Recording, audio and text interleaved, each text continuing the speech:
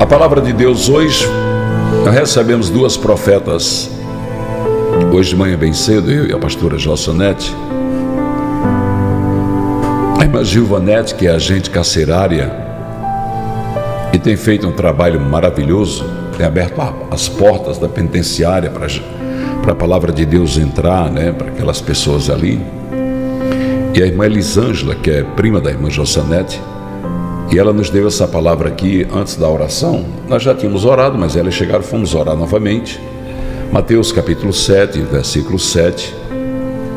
Quando Jesus disse: Pedi e dá-se-vos-á, buscai e achareis, batei e abri-se-vos-á. Essa palavra, irmãos, é direcionada a todos nós crentes. É Deus dizendo assim: se você pede, você vai receber. Quem não pede, é porque não crê. Que não reivindica é porque crê que não tem direito. Quando Deus está dizendo pedir, Ele está dizendo você tem o direito de pedir. Porque você é filho, porque você é filha. Você tem o direito de pedir porque o Pai, Deus, Ele te ama. E ama dar aos seus filhos aquilo que você pede. É por isso que nós estamos numa campanha de oração intensa orando bastante, pedindo a Deus pela vida das famílias, para proteger as famílias, para proteger sua casa, para Deus mudar a história. Porque nós sabemos que tem muitos irmãos e irmãs que estão vendo assim aquele panorama sombrio, sabe, aquela visão turva, aquela visão que não promete nada para o futuro. E eu sei o que é isso, porque eu já vivi isso de olhar para meus filhos, para minha família e não ver perspectiva. De toda a vida que algum ligar era um susto, pensando que algo muito grave teria acontecido. Eu sei que tem pessoas aqui na live que estão passando por isso. Muitas dificuldades na criação dos filhos, na preservação e na manutenção do casamento Mulheres que estão pagando um preço alto, pastor Ângela, para manter o matrimônio, para manter o casamento, para manter a família unida. Mulheres que têm pensado, Deus, o que é que vai ser? Se a minha família for destruída, for desfacelada, o que é que vai ser dos meus filhos? Mulheres que estão a ponto de perder o equilíbrio, que já pensaram mil e uma loucuras, e é por isso que nós estamos exatamente orando para repreender todo o mal, porque nunca as hostes malignas trabalharam tanto contra a família como nos dias atuais. Irmão, olhe direitinho, porque só não vê quem é cego espiritual, porque quem tem visão do Espírito Santo vê, sabe, o exército inimigo querendo se aproximar sitiando as casas, as famílias, colocando as famílias em situações difíceis. Os filhos que são motivo de alegria para o casal comemorar, frutos desse amor, estão se transformando no principal motivo de separações. Mas Deus está repreendendo, mas Deus está trabalhando mas Deus está mudando, porque o nosso Deus é Deus que muda a história, que muda o diagnóstico médico, que muda a sentença dada pelo mundo. Quantos não estão passando por uma situação de ser avaliado por todo mundo e não escuta uma palavra que venha lhe dizer que há esperança? Mas nós estamos aqui em nome de Jesus Cristo. Não é para dizer que há, é para dizer que ela já está na sua vida, que é Jesus Cristo, a esperança do mundo. O nosso Deus vai fazer diferente. Peça e vos será dado. Busque e achareis o Senhor. Buscar-me-eis e me achareis quando me buscares de todo o teu coração. Deus quer proteger a sua família, Deus quer guardar a sua família. Nós estamos agora em quatro dias, ontem foi o primeiro dia de um janeiro profético, profetizando mudança, cura, profetizando portas abertas de emprego, profetizando o fim das contendas. Muitas mães de família já amanhecem o dia com o coração na mão, não sabe como vai ser o dia. Alguns estão vivendo a escassez do dinheiro para manter a família, outras têm o dinheiro, mas vive a escassez do amor. Não há compreensão, não há cumplicidade, não há uma comunhão. Por um lado, tem, tem os recursos, tem um emprego bom, tem posição social, mas a família é um caos. É briga, é contenda, é um querendo destruir o outro. É o marido que não fala com a esposa, é o pai que não fala com o filho, mas tudo isso está repreendido no sangue de Jesus Cristo. A família é projeto de Deus, a sua família é projeto de Deus. E o inimigo não pode lutar contra isso. Se você se determinar a pagar o preço, a orar, a consagrar, a entregar para Deus aquilo que você consagra, entrega a Deus, ele não pode colocar a mão. E se tiver colocado, vai ter que tirar. Porque é assim que diz a palavra, e nós vivemos da palavra. Exerça a autoridade de quem é filha e filho do rei. Quando você exerce isso, quando você assume a paternidade de Deus sobre a sua vida, o poder de Deus repousa sobre a sua vida. E nada pode destruir os planos, os sonhos de Deus para você e sua família.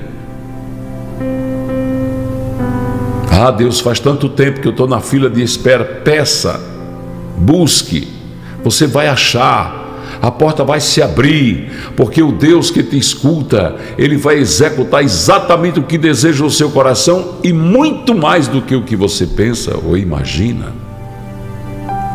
O segredo é pedir e crer e ficar na posição para receber o que Deus tem. A bênção sobre você e sua família vem dos altos céus, vem de Jesus Cristo. Pastora Ângela. Glória a Deus. Pedi crendo que Ele é Pai e que Ele nos dá o melhor, que Ele trabalha em favor dos filhos que nele esperam. Seguindo este versículo, a palavra vai dizer: Qual de entre vós é o homem que pedindo pão, o seu filho lhe dará uma pedra, e pedindo-lhe peixe lhe dará uma serpente? Se vós, pois, sendo maus, sabeis dar boas coisas aos vossos filhos, quanto mais o vosso Pai que está nos céus dará bens aos que lhes pedirem. A gente tem que pedir é para Ele mesmo, porque sabendo que Ele é Pai, sabendo que nós podemos confiar no Seu amor leal, Ele sabe como agir, Ele pode agir, Ele sabe como fazer, Ele sabe o tempo perfeito para chegar e Ele quer nos ajudar. Qual é o pai que não quer ajudar o seu filho? Qual é o pai que não quer estender a mão para abençoar os seus filhos? Talvez você esteja já dizendo, Deus, eu não vou pedir mais nada. E Deus está dizendo, pelo contrário, aí você tem que pedir. você tem que me pedir, porque eu que posso fazer. Às vezes a gente está cansado, né, pastor? De falar com Deus, de pedir a Deus, de clamar ao Senhor por uma situação e dizer eu não vou mais pedir como se essa fosse a solução, quando é pedindo que chega a solução. É. Que vai exatamente ter o resultado que a gente tanto espera, que é ver a nossa família envolvida, né, no amor do Senhor, caminhando com o Senhor, andando com o Senhor.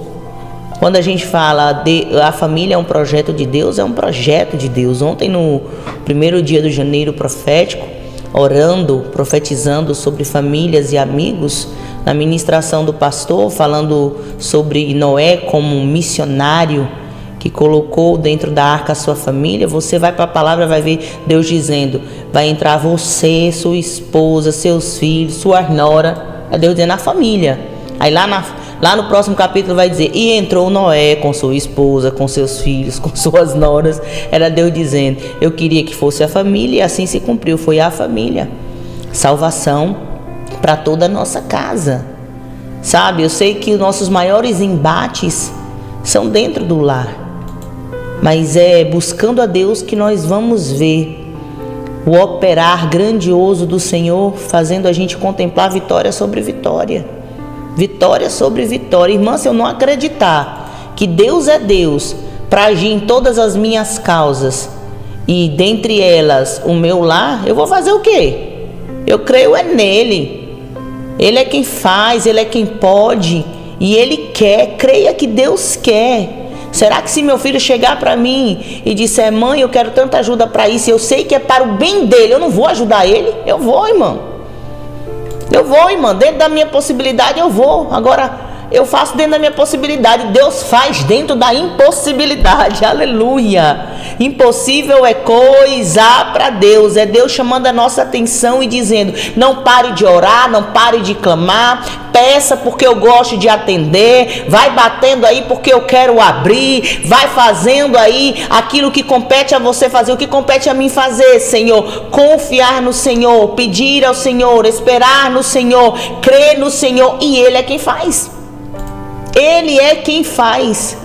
A gente busca, ah, irmão, se a gente busca em Deus, a gente encontra a gente encontra o amor de Deus, a gente acha a misericórdia de Deus, a gente percebe a bondade e o querer do Senhor, a gente contempla a fidelidade dele. Eu vou dizer uma coisa para você: você pode bater em muitas portas e elas se fecharem. Agora, quando você bate, você bate no coração de papai, que é tocado pela oração, pelo clamor de um filho, pode ter certeza, tem porta se abrindo tem agido o céu, Aleluia. fazendo, acontecendo, se movendo em nosso favor.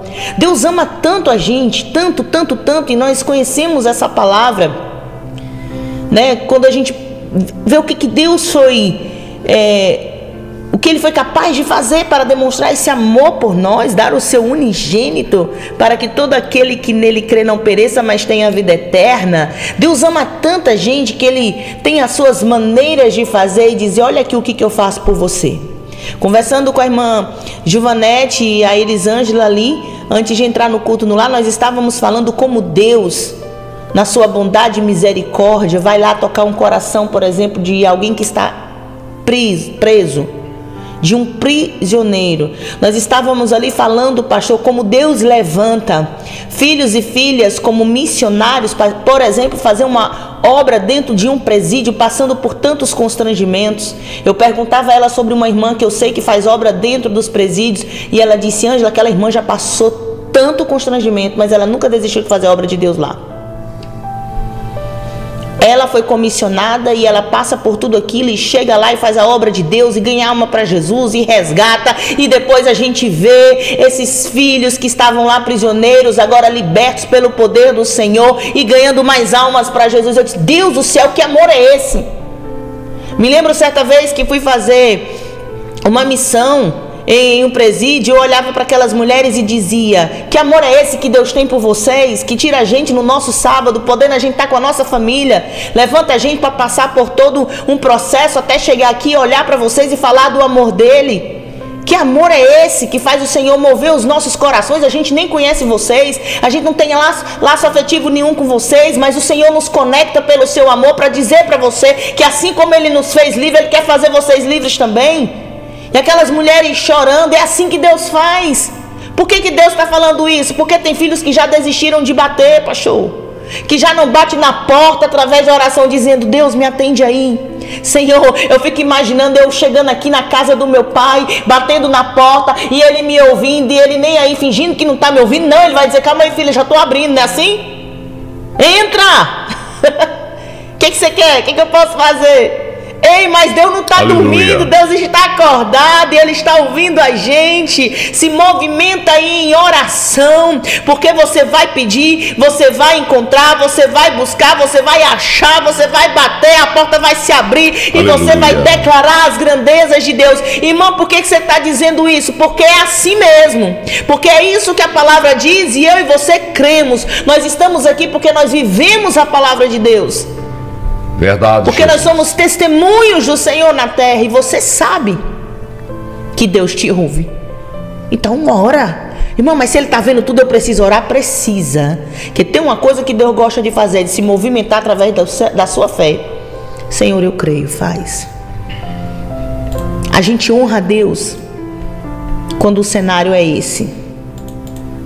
Ninguém espera nada. Aí você diz, mas o meu Deus ainda vai chegar.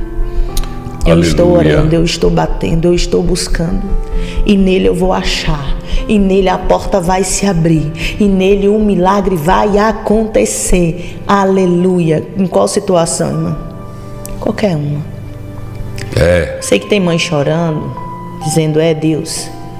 É como se eu já não cresci mais, que o Senhor pode mudar essa situação e Deus está dizendo: Eu estou olhando para você, estou olhando para Ele também. Eu estou vendo as suas lágrimas, estou cuidando lá. Sabe? É você pedindo aqui e Deus trabalhando lá. Os seus olhos não alcançam, mas o Senhor tudo vê. Deus está falando para mães nesta manhã, filhas, antes deles serem teus, eles são meus. aleluia. Lembro-me É de um momento Senhor. tão marcante. Uma irmã liga desesperada. Pastor, eu não tenho mais o contato do meu filho. Eu não sei onde ele está. E ela chorando e dizendo: Eu só queria saber se ele está bem. A gente sempre se falava. E a senhora conhece a história dele. Então eu não sei se meu filho está melhor. Se ele tem conseguido diminuir no vício ou se ele está se drogando mais ainda. Na verdade, pastor, eu não sei nem se ele está vivo. E naquela hora, no desespero daquela mãe, eu disse: então vamos orar. Os seus olhos não podem ver ele, mas os olhos do Senhor passeiam por toda a terra. Vamos orar. Você não sabe onde ele está, mas Deus sabe. Ninguém se esconde da face do Senhor. E ali a gente fez uma oração rápida. Deus, tu és misericordioso, tu és bondoso. O filho da tua serva, Senhor, antes é teu. Os olhos dela não conseguem contemplar ele, mas os teus olhos, Senhor, o buscam e o acham. Pai, em nome de Jesus, ainda hoje, dá um sinal para essa mãe, dá uma resposta para essa mãe, para o coração dela se acalmar e saber que este filho está bem. E amém. Menos de 20 minutos depois, aquela mãe liga e agora o choro era de alegria. O filho tinha entrado em contato e tinha dito: Mãe, tô ligando do celular do meu amigo, tô sem celular. Anota aí que esse é o contato. Como é que você tá, meu filho? Tô bem, mãe. Tô em tal lugar, assim, assim. Tô na casa de fulaninho, tô isso, tô aquilo. Não preocupa não, mãe. Tá tudo bem. Oh, glória a Deus, irmão. Quem busca no Senhor acha. Quem pede a Ele tem resposta. Aleluia. Deus te abençoe em Cristo Jesus e que o seu coração se alegre. Porque a quem você pede é o Todo-Poderoso. Que não está contemplando, não é só o servo Chico Chaga, a serva Ângela e cada um de vocês que estão adorando a Ele, exaltando o nome dEle nesta manhã. Mas Ele está contemplando é todo o universo. E Ele tem o controle de tudo em suas mãos. Amém? Aí você diz assim: olha, olha, Satanás, pode tirar a mão da minha família. Pode tirar sua mãozinha aí, suas patas de cima dos meus filhos. Diga, mulher, da minha família, pode tirar. A minha família é consagrada a Deus. A minha família é um projeto de Deus. E eu já entreguei todos na mão dele. E vai orando e vai repreendendo. Não fique triste, não desanime, sabe por quê? Porque é tudo que ele quer. Lembra de Moisés, lá no monte? Estava Arão de um lado e U do outro. O que é que a palavra diz? Que quando ele baixava o cajado, Israel perdia. Quando Arão de um lado e U do outro levantava, o exército de Israel ganhava. Então levante as tuas mãos e dê glória, porque depressão nunca ganhou guerra, tristeza nunca ganhou guerra. Quando você fica desanimado, o diabo vence. E você se sentindo derrotado, você vai ser sempre um escravo dele. E Deus não te criou para ser escravo ou escrava. Deus te criou para ser filha e filho de Deus. E a sua família tem dono. Sua família tem dono. Louve aí! E o nome dele é Jesus. Crente, sua família tem dono. Deus quer a felicidade da sua família.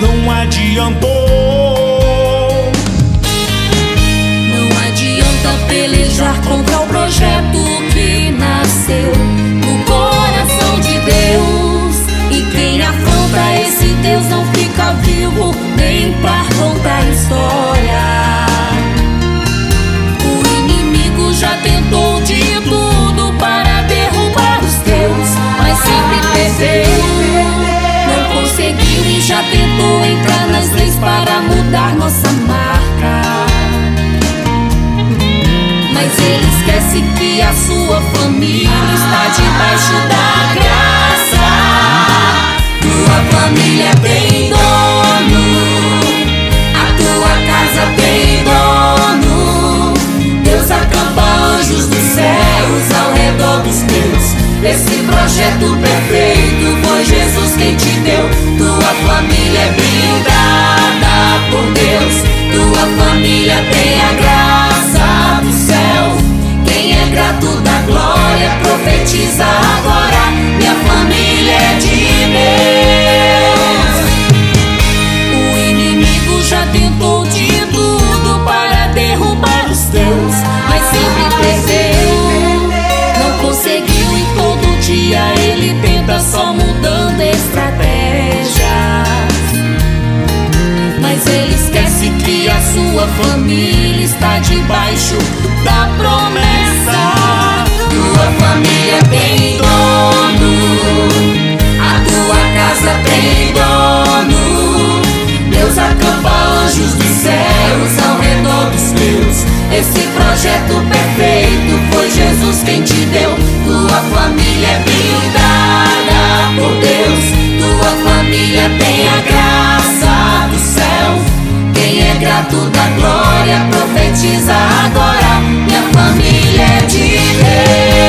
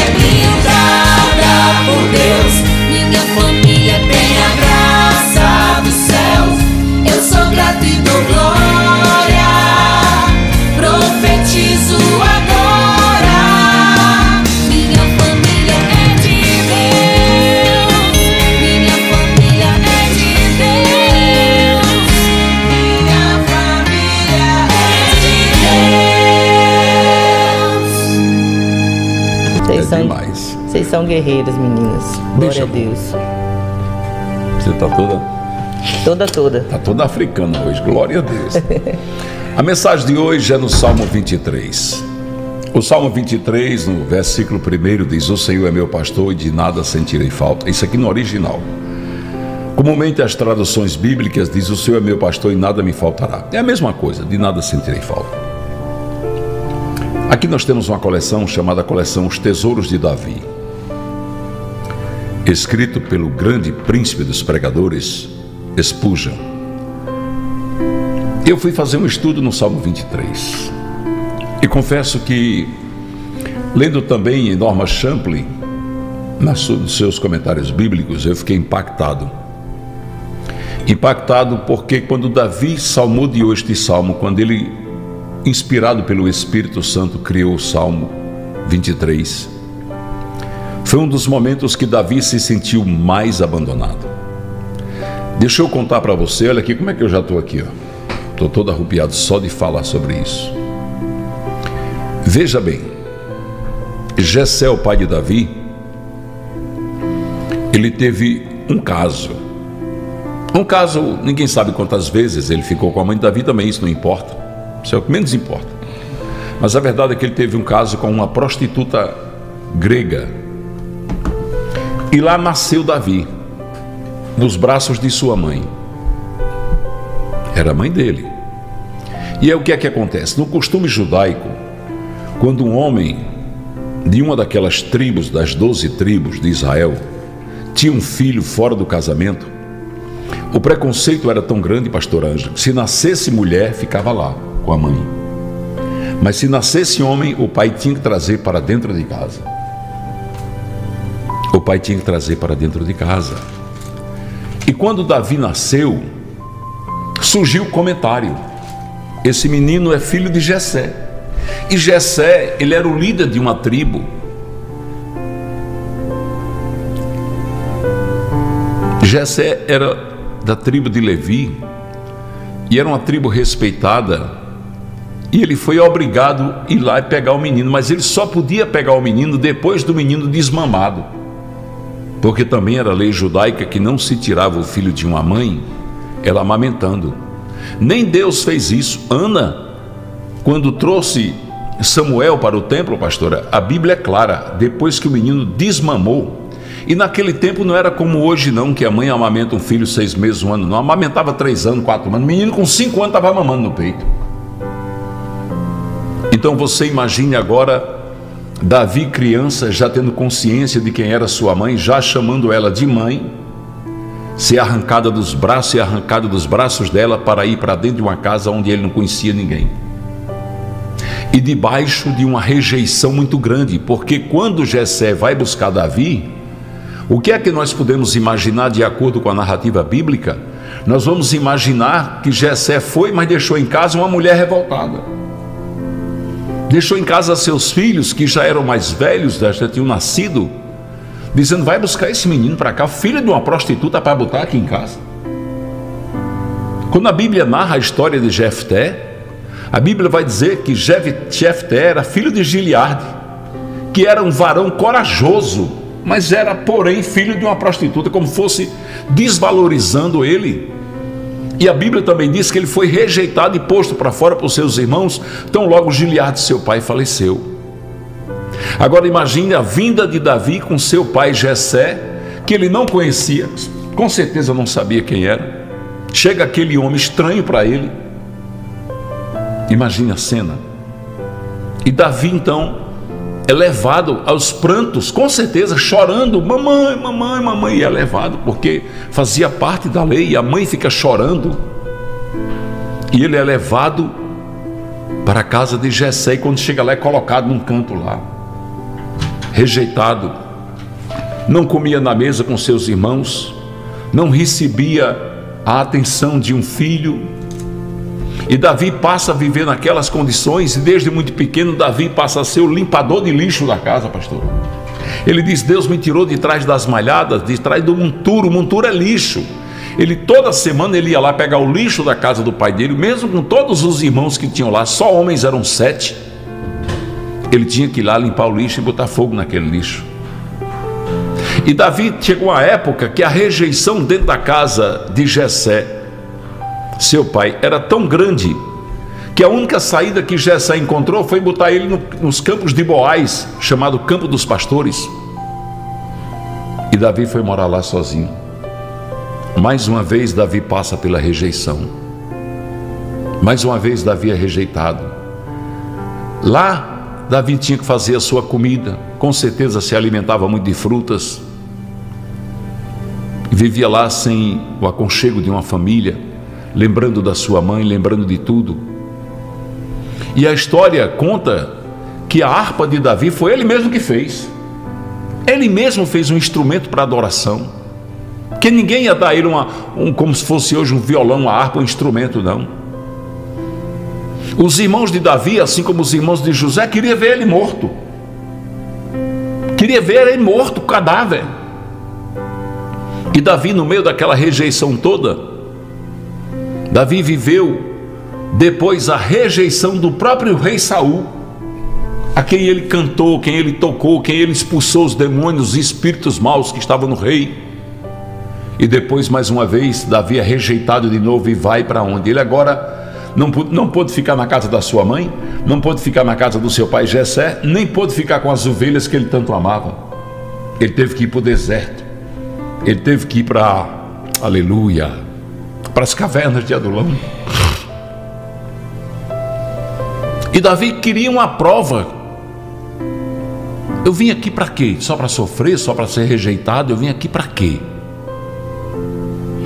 Imagine agora Davi com a sua arpinha, jogado dentro das montanhas, no deserto, frio, fome, sede e solidão eram as suas companhias e a sua harpa.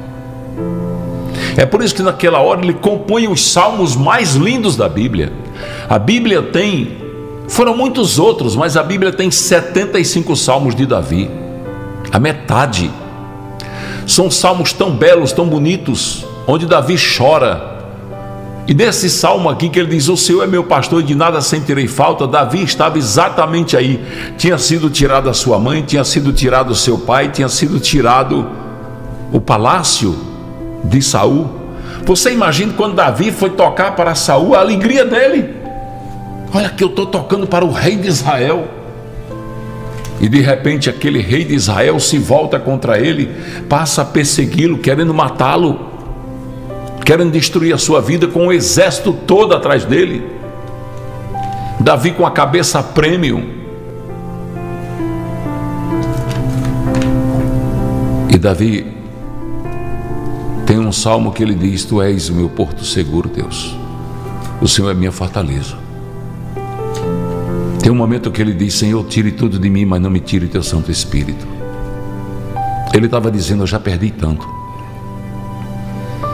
Senhor, já sofri tanto. Davi estava dizendo para Deus: Olha, não pude ficar com meu pai, não pude ficar com a minha mãe, não pude ficar com minhas ovelhinhas, não pude ficar no palácio com Saul, perdi tudo, agora o Senhor não posso perder. Eu não tenho como perder o Senhor. E Deus diz para Davi: Davi, eu te transformei num destruidor de gigantes. E eu fico pensando, Deus, como é o trabalhar de Deus, o Deus do projeto do deserto, o Deus que pega um rejeitado, um que foi, ele era totalmente improvável. Quem é que imaginava que Deus botaria Davi no trono de Israel? Mas não tinha nem quem pensasse nisso. Na casa de Jessé houve desdém, Sabe, houve zombaria quando Davi recebeu o óleo da unção na cabeça, mesmo sendo ungido por um profeta, por um juiz, por um sacerdote. Ninguém acreditava. Ninguém acreditava que Deus estava ungindo Davi rei. Esse menino, que nem mãe tem, tem pai, mas não podem dizer, não podem chamar de pai. Tem família, mas não pode chamar de família. Esse, esse pastorzinho aí, esse que só tem cheiro de ovelha. Eita glória!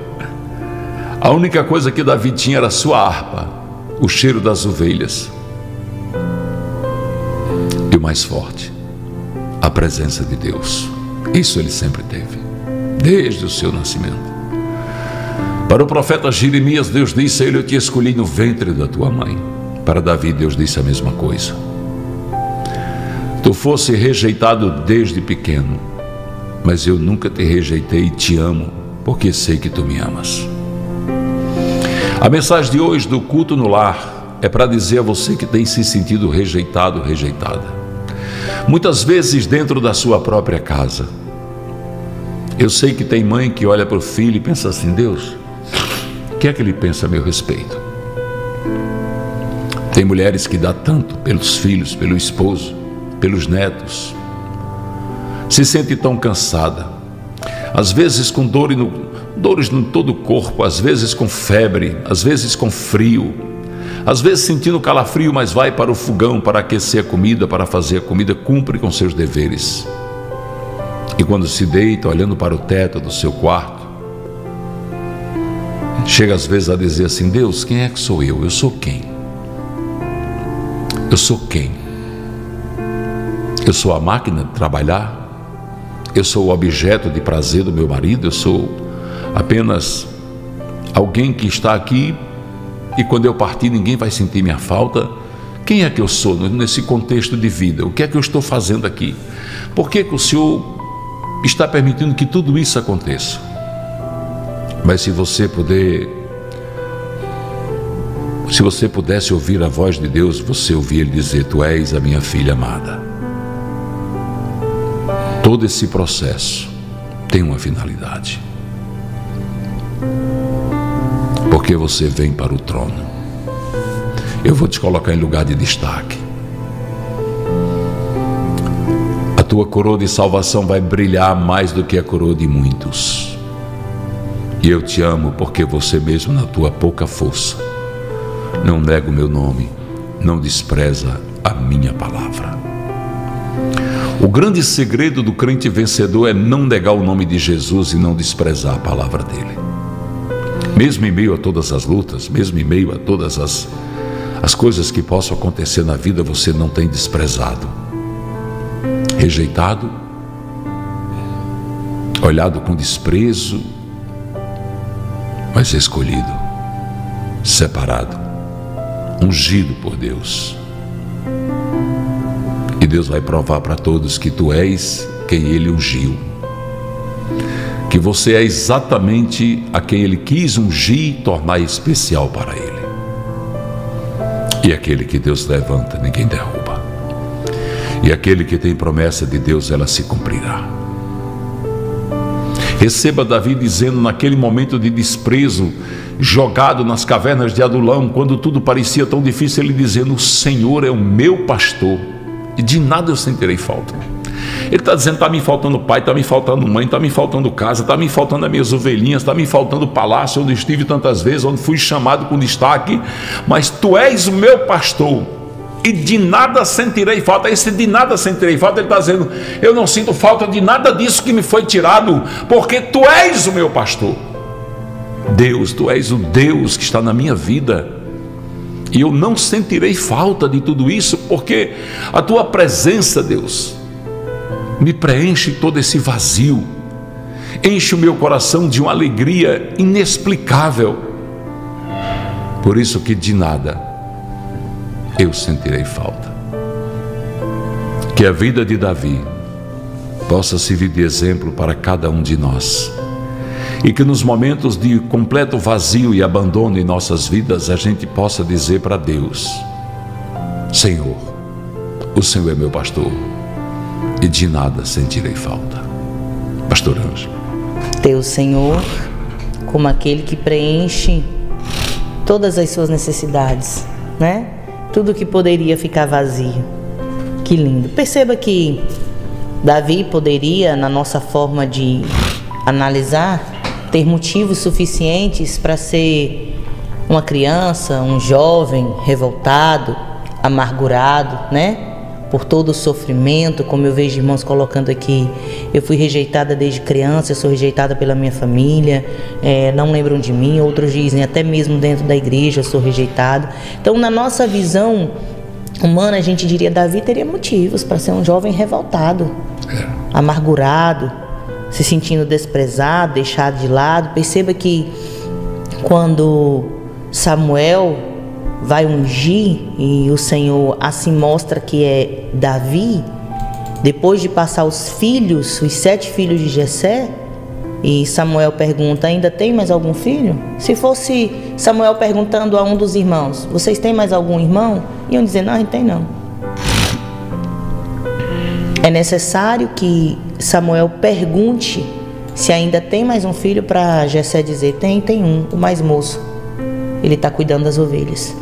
É necessário alguém perguntar para você se lembrar, para você dizer: não, aqui tem alguém que, tá, que não está presente. Tem a falta de alguém. Sabe?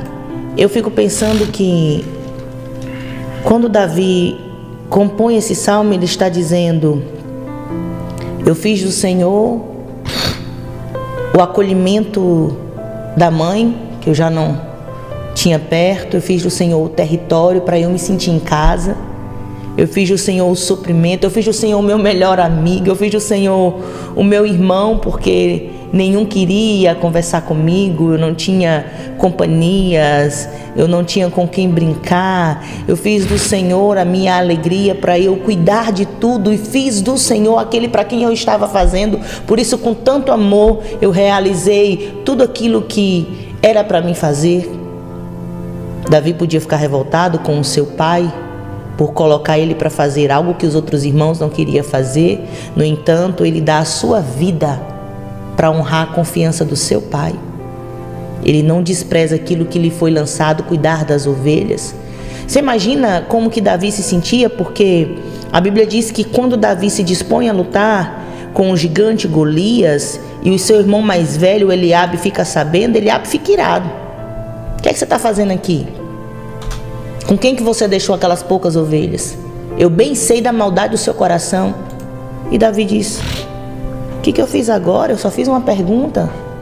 Então Davi já estava acostumado com um tipo de julgamento, de crítica, de palavras opressoras, um cenário muito hostil, onde quando a gente vê que família é para ser um lugar de refúgio, de acolhimento, né? De abraço, de tranquilidade, de promover paz, de deixar você mais tranquilo, era o contrário para Davi. Era um cenário hostil. Mas Davi ele faz do Senhor tudo que ele precisa. Quando ele diz de nada eu sentirei falta, ele está dizendo o Senhor é tudo que eu preciso. É tudo que eu preciso para suportar esse cenário hostil. É tudo que eu preciso para o meu coração não ficar amargurado. Como é que alguém não fica amargurado com tudo que Davi passou, pastor? É. Porque faz do Senhor tudo que ele precisa. O Senhor, como o supremo e bom pastor, o Senhor com pleno suprimento para as nossas necessidades, a gente percebe que esse salmo ele é um reservatório inesgotável, gente, de consolo. Ele tem uma força nessa declaração, sabe? A gente vê Davi mostrando que apesar das situações difíceis, o Senhor está com ele, não importe pelo que ele passe, ele sabe que pode contar com Deus. Essa comunhão com Deus sustenta, essa comunhão fortalece, essa comunhão levanta, essa comunhão traz alegria, mesmo todos dizendo que você não teria motivo para se alegrar. É como se você imaginasse Davi dizendo assim: que razão que eu tenho para viver? É. Não estou em casa com minha mãe, vim para casa do meu pai, meus irmãos me rejeitaram, estou aqui atrás das malhadas, ninguém me dá valor. O que, que eu estou fazendo aqui? Poderia entrar naquela famosa crise existencial, né, que a gente costuma dizer. No entanto, Davi, e aí a gente entende por que, que Deus diz um homem segundo o meu coração. Davi buscou tudo em Deus.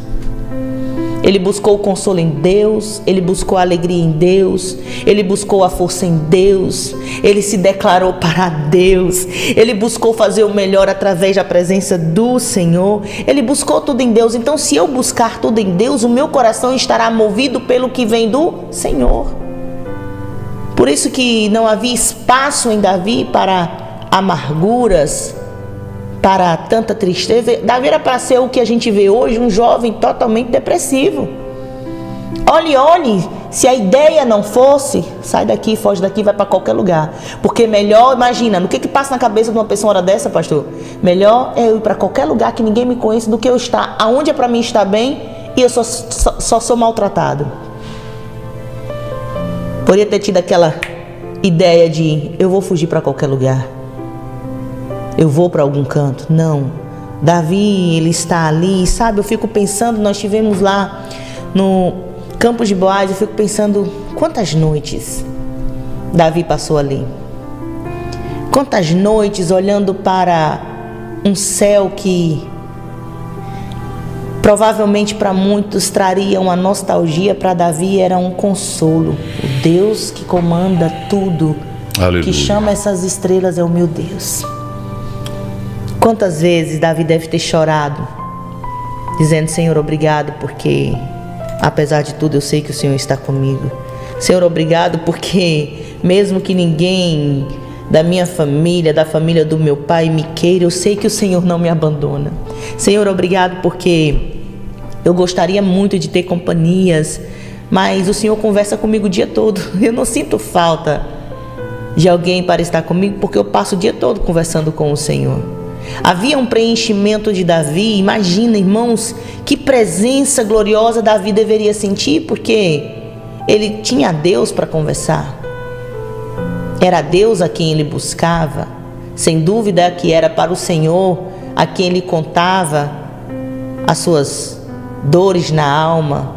Devia dizer: Deus, refrigera aqui minha alma, porque hoje me bateu uma saudade de casa.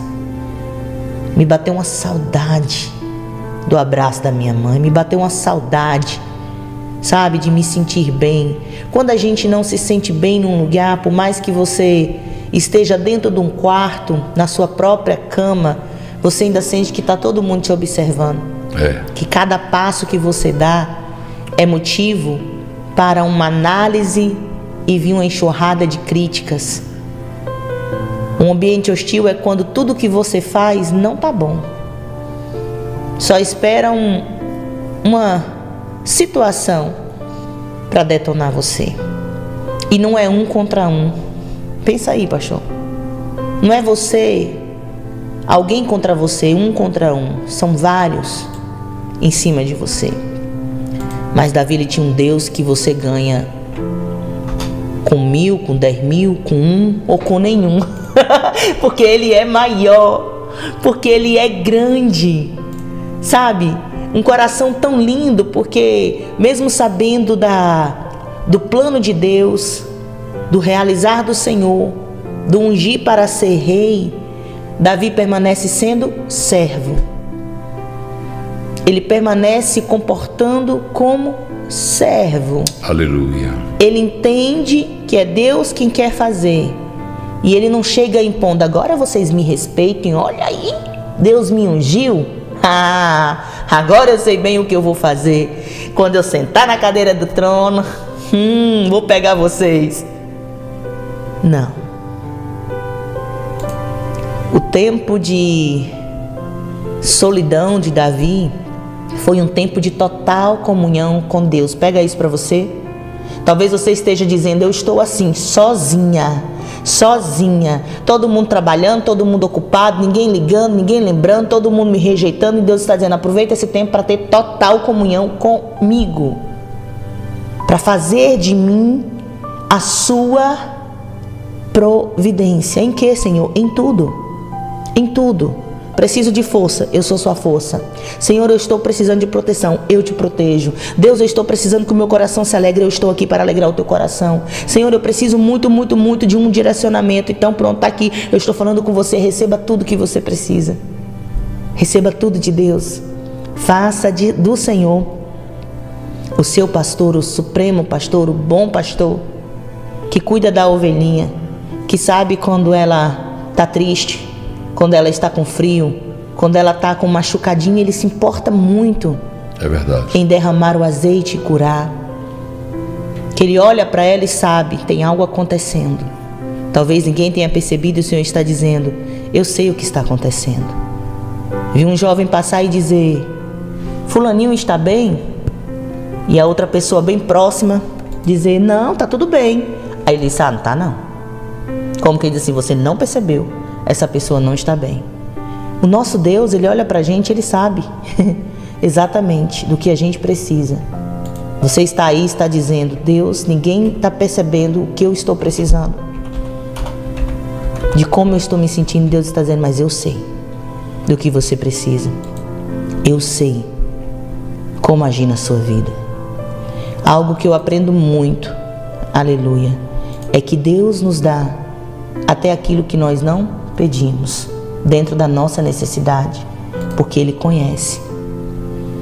Quando Elias está debaixo do pé de zimbro, está cansado, está com medo, recebeu as ameaças de Jezabel, ele não pediu ao Senhor alimento, ele não pediu água, ele está cansado e dorme de tanto cansaço, tristeza, desânimo. E quando o anjo o acorda, já está lá pão e água. Ele pediu? Não, ele não pediu, mas Deus sabia que ele precisava. Deus sabe do que você precisa. Receba em nome de Jesus neste dia. Receba em nome de Jesus nesta manhã a providência plena de Deus sobre a tua vida, porque Ele é suficiente para nos manter de pé e caminhando no seu propósito. Amém? Deus te abençoe em Cristo. Amém, amados queridos. O exemplo de Davi é um exemplo para ser seguido por todos nós. Quando você sentir-se rejeitado, triste, sozinho, não esqueça. O Deus que nós servimos não vai ter virado as costas para você. Ele vai estar sempre ao seu lado. E quando Deus está ao seu lado, é para dar a você a demonstração do amor dele. Quando Jesus Cristo ficou sozinho no Getsemane, abandonado pelos seus discípulos, e na cruz, quando ele disse: Pai, por que me abandonastes? Ele estava sentindo o abandono de Deus, mas não era porque Deus tinha virado as costas para ele. Deus tinha virado as costas para o pecado. Lembre-se que Deus vai estar sempre, sempre na sua e na minha vida. Mesmo que todos te persigam, Ele vai te abençoar. Marco Antônio da Pão da Vida, cantando perseguições. Eita Deus!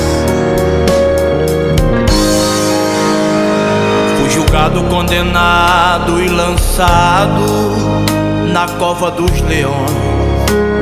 Não me deram chances pra me defender, nem argumentar. Simplesmente colocaram a sentença. Sem defesas comecei a sussurrar.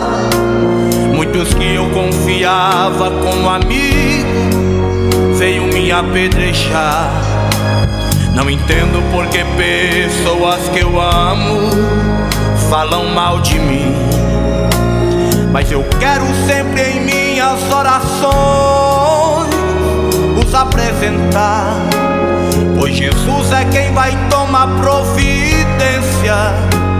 E o quadro da história vai mudar.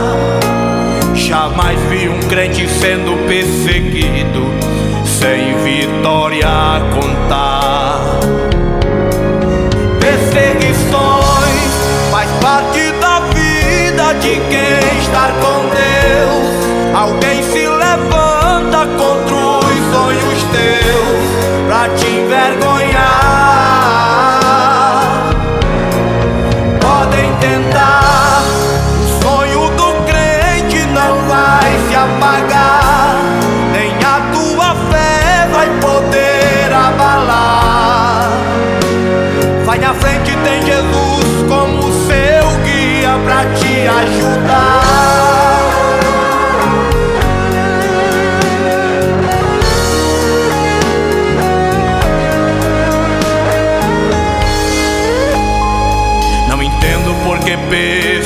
Que eu amo falam mal de mim. Mas eu quero sempre em minhas orações os apresentar. Pois Jesus é quem vai tomar providência. E o quadro da história vai mudar. Jamais vi um crente sendo perseguido sem vitória contar. Perseguições faz parte da vida de quem está com Deus. Alguém se levanta contra os sonhos teus pra te envergonhar. Podem tentar,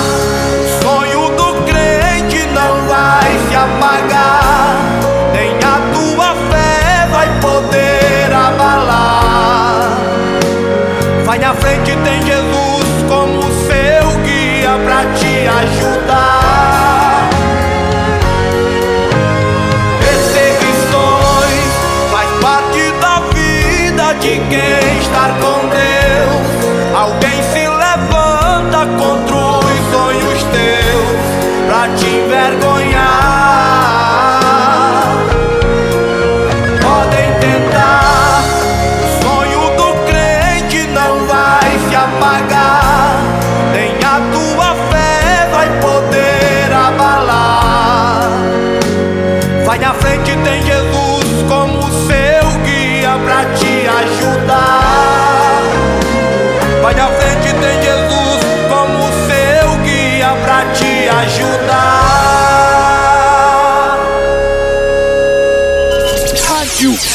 Você viu a palavra de hoje do culto no lar?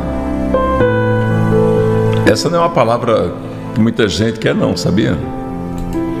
Mas é uma palavra abençoada. Eu vou explicar por quê.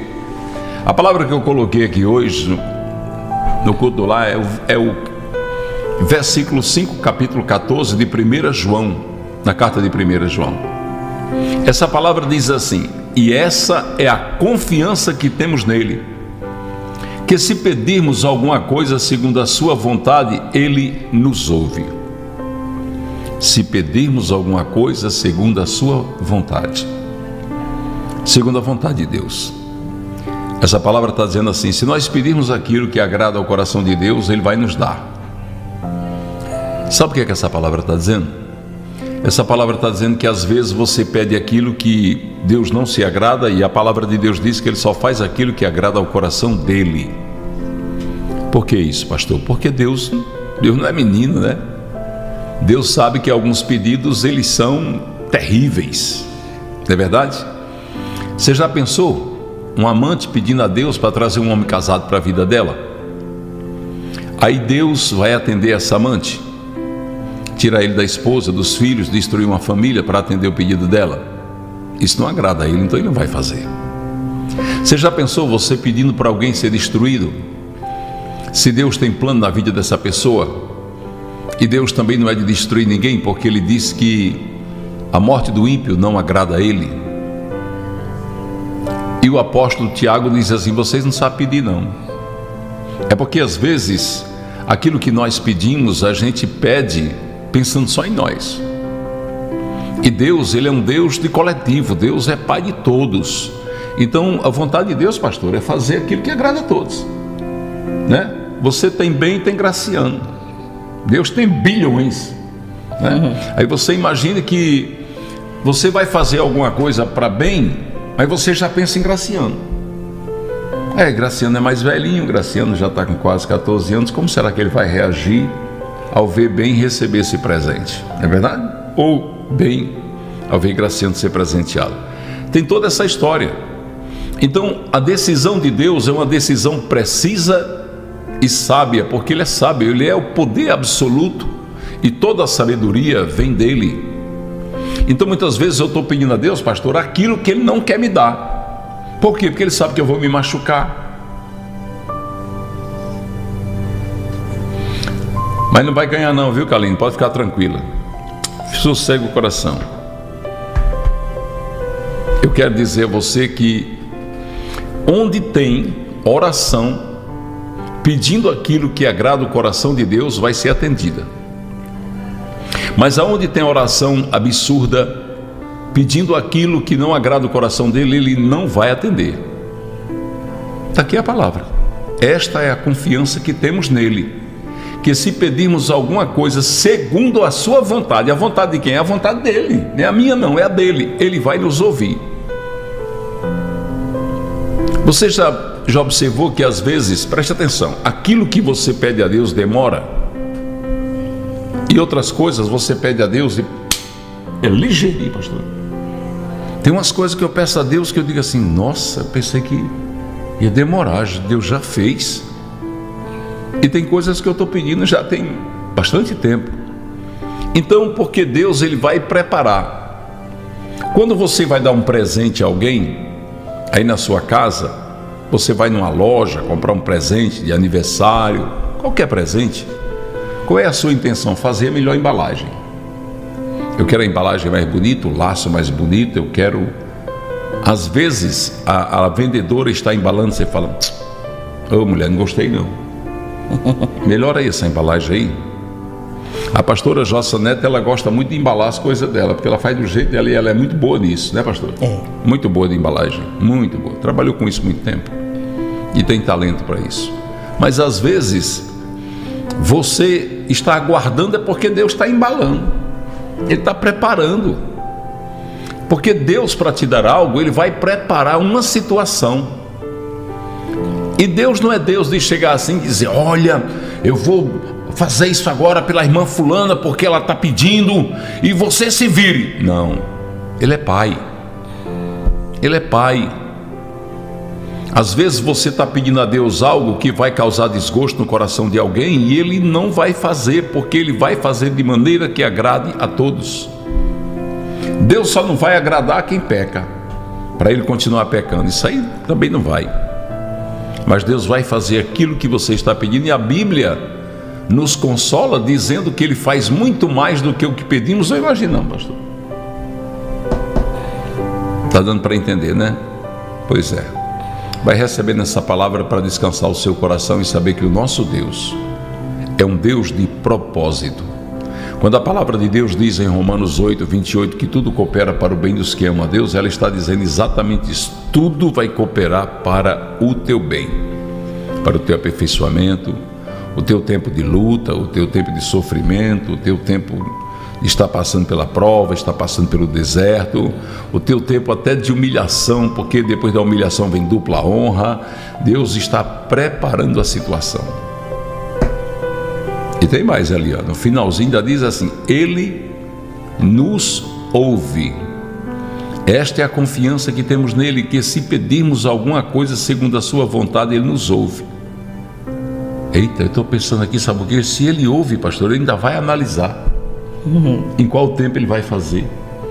Se nós estamos preparados para receber. Está recebendo? Porque eu digo para Deus que eu só quero aquilo que Ele me dá. Eu digo assim para Deus: eu digo, Deus, digo nas minhas orações, e já disse isso milhares de vezes. Eu só quero o que o Senhor me dá, nada mais. Deus, aquilo que não vier do Senhor, não quero. Por favor, não deixe chegar a minhas mãos, a minha mente, ao meu coração, a minha vida, nada que não vier de ti, mas nada mesmo, eu só quero aquilo que vem do Senhor. Porque o filho que come na mão do pai e da mãe não tem perigo dele se contaminar. Pastor Ângela. Glória a Deus. Confiar nesse, nessa vontade de Deus é confiar na porta que Deus fecha, no não que Ele dá. É no tempo que ele ainda não fez, sabe? A palavra do Senhor diz que a vontade dele é boa, é, é perfeita e é agradável. E a palavra também nos ensina a orar conforme a vontade dele. Então é dizendo: se você sabe que ele é seu pai, que ele te ama, que ele quer o seu bem, que ele tem planos de paz, que ele quer fazer você caminhar e prosperar, então você vai confiar na vontade dele. A gente ora a gente clama, a gente pede, mas ao final tem que sempre haver essa submissão de quem se submete porque confia no seu Senhor. Que seja feita, Senhor, a sua vontade. Porque em todas as ações de Deus há um propósito. E sem dúvida que você, em meio a isso, vai pensar: Deus, por que, que o Senhor ainda não fez? O tempo está passando, Outras vezes você vai dizer, Senhor, por que, que o Senhor não abriu essa porta? Em algum momento você vai dizer, Deus, por que, que o Senhor está deixando isso acontecer? Não é assim? Mas certamente que um coração que busca o Senhor e sabe que a sua vida é guiada por Ele, vai descansar numa certeza. A minha vida está debaixo de um decreto e não é de homem, é do Todo-Poderoso. Então eu posso confiar no meu Deus. Em meio a aflições, vai ter momentos que você vai dizer: Deus, me tira dessa prova. Senhor, chega aqui agora, eu não suporto mais. E lá na frente, tendo passado pela prova, tendo vencido a angústia, você vai dizer: Deus, realmente o Senhor promoveu coisas que eu nem imaginava no meio dessa situação. É. Não é assim? Quando Jesus pede para passar o cálice, né? E ao final ele vai dizer, ele pede. E pede e pede, mas ao final ele diz que seja feita a sua vontade. Me lembro de algumas vezes de ter dito isso para o Senhor e por mais que na hora nos doa dizer isso, porque você quer que Deus faça a sua vontade, claro que você quer. Deus, eu quero que o Senhor faça assim, eu queria que o Senhor agisse dessa forma, né? E quando você realmente se dispõe a dizer, Deus, seja feita a tua vontade, mesmo sabendo que a vontade de Deus pode não ser exatamente o que você gostaria que fosse, Desse lá na frente você acaba dizendo: É, Senhor, realmente vale a pena entregar essa causa nas tuas mãos, confiar nas tuas mãos, não ficar, sabe, é, argumentando ou é, batendo com Deus e dizendo: Olha, Senhor, mas tinha que ser assim, porque você sabe que no final Ele é quem sabe de tudo, de tudo em todo o tempo. Quantas portas Deus já fechou? Portas que você gostaria de entrar. Hum. Quantos nãos Deus já te deu? Por esses dias eu conversava com uma irmã e eu dizia: já pensou se Deus atendesse tudo que a gente quisesse, pastor? Era. Primeiro, a gente nem estaria aqui. Depois, nós provavelmente estaríamos com outras pessoas, como nossos companheiros, nossos cônjuges, não é verdade? que a gente sempre pede e acha que está certo. Muitas pessoas teriam sido feridas através das nossas petições, do nosso querer, da nossa razão. E Desse jeito. quantas pessoas teriam nos visto viver coisas que não era da parte de Deus. Então, Deus no seu amor, ele cuida da gente dizendo: eu disciplino, eu corrijo, eu abraço, eu envolvo, eu te escondo quando precisa esconder. Você já parou para pensar quantas vezes você pediu para ser notado e Deus te simplesmente te escondeu? Não deixou ninguém lembrar de você? É verdade. Quantas vezes em um deserto você pediu, Senhor, faz alguém lembrar de mim e alguém nem lembrou? Ninguém lembrou, na verdade. E depois você entendeu que a sua experiência foi de confirmações dos planos de Deus, foi de passar, né, e ser aprovado por Deus e reconhecer a voz de Deus e viver o sobrenatural do Senhor. Se você realmente tirasse um tempinho hoje assim só para dizer assim, não, Deus, quantas coisas eu já pedi ao Senhor e o Senhor não me, me concedeu, realmente o Senhor sabe todas as coisas, porque se o Senhor tivesse feito, teria acontecido isso, isso isso. Porque na hora que a gente quer algo, a gente não mede, né? A gente não mede as consequências, não mede o que está por vir, a gente simplesmente quer. Por acreditar que é a melhor decisão, por acreditar que é o melhor caminho. Quantas vezes Deus mudou a sua rota? Se a gente tiver o Senhor, a direção dele como o GPS da nossa vida, você vai ver. Você quer ir por um lado, Deus está dizendo, não é por aqui, é por aqui. É. É pelo outro lado. Senhor, eu quero fazer assim. Não, mas não é assim, é dessa forma. Você vai querer ir, Deus vai dizer para você não ir. Outras vezes você vai, não vai querer ir, Deus vai dizer para você ir. Nós precisamos sempre da presença de Deus, da direção de Deus, da voz de Deus e confiar na vontade dele. Ainda ontem eu lembrei de algo, pastor, e fiquei assim: Deus, quantas pessoas devem questionar, às vezes, algumas coisas que a gente vive? E a resposta que veio para mim da parte do Senhor foi: só dê uma resposta, minha filha. É. Tá tudo certo, porque é Deus quem quer assim. Eu estou sendo guiada pelo meu Senhor. Então, o que eu fizer, onde eu estiver, como eu fizer, sendo guiado pelo Senhor, tá tudo bem, porque é a vontade dele. E tem uma coisa que ninguém pode questionar: é a vontade de Deus. Você acha que você ficasse descabelando, batendo a cabeça na parede, gritando, fazendo biquinho, vai mudar o que Deus quer fazer? Deus é muito seguro em tudo que ele faz. Nós não somos, pastor. Nós não somos. Às vezes nós tomamos decisões e alguém vem e conversa com a gente e seu pensamento já começa meio que: será que eu estou certo? Será que eu agi da, da, da forma correta? Daqui a pouco alguém vem e faz um drama e o seu coração que é enganoso, né, se deixa envolver pela emoção. Deus não é assim. Deus ele é certo porque ele sabe de tudo. Aleluia. Então, às vezes você está até aí Glória. dizendo, Senhor, mas eu já pedi tanto, eu já chorei tanto, eu já clamei tanto, o Senhor está vendo as minhas lágrimas e o Senhor continua agindo dessa forma na minha vida, é porque Deus sabe o que é melhor para você. E não vai ser você trancar a porta como um filho rebelde faz na sua fase de adolescente. Eu não quero falar com você. Alguém já fez isso? Me deixa quieto, me deixa em paz.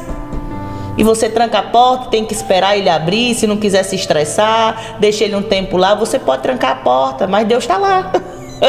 Não tem lugar que você possa se esconder ou fugir Aleluia.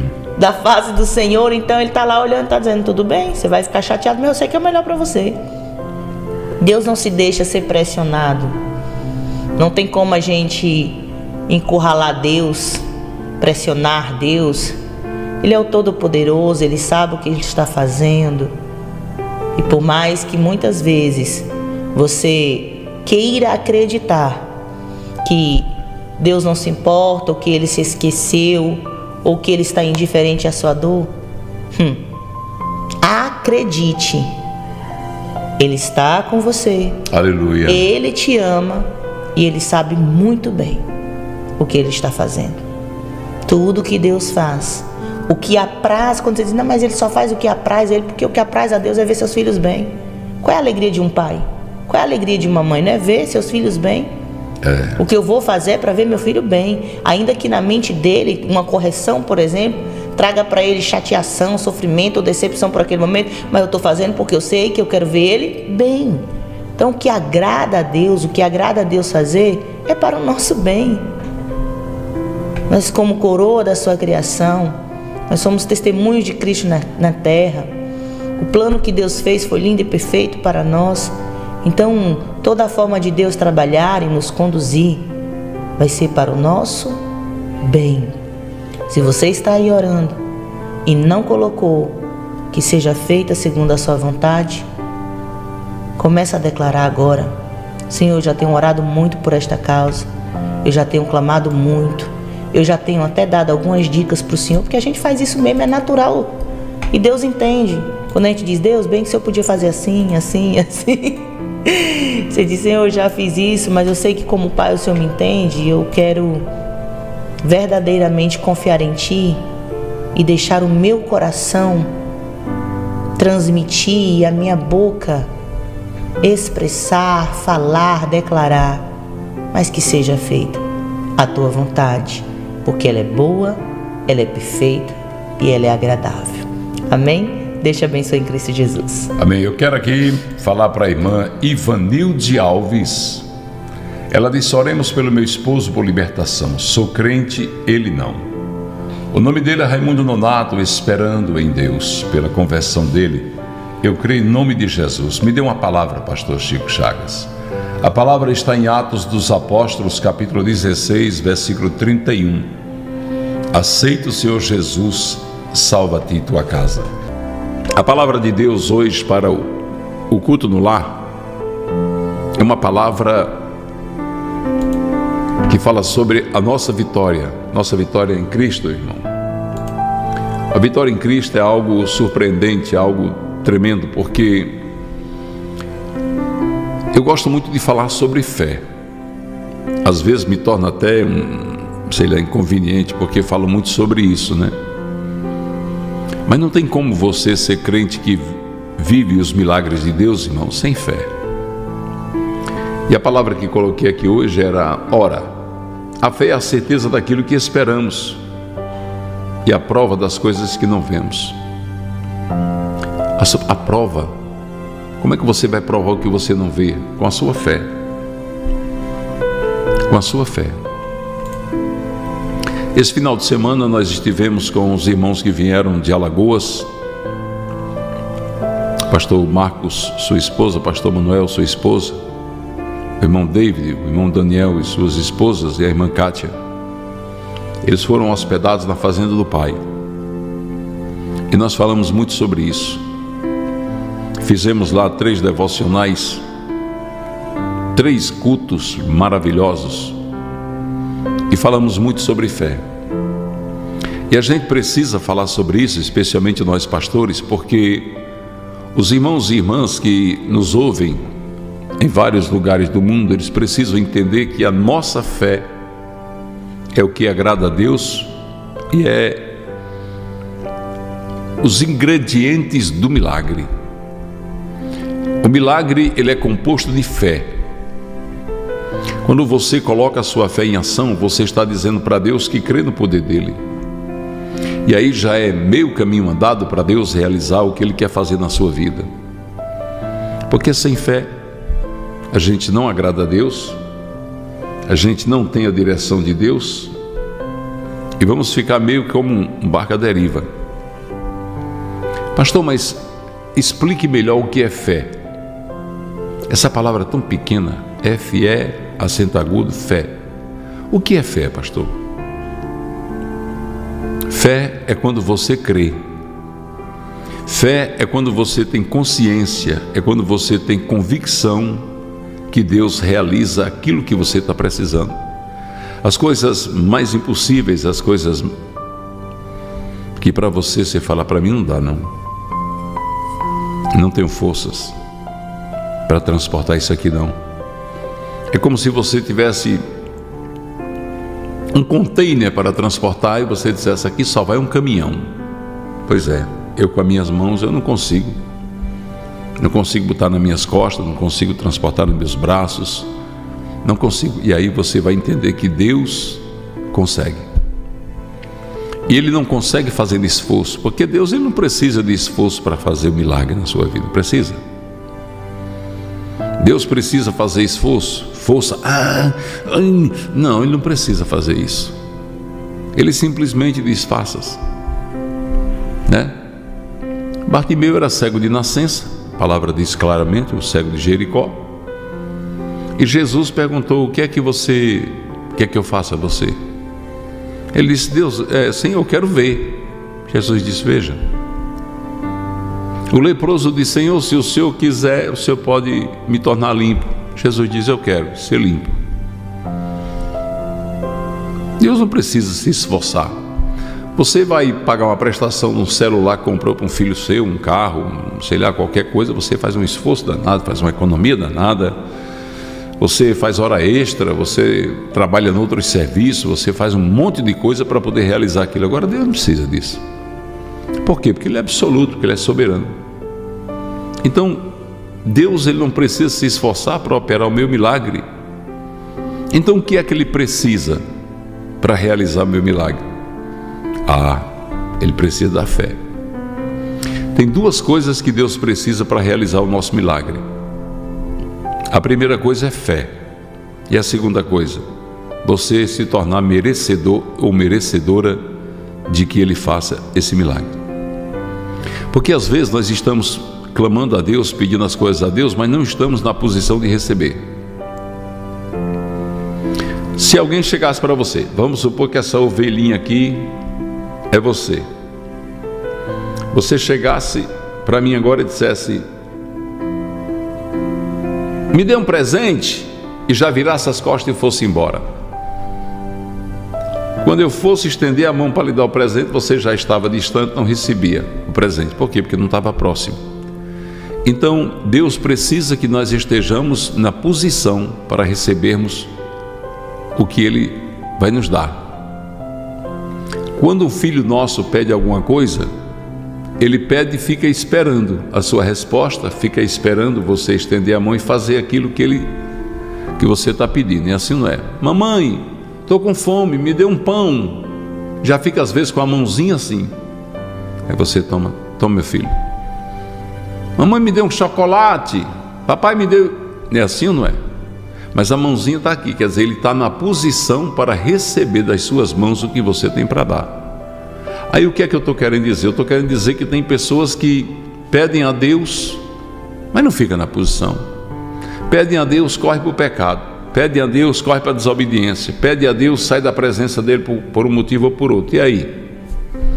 Como é que eu vou dar algo a meu filho se ele não está na minha presença para receber? Então, muitas pessoas estão vivendo uma época de, de incerteza em suas vidas, não é porque Deus não queira dar, Deus quer, mas é porque elas não estão fazendo por merecer aquilo que Deus quer dar. Nós precisamos entender isso, irmãos, como é o trabalhar de Deus. Por que, que Deus é assim? Porque Deus é santo. Três vezes santo. E como Deus é santo, nós precisamos estar na presença dele em santidade. Tem gente que diz: Não, eu fui crente. Eu já vi pessoas dizer isso. Eu fui crente não sei quantos anos. Eu fui outro dia uma pessoa, um, outro dia não, já tem um tempo, já não sei quanto tempo, se um mês ou dois ou três. Uma pessoa ligou para mim, eu atendi, comecei a conversar com ela e ela disse: Eu não sei como é que pode isso. Na igreja que eu congrego, todo mundo é abençoado, só eu que não sou. Eu peço as coisas a Deus, Ele nunca me dá. Eu vejo todo mundo agradecendo, todo mundo testemunhando, mas eu não recebo. E eu falei: tem algo errado, não tem não? Se você pede as coisas a Deus, eu sei que tem um tempo dele e ele só faz no tempo dele. Como também ele só faz o que agrada a ele. O que é que agrada a ele? Dá aqueles que estão na presença dele, seus filhos, que respeitam ele, que sabem que ele é Deus, que procuram fazer tudo para agradá-lo. Né? Aí depois conversando com essa pessoa, ela mesma me disse que ela é crente, mas no final de semana que ela quer ir para uma festa, ela gosta muito de dançar, ela vai, dança, fuma, bebe, e aí? Tem algumas pessoas que querem as coisas de Deus, sai com um, sai com outro, ficar com um, ficar com outro, não tem um comportamento de crente, quer dizer, se não tem comportamento de, de filho ou filha de Deus, como é que quer receber? Eu tenho 12 filhos, eu. Se a pessoa disser, olha lá, pastor, seu filho lá, quando ele mostrar meu filho, eu já vou dizer, é Jomar, é Chiquinho, é é pastor Gabriel, é pastora Ângela, é pastora Márcia, é pastora Kelly. Eu, eu conheço meus filhos, é, é, é, o pastor Jones. É, eu começo a dizer quem eles são porque eu conheço. Mas se a pessoa disser assim, pastor Chico, aí lá, seu filho, eu olho assim, não, aquele ali não é meu filho, não. Por quê? Porque eu conheço. Deus conhece quem é filho dele. Deus sabe quem é. Então, às vezes, você se acha filho, mas não é filho. Por quê, pastor? Porque não faz o que agrada ao Pai.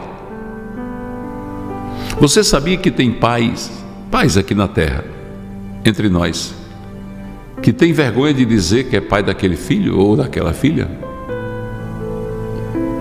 Inclusive tem pai que já disse isso para a filha. Eu tenho vergonha de ser seu pai. Tem pai que na hora da raiva não deveria dizer, mas diz: antes você não tivesse nem nascido. Imagine aí. Deus não faz isso, mas Deus fica triste. Se a palavra de Deus diz que Deus não tem alegria pela morte dos pecadores e sim pela morte do justo, então se ele não tem alegria, ele tem tristeza. Se a palavra de Deus diz em Romanos 10, 38, o meu justo, quer dizer, aquele que foi justificado pelo sangue de Jesus, ele viverá da fé. E se ele recuar, não há alegria na minha alma por ele. Então, essa pessoa está entristecendo a Deus. E aí? Como é que eu quero, sabe, provar minha fé a Deus? Eu digo que creio, Senhor, eu creio. Mas eu não creio o suficiente para me abster do pecado, para fugir das armadilhas do diabo. O diabo, você sabe como é que o diabo trabalha? Ele trabalha roubando bênçãos. Ele é ladrão, a palavra de Deus diz. Ele é caluniador, ele é acusador ele trabalha roubando a bênção. O que o inimigo faz é o seguinte: o inimigo faz assim. Você está pedindo a bênção, Deus está olhando para você, Deus está te ouvindo. E aí, você, naquela hora que pediu a bênção, Deus está disposto a te dar a bênção. O que é que o diabo vai fazer para tomar sua bênção? Ele não vai ficar para ele, que Deus não vai abençoar ele, mas ele quer impedir que a bênção de Deus chegue até você. Como é que ele impede? Ele impede fazendo com que você saia da presença. Faz de conta que você está aqui, de frente para Deus. Aí você pede a Deus, Deus está olhando para você. Aí ele está ali, ele faz psiu, psiu. Aí você olha, vem cá, olha aqui, isso aqui como é gostoso. Aí você vai para lá, pronto, está aí. A ovelhinha agora nesse momento está aqui, saiu da presença, virou as costas para mim. Faz conta que ela está de costas, virou as costas para mim, foi embora. Aí Deus fica olhando. Eu queria abençoar, mas ela foi embora. Não ficou. Ele trabalha fazendo isso. Quando Balaão foi chamado o Balaque para amaldiçoar o povo de Deus e não conseguia amaldiçoar, ele disse para Balaque: Eu não tenho como amaldiçoar esse povo, esse povo está em santidade. Se você quiser que eu amaldiçoe, manda umas mulheres para lá, olha aí, para que esses homens adulterem e aí eu amaldiçoo. Ou seja, a legalidade que nós damos para o diabo agir nas nossas vidas é quando nós saímos da presença de Deus. Aí ele vai está trazendo aquele momento ali a derrota do crente. O diabo trabalha para derrotar. Ele não pode derrotar Deus. Ele não tem poder para isso. Mas ele pode derrotar o crente que der ouvidos a ele. Quando nós damos ouvido ao inimigo, nós estamos dando a ele legalidade para ele nos derrotar. Chega um amigo, você, você agora é crente? As amigas, mulher, você é crente? É. Fale a mulher. Por que, que tu foi ser crente? Ah, porque eu me sinto bem, porque eu sinto a presença de Deus, que eu preciso de Deus. Todos nós precisamos, não sei o que, não sei o que. Não, mulher. Você está deixando de viver sua vida.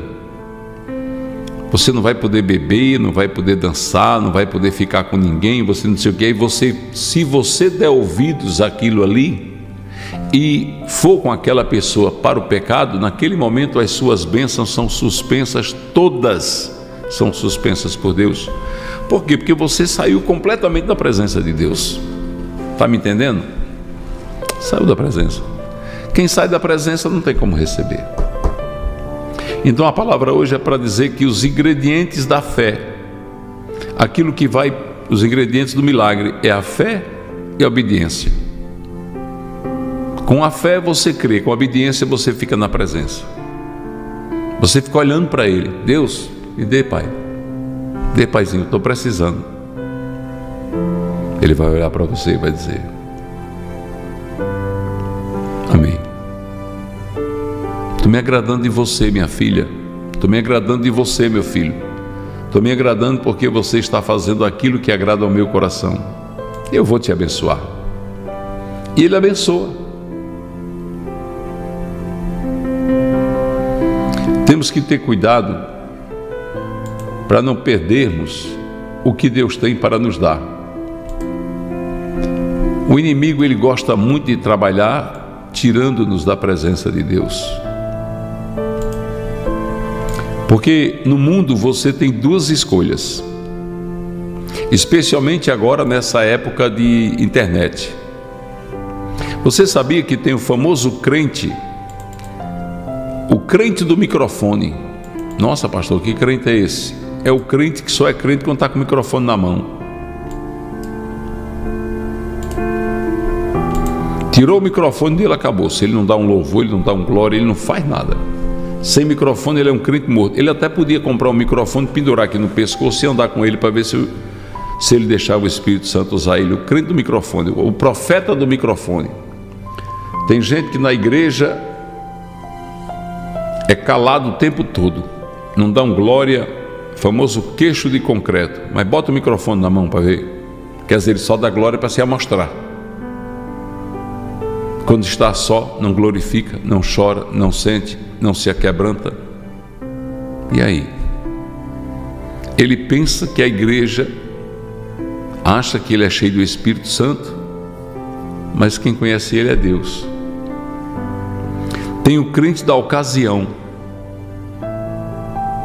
O que é o crente da ocasião? É o crente que é de acordo com o momento. Se ele estiver perto de crente, ele é crente. Se ele estiver perto dos filhos de Satanás, ele é filho do diabo.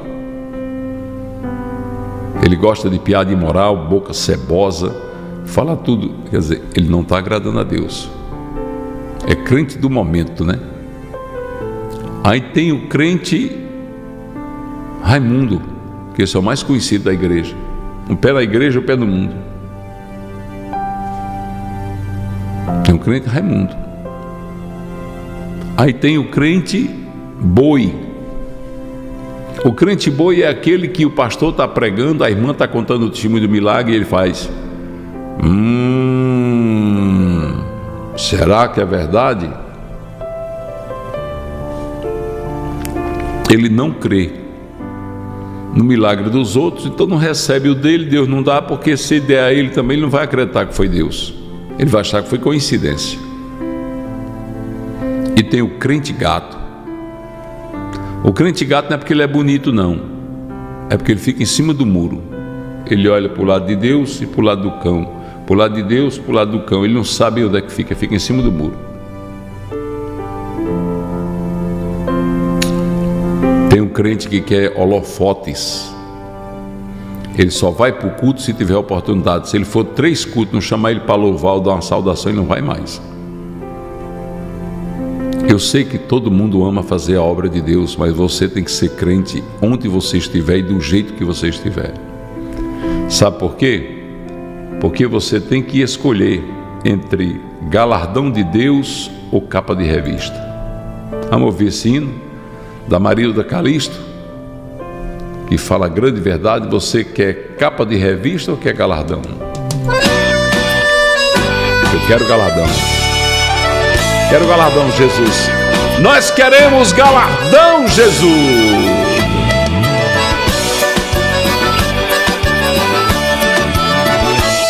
Esse seu jeito de achar que todo mundo está errado, só você está certo,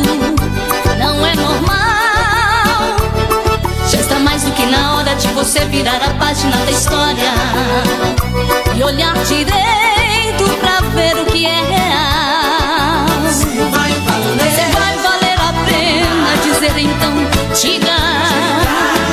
Se não pare um pouco pra não se arrepender. Os sinais estão aí em toda parte. Jesus vai voltar. Os sinais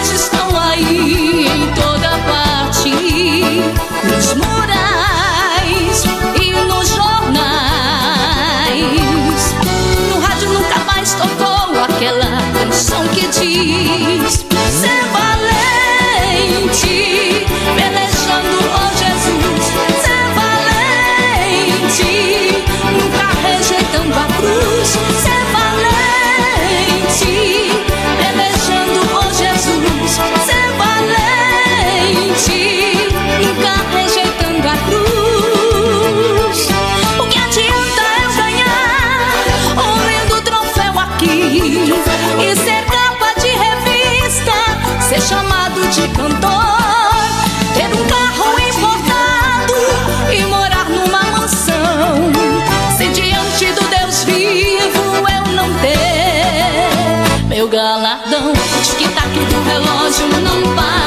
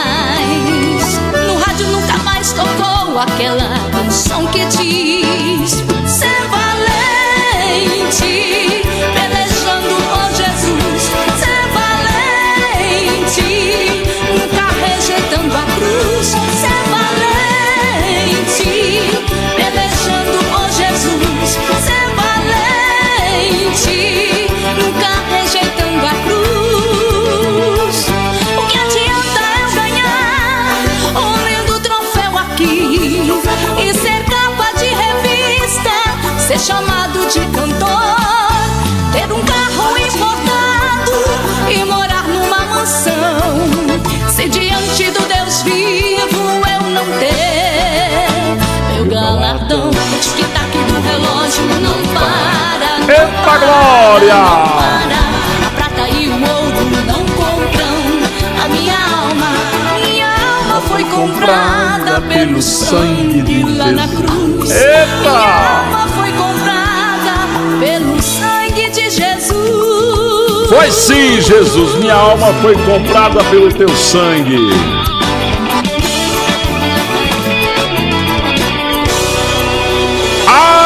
Aleluia! Louvado seja o nome do que vive e reina para sempre. 24 horas com. Rádio, rádio.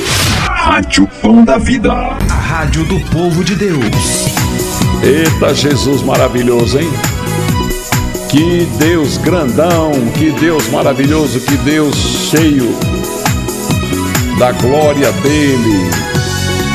Pois é, irmãos, nós tivemos um final de semana muito abençoado, um culto muito abençoado, não só em Mossoró, mas em todas as igrejas Pão da Vida, com almas ganhas para o reino de Deus.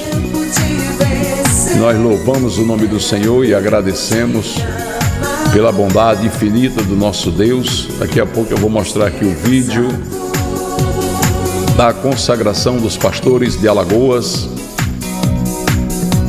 Eu quero aqui mandar um abraço a todos os irmãos de Alagoas, glorificar o nome do Senhor, né? porque Deus, Ele é tremendo, irmãos. Quando Deus ama uma obra, quando Deus tem compromisso com a obra, irmãos, Ele ele vai providenciar o crescimento dessa obra. Ele vai mover pessoas de várias partes para fazer a obra. O Senhor, ele é grande, ele é poderoso, né? Ele sabe todas as coisas e ele vai estar fazendo a obra. Deixa eu só localizar aqui, glorificando e exaltando o nome do Senhor pela alegria que Deus colocou no coração do pastor Chico Chagas nesse final de semana. Nós passamos com os irmãos que vieram lá do estado de Alagoas, né?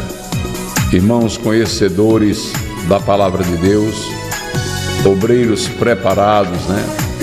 Para fazer a obra. E eu louvo a Deus e agradeço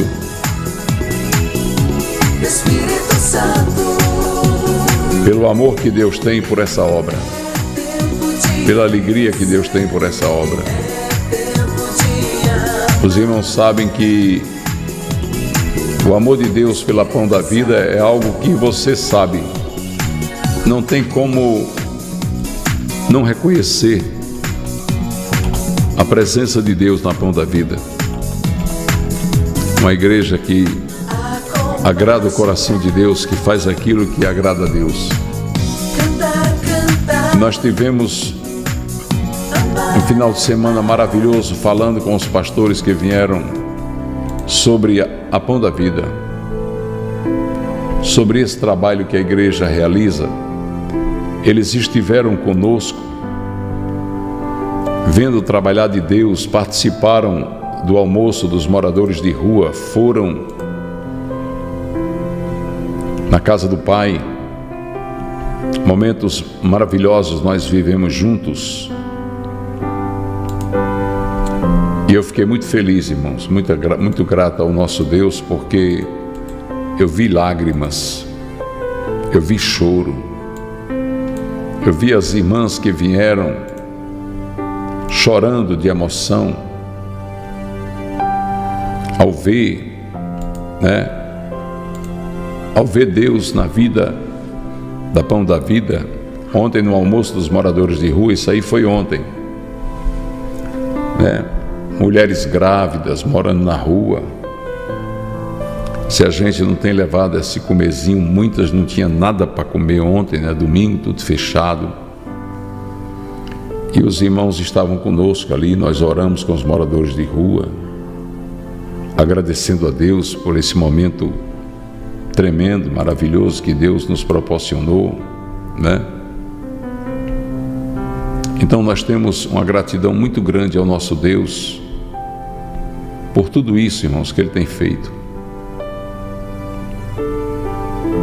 Glorificamos, adoramos, bendizemos o nome santo do Senhor nosso Deus. Porque, irmãos, não tem nada melhor do que você fazer o que agrada a Deus. Quando você faz o que agrada a Deus, não tenha nem dúvida que Deus vai fazer o que te agrada. Fez o que agrada a Ele? Fez. Então pronto. Ele vai fazer o que te agrada. Porque Deus é fiel, irmãos. Deus é fiel. Ah, mas pastor, eu tenho medo de fazer e não receber, eu tenho medo de ser fiel. Não tenha medo, não, irmãos. Não tenha medo, não, porque o nosso Deus é fiel. Ele é fiel e a fidelidade dele dura para sempre. É as pessoas que ajudam. Esse aí que está falando agora, tá? Ele e a esposa, no meio da rua, com nove meses de gravidez. E nós fomos ao encontro dele e dela ontem e entregamos dois lençóis novos, macios. As irmãs estavam conosco quando viram.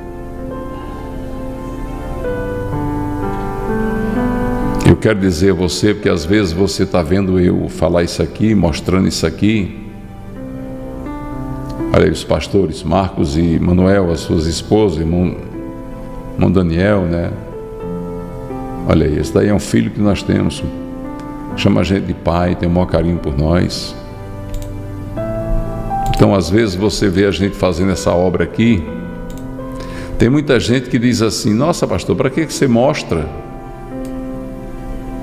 Senhor faz e mostra? Não era para mostrar, não.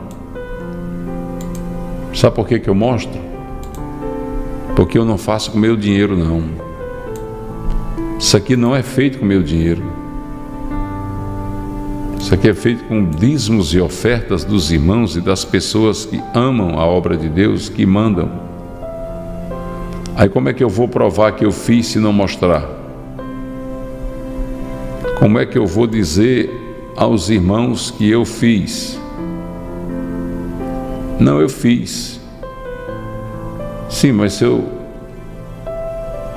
se eu não mostrar, vão achar que eu não fiz.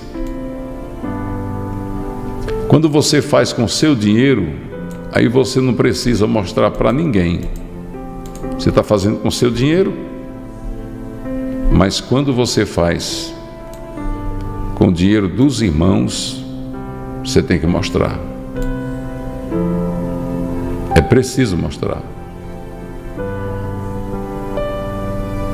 Porque se você não mostrar, ele não vai saber que você empregou os dízimos e ofertas dele na obra. Estão me entendendo agora? Por que, que o pastor Chico mostra? Por causa disso. A gente faz essa obra há muito tempo, sabe? Há mais de 10 anos. E sempre mostramos para as pessoas verem se você quiser ajudar, em cima aí está o QR Code para você fazer o seu Pix, ajudar. Nós construímos uma clínica maravilhosa que está terminando.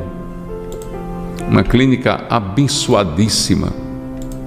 Uma estrutura, os irmãos ficaram impactados. Que ele, você vê pela TV, vê pelo celular, vê a gente mostrando aqui, porque a gente mostra mesmo mas você só vai saber a dimensão quando você vier.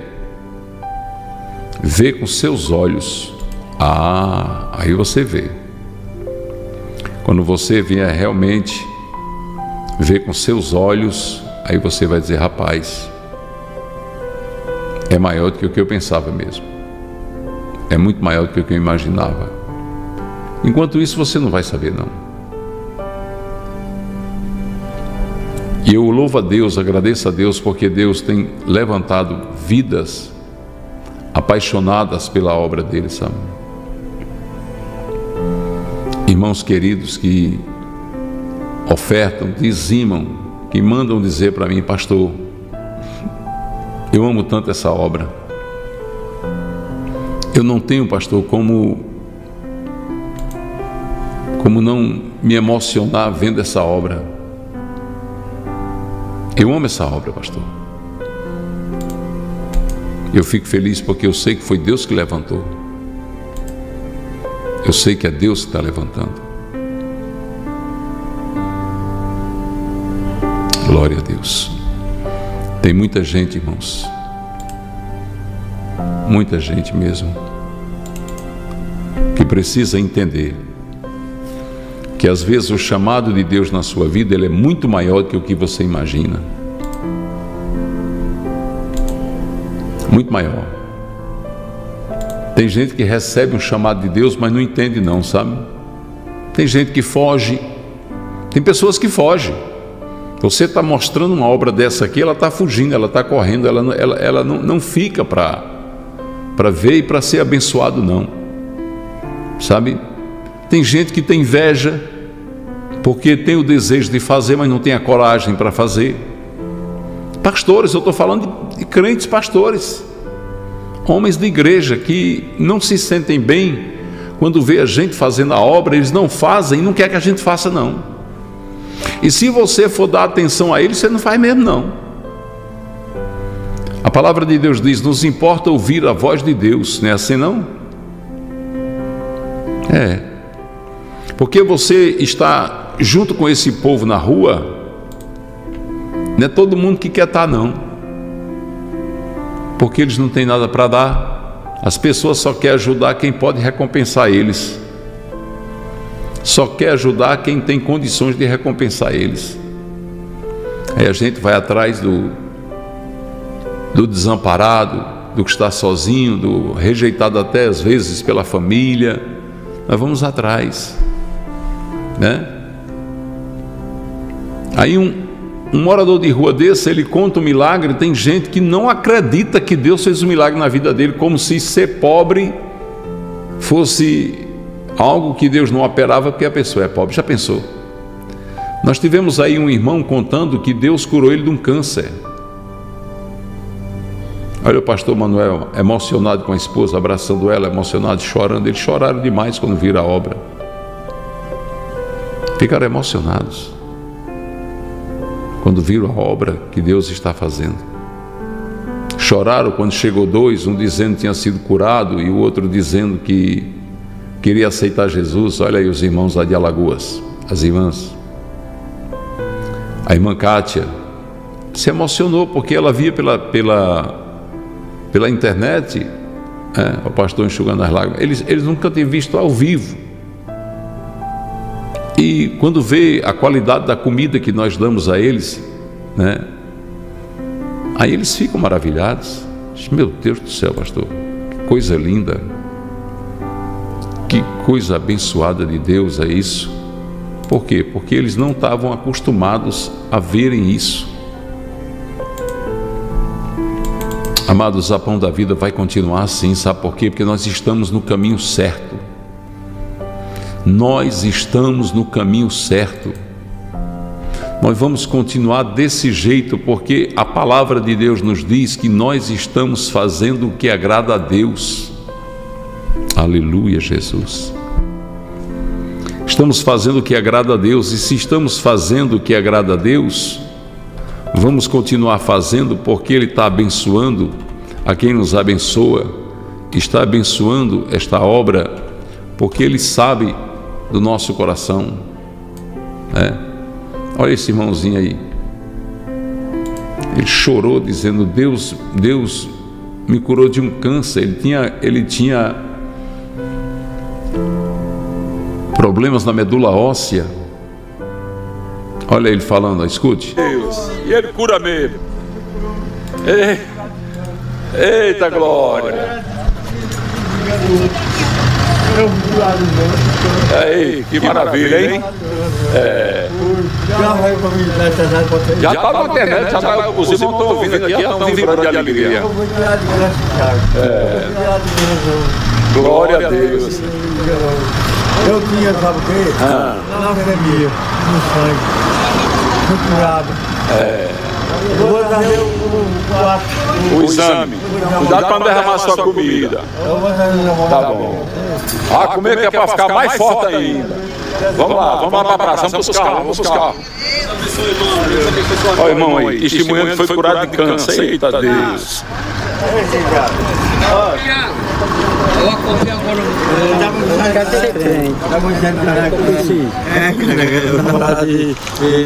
Olha, quer aceitar Jesus, vamos orar por ele. Espera aí, ei.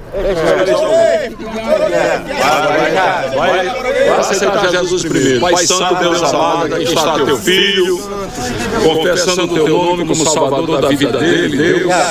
E nós podemos ver pelos olhos da fé o nome dele ser escrito no livro da vida.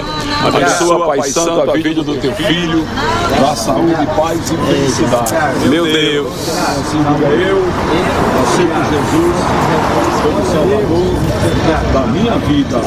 Aleluia. Glória a Deus. Pode vir aqui depois que eu levo a Bíblia. Pega uma quentinha para ele aí. Pai, nós agradecemos pela vida do teu filho. O Senhor por Jesus. sustentando Abençoa, Pai. as forças do que não tem nenhum vigor. Então renova as forças do teu filho e liberta ele de toda opressão. E dá saúde a ele, em nome de Jesus. Está vendo aí, irmãos, como é? Como é abençoado a obra da Pão da Vida? A pessoa vem se entregar a Jesus onde a gente está. Vem buscar Deus na onde a gente está. Muitas vezes eu estou num canto, a pessoa chega, pastor Chico, eu quero aceitar Jesus agora, eu quero me entregar para Jesus. Aleluia. Louvado seja o nome do Senhor, do Deus que vive e reina para sempre. Olha os irmãos chegando aí na casa do Pai, né? conhecendo a casa do Pai, vendo a, a beleza do que Deus está fazendo, das coisas que Deus está fazendo, das coisas que Deus está realizando. Eles ficaram maravilhados. Porque você vê pela internet, mas quando você chega na casa do Pai, você percebe que é bem maior do que o que você imagina. A obra é bem maior. Nós estávamos mostrando para eles com detalhes, né? Eles foram embora impactados. Saíram hoje de manhã cedo. Antes de seis da manhã pegaram a estrada, porque eles têm 12 horas de viagem para chegar lá onde eles moram.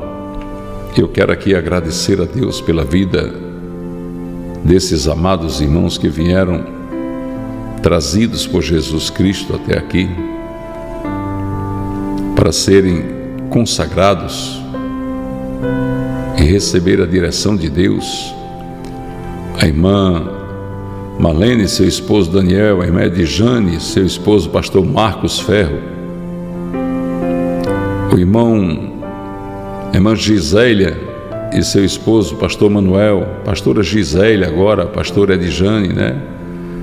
O amado irmão David, David Gisélia Manuel e sua esposa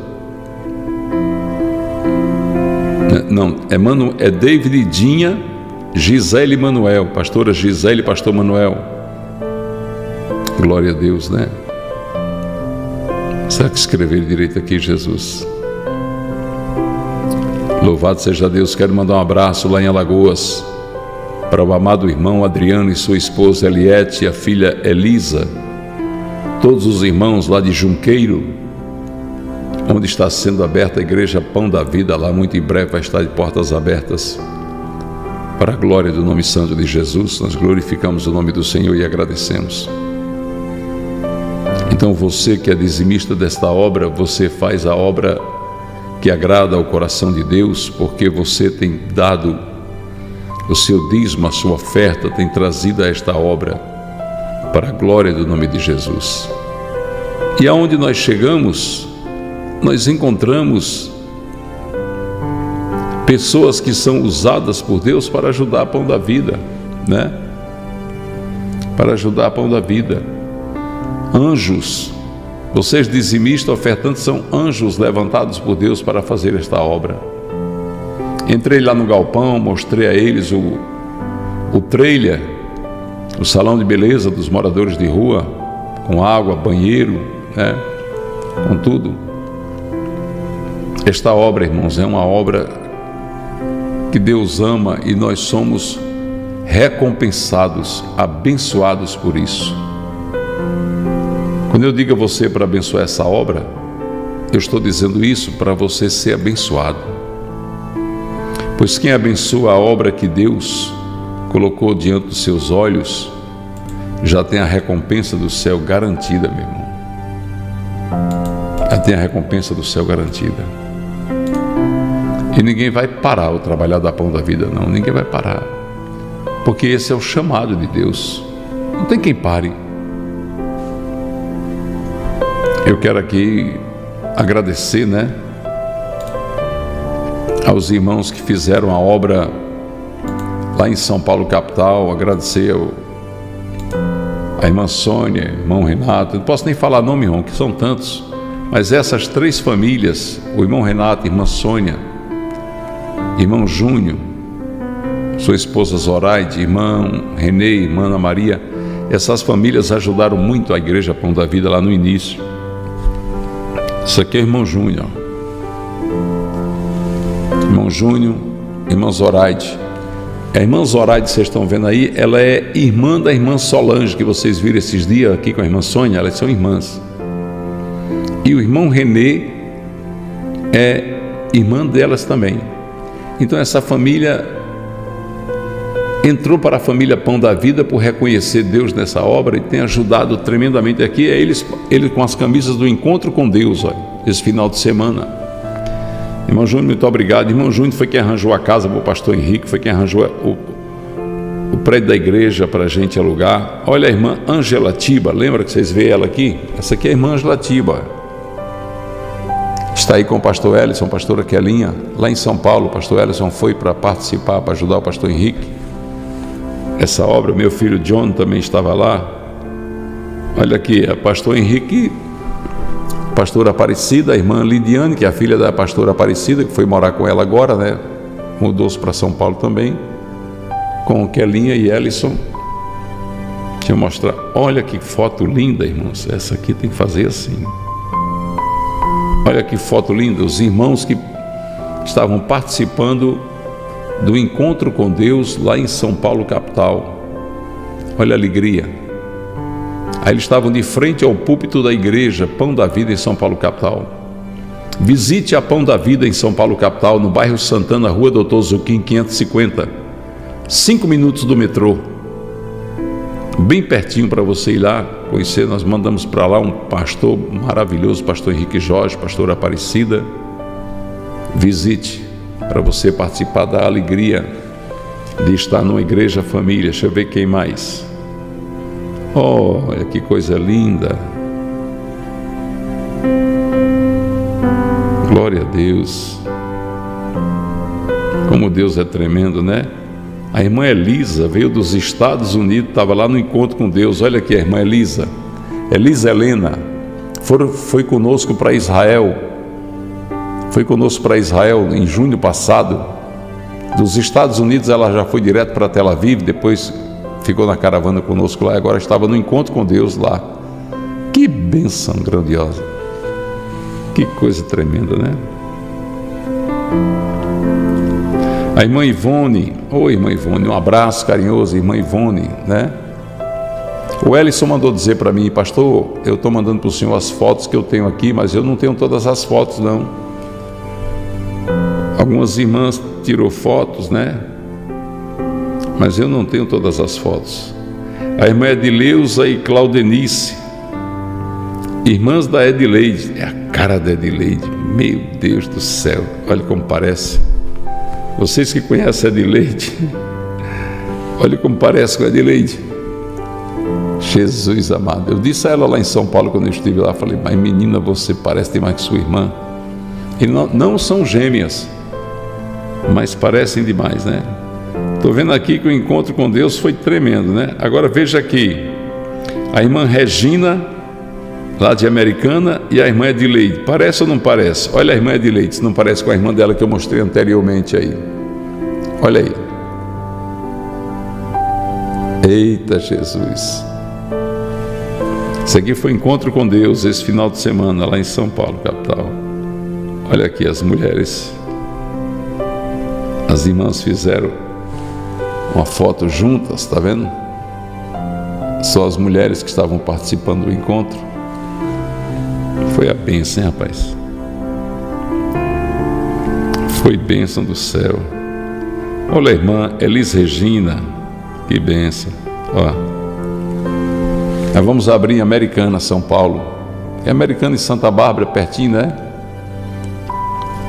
Abri uma igreja lá para meu filho Jones, Viviane, Carol, tomarem conta que são meus filhos lá.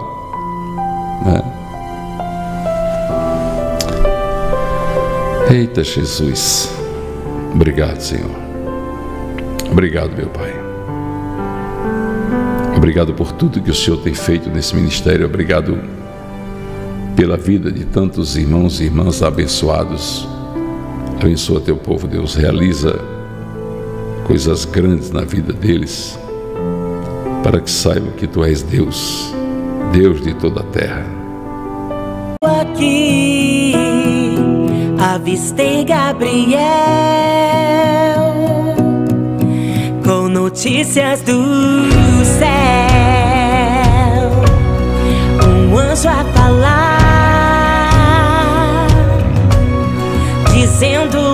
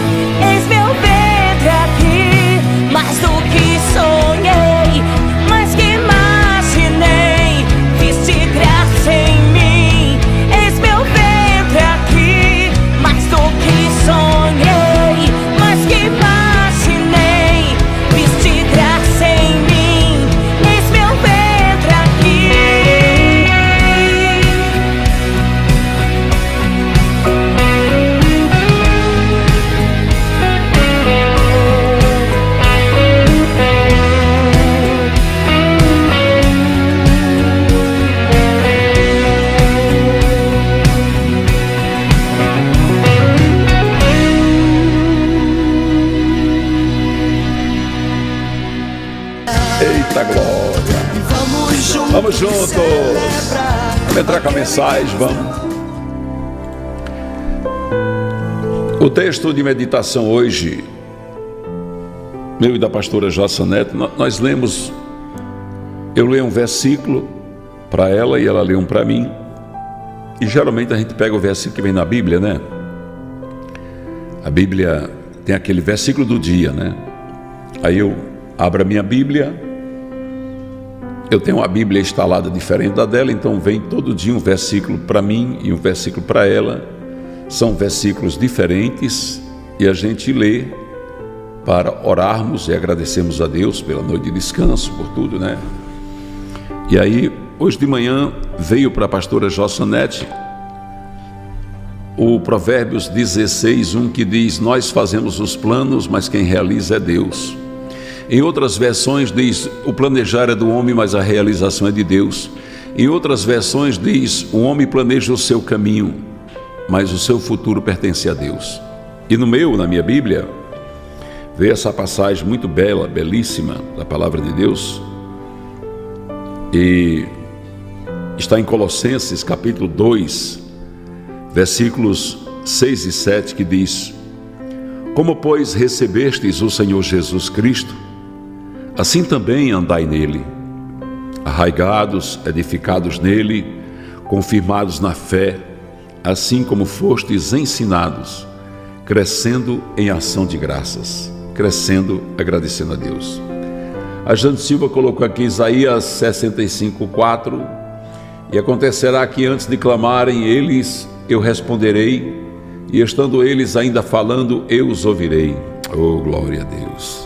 A palavra de Deus, amados, ela é ela é algo extraordinário, porque a palavra de Deus, ela é alimento para o crente, né? Ela é alimento para o crente. Nós nos alimentamos da palavra e nos edificamos na palavra.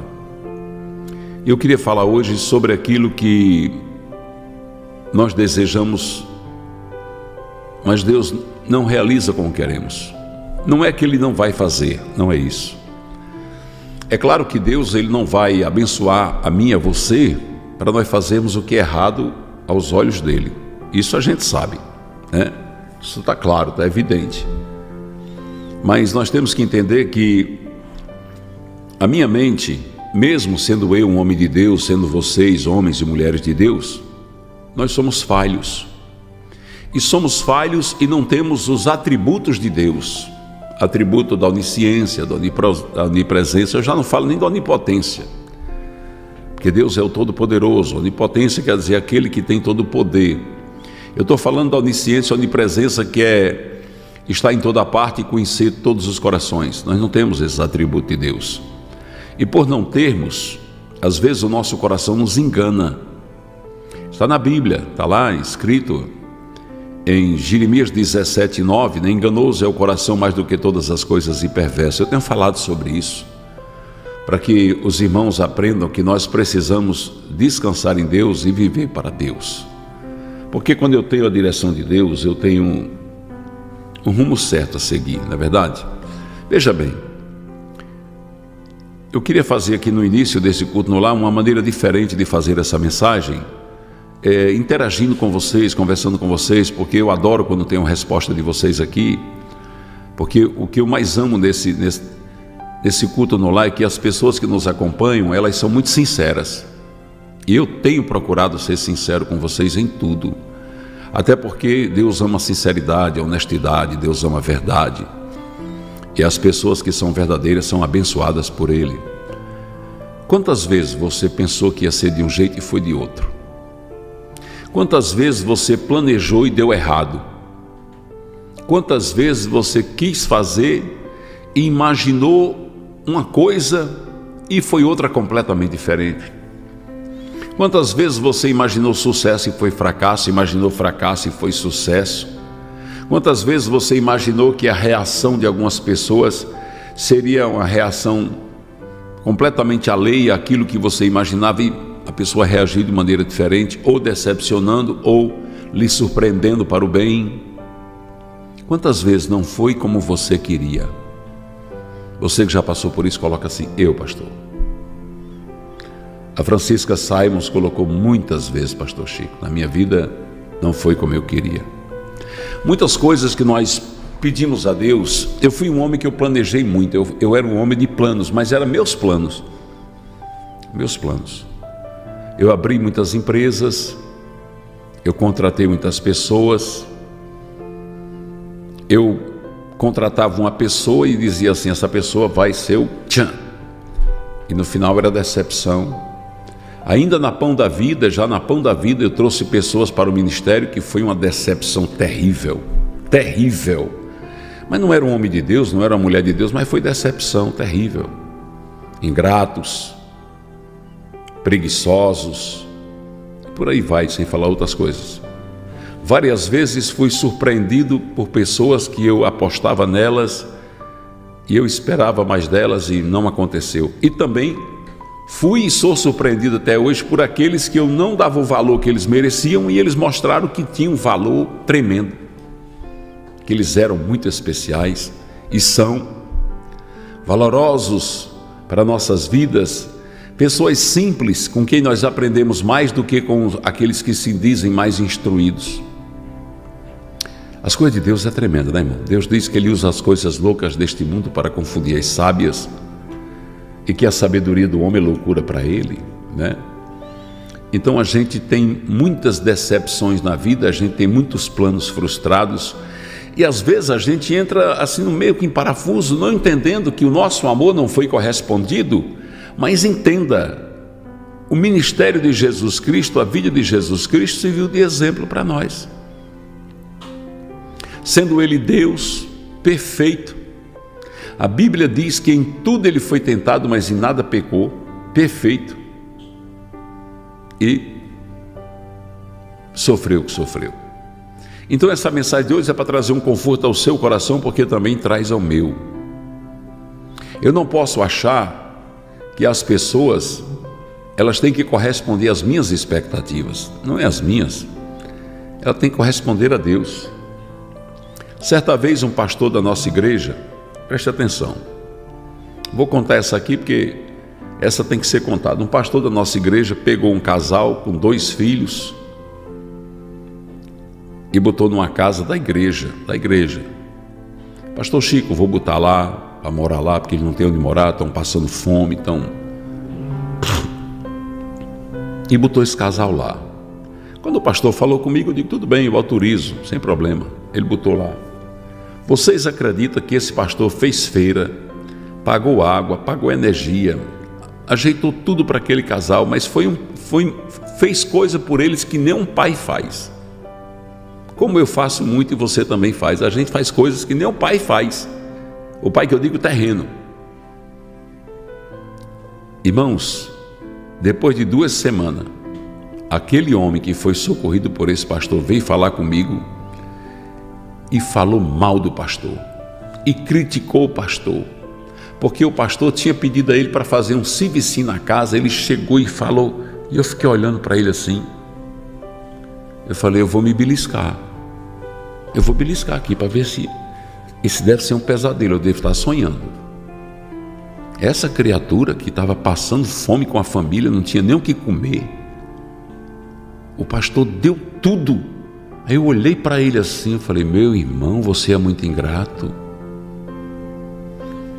Meu amado, pelo amor de Deus, como é que um homem de Deus acolhe você, mata a sua fome da sua esposa, dos seus filhos, lhe dá um teto, um lugar para morar, para descansar, e você está falando mal desse homem? Rapaz, eu estou decepcionado com você, sinceramente. Você nunca vai ser nada na vida desse jeito. Ele ficou assim. Eu digo: Você acha que eu ia concordar com você, meu irmão?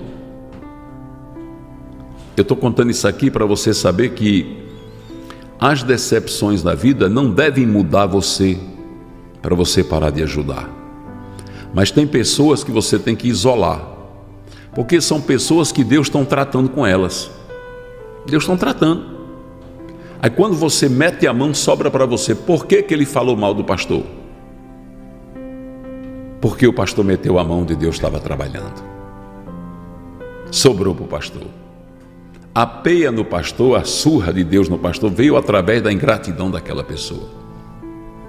É por isso que eu digo que é o planejar é do homem, mas o realizar é de Deus. Antes de você botar a mão, veja, sabe, se aquela pessoa não está passando por aquilo, não é um tratamento de Deus para aperfeiçoar aquela pessoa, para tirar aquela pessoa daquela situação que ela está passando, porque às vezes Deus deixa mesmo.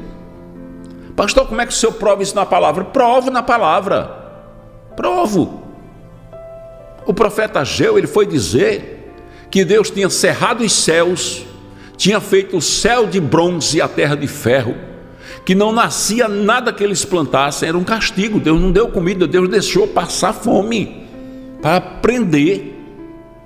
Somente quando eles se voltaram para Deus foi que as sementes que eles tinham plantado há tempos atrás brotaram, frutificaram e foi grande a, a lavoura e a colheita.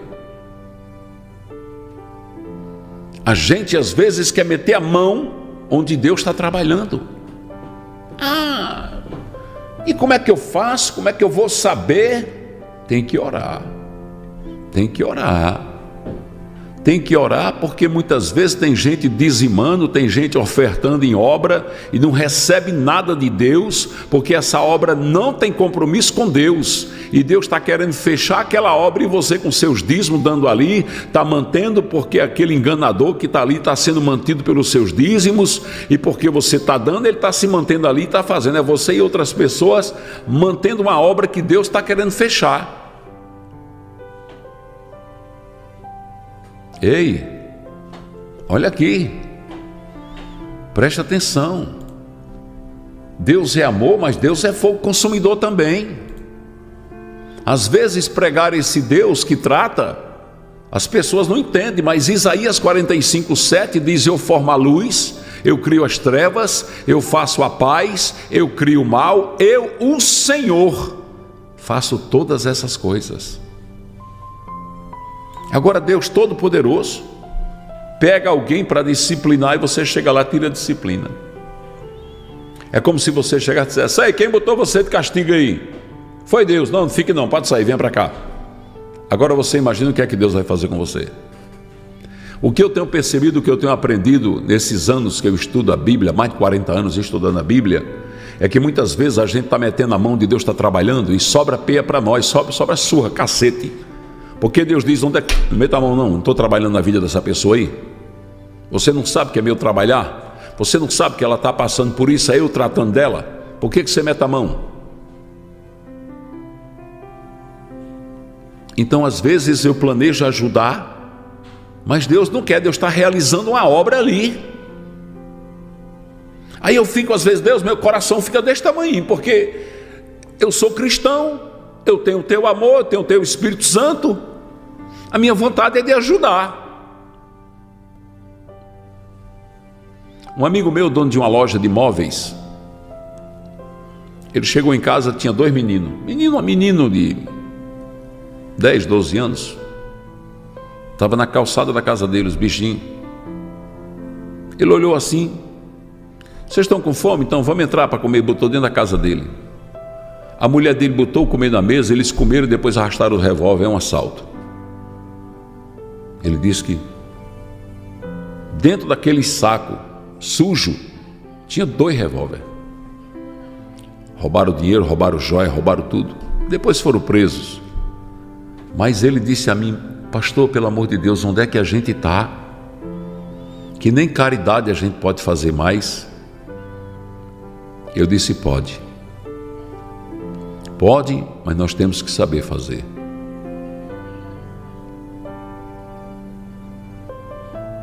Olhe, vou dizer uma coisa a vocês.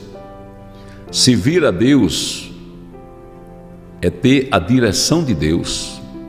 Você dá de comer um morador de rua, você abençoar uma pessoa, lá não tem problema nenhum você matar a fome dele, porque Deus disse assim.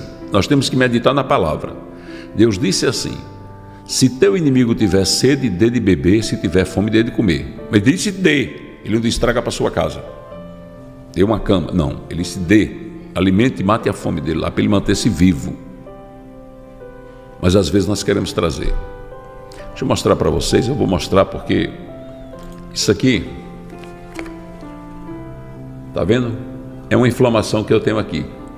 Olha, vocês me veem aqui de uma pomada a pomada branca que eu estou usando, que a irmã Sônia lá de São Paulo me deu quando esteve aqui em casa. Está melhorando, tá vendo? Esse vermelhão aqui, sabe o que foi isso aqui? Uma unhada, unhada, unha.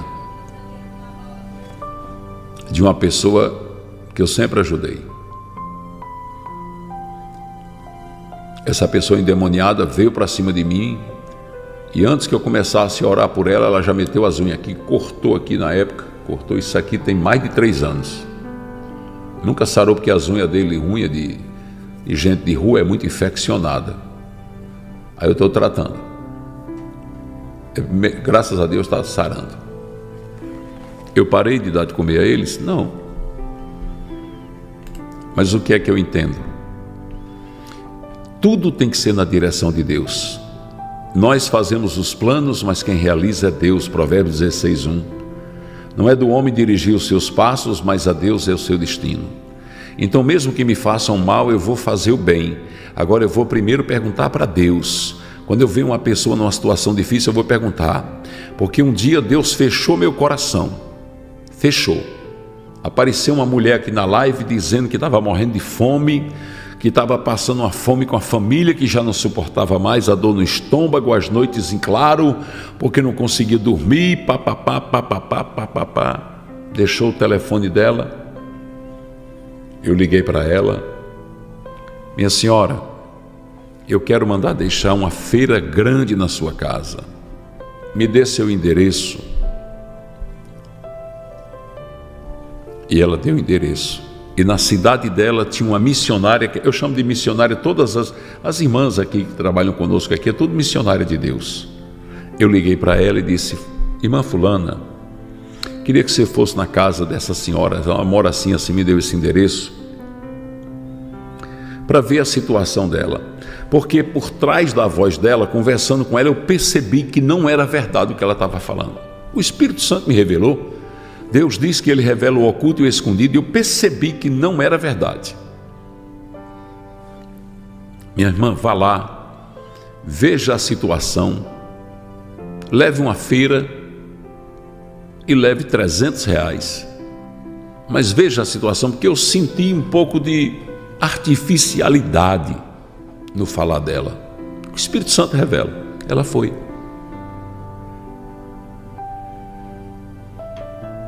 Mas ela foi, quando chegou lá, aquela mulher vai saindo da garagem, uma garagem grande, tinha mais duas motos e um carro lá dentro, uma casa muito boa. Ela tirou as fotos e mandou para mim. Quando aquela mulher vai saindo, ela disse: É aqui que mora a dona Fulana? A mulher estava no volante do carro e disse: Sim, sou eu. Por quê? O que, é que foi? Ela disse: Eu sou missionária fulano, estou aqui porque o pastor Chico Chagas mandou. Diz que a mulher desmontou na hora. Desmontou na hora.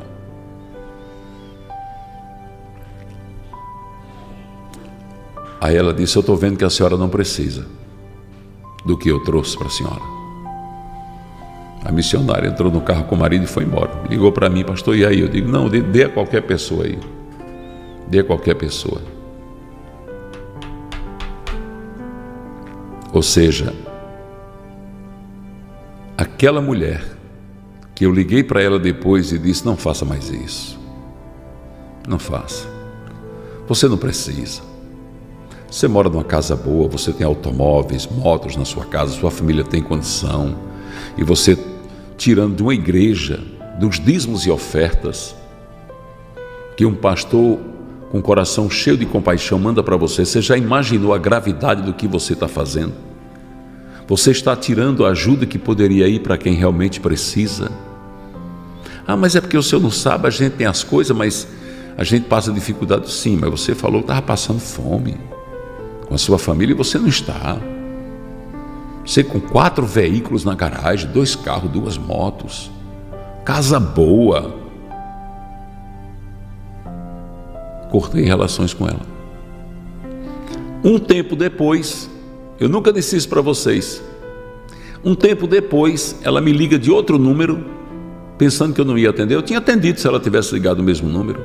Eu atendi, aí ela disse que agora sim ela estava sendo castigada por Deus e estava precisando de ajuda. Agora o senhor pode mandar aquela missionária aqui de novo, que o senhor vai ver como é que eu estou? Eu já não moro mais naquela casa, nós tivemos que vender aquela casa. Eu moro de aluguel. Na verdade, eu estou morando aqui quase que de favor, porque tô, a, a, minha irmã me deu um quartinho para mim morar aqui, para me pagar só 200 reais para ajudar na energia e na água. E eu disse a ela, minha irmã, eu vou ser muito sincero com você. Eu vou dizer o que é que eu estou sentindo aqui no meu coração, eu não vou lhe ajudar. Porque o que eu estou sentindo é que Deus está tratando com você. Eu não vou meter a mão, não, não sobra para mim. E não ajudei. Fiquei com o coração doendo, mas não ajudei. Porque eu tenho pedido a Deus, e eu creio que vocês também têm pedido, que Deus nos ensine a andar onde Ele quer, porque andar com Deus é fácil e ao mesmo tempo é difícil, porque às vezes o nosso coração enganoso quer nos mandar por caminhos que Deus diz por aí não, é por aqui, olha, é por aqui, vá por aqui, e você quer ir por lá, e Deus diz: não, rapaz, é aqui, eu estou mandando você ir aqui, ó, aqui. É assim ou não é? A gente ama quem não deve ser amado, a gente se entrega para quem não merece essa entrega, a gente abençoa quem não precisa ser abençoado, ou então não deve ser abençoado porque tem um tratamento de Jeová na vida dele ou dela, e por aí vai. Então, diante dessas coisas, nós temos que aceitar essa palavra aqui, que nós podemos planejar, mas quem realiza é Deus, é Deus que realiza, é Deus que faz. Porque nós podemos ver na história bíblica, eu estou falando da história da Bíblia, porque Deus ele é tão sincero, ele é tão puro, que ele não escondeu nada de ninguém, irmãos. Deus não escondeu o pecado de Davi, Deus não escondeu a fúria de Moisés, Deus não escondeu que Moisés matou o egípcio, Deus não escondeu. Deus não escondeu nem a fraqueza de Jesus Cristo. Sim, Jesus teve aquele momento que ele ficou pai, ele temeu a morte. Deus podia dizer: Não, meu filho foi para a cruz, eu não vou mostrar ao povo o que foi que ele passou, não, mas a Bíblia mostra a sinceridade de Deus, mostrando o seu filho no Getsemane: Pai, se possível, afasta de mim esse cálice. Como também Deus não escondeu os nãos que ele deu. Você sabia que quando Moisés tirou o povo do Egito para levar para a terra prometida, ele queria ir por um caminho por onde ele tinha vindo, e Deus fez ele voltar e entrar naquele desfiladeiro chamado Baal Zephon Ripairote. Foi Deus que botou ele ali, porque o Mar Vermelho estava ali, ali era um lugar que para um lado era montanha, para outro lado era montanha, aqueles milhões de pessoas entraram naquele desfiladeiro, e atrás vinha a poeira do exército de Faraó, e Deus queria mostrar para eles ali que a angústia deles, com medo de serem alcançados pelo exército de Faraó, seria resolvida por Deus através de Moisés, porque Deus queria honrar ele, dizendo: ergue o que, é que tu tem na mão, é um cajado, levanta e ordena, e o mar vai se abrir. Alabaçu de Deus queria mostrar o poder dele. Como é que Deus vai mostrar o poder se eu estou medindo forças com ele? Meu Deus, que palavra! Como é que Deus vai trabalhar na vida até das pessoas que eu amo, se eu estou querendo fazer o contrário do que ele está fazendo. Mas como que eu vou saber? Diga a ele: Deus não me deixa errar. Deus não me deixa abençoar quem não merece. Não me deixa abençoar os ingratos que são, Senhor, castigados por ti. Os mentirosos que são castigados por ti. Não me deixa abençoar aqueles que não merecem, Deus. Eu não quero errar. Eu não quero, Deus, atrapalhar o teu agir, o teu trabalhar. Nós temos que pedir isso a Ele. Eu reconheço, Deus, que eu posso planejar, mas reconheço que quem realiza é o Senhor. Não me castigues, se às vezes, pela minha fraqueza humana, pelas minhas limitações, eu meto a mão do não, não devia. Só diga, tira a mão daí, estou trabalhando. Fala comigo em palavra, fala comigo em sonhos. Você pode prestar atenção, preste atenção, irmãos, comece a prestar atenção. Igreja, daqui para frente, preste atenção como é que Deus trabalha. Como é o agir de Deus, como é que Ele trabalha na vida das pessoas. Você vê um ingrato, daqui a pouco vê ele na peia. Pode prestar atenção. As pessoas que fazem gratidão com você não passa nenhuma sem passar pelo chicote de Jeová.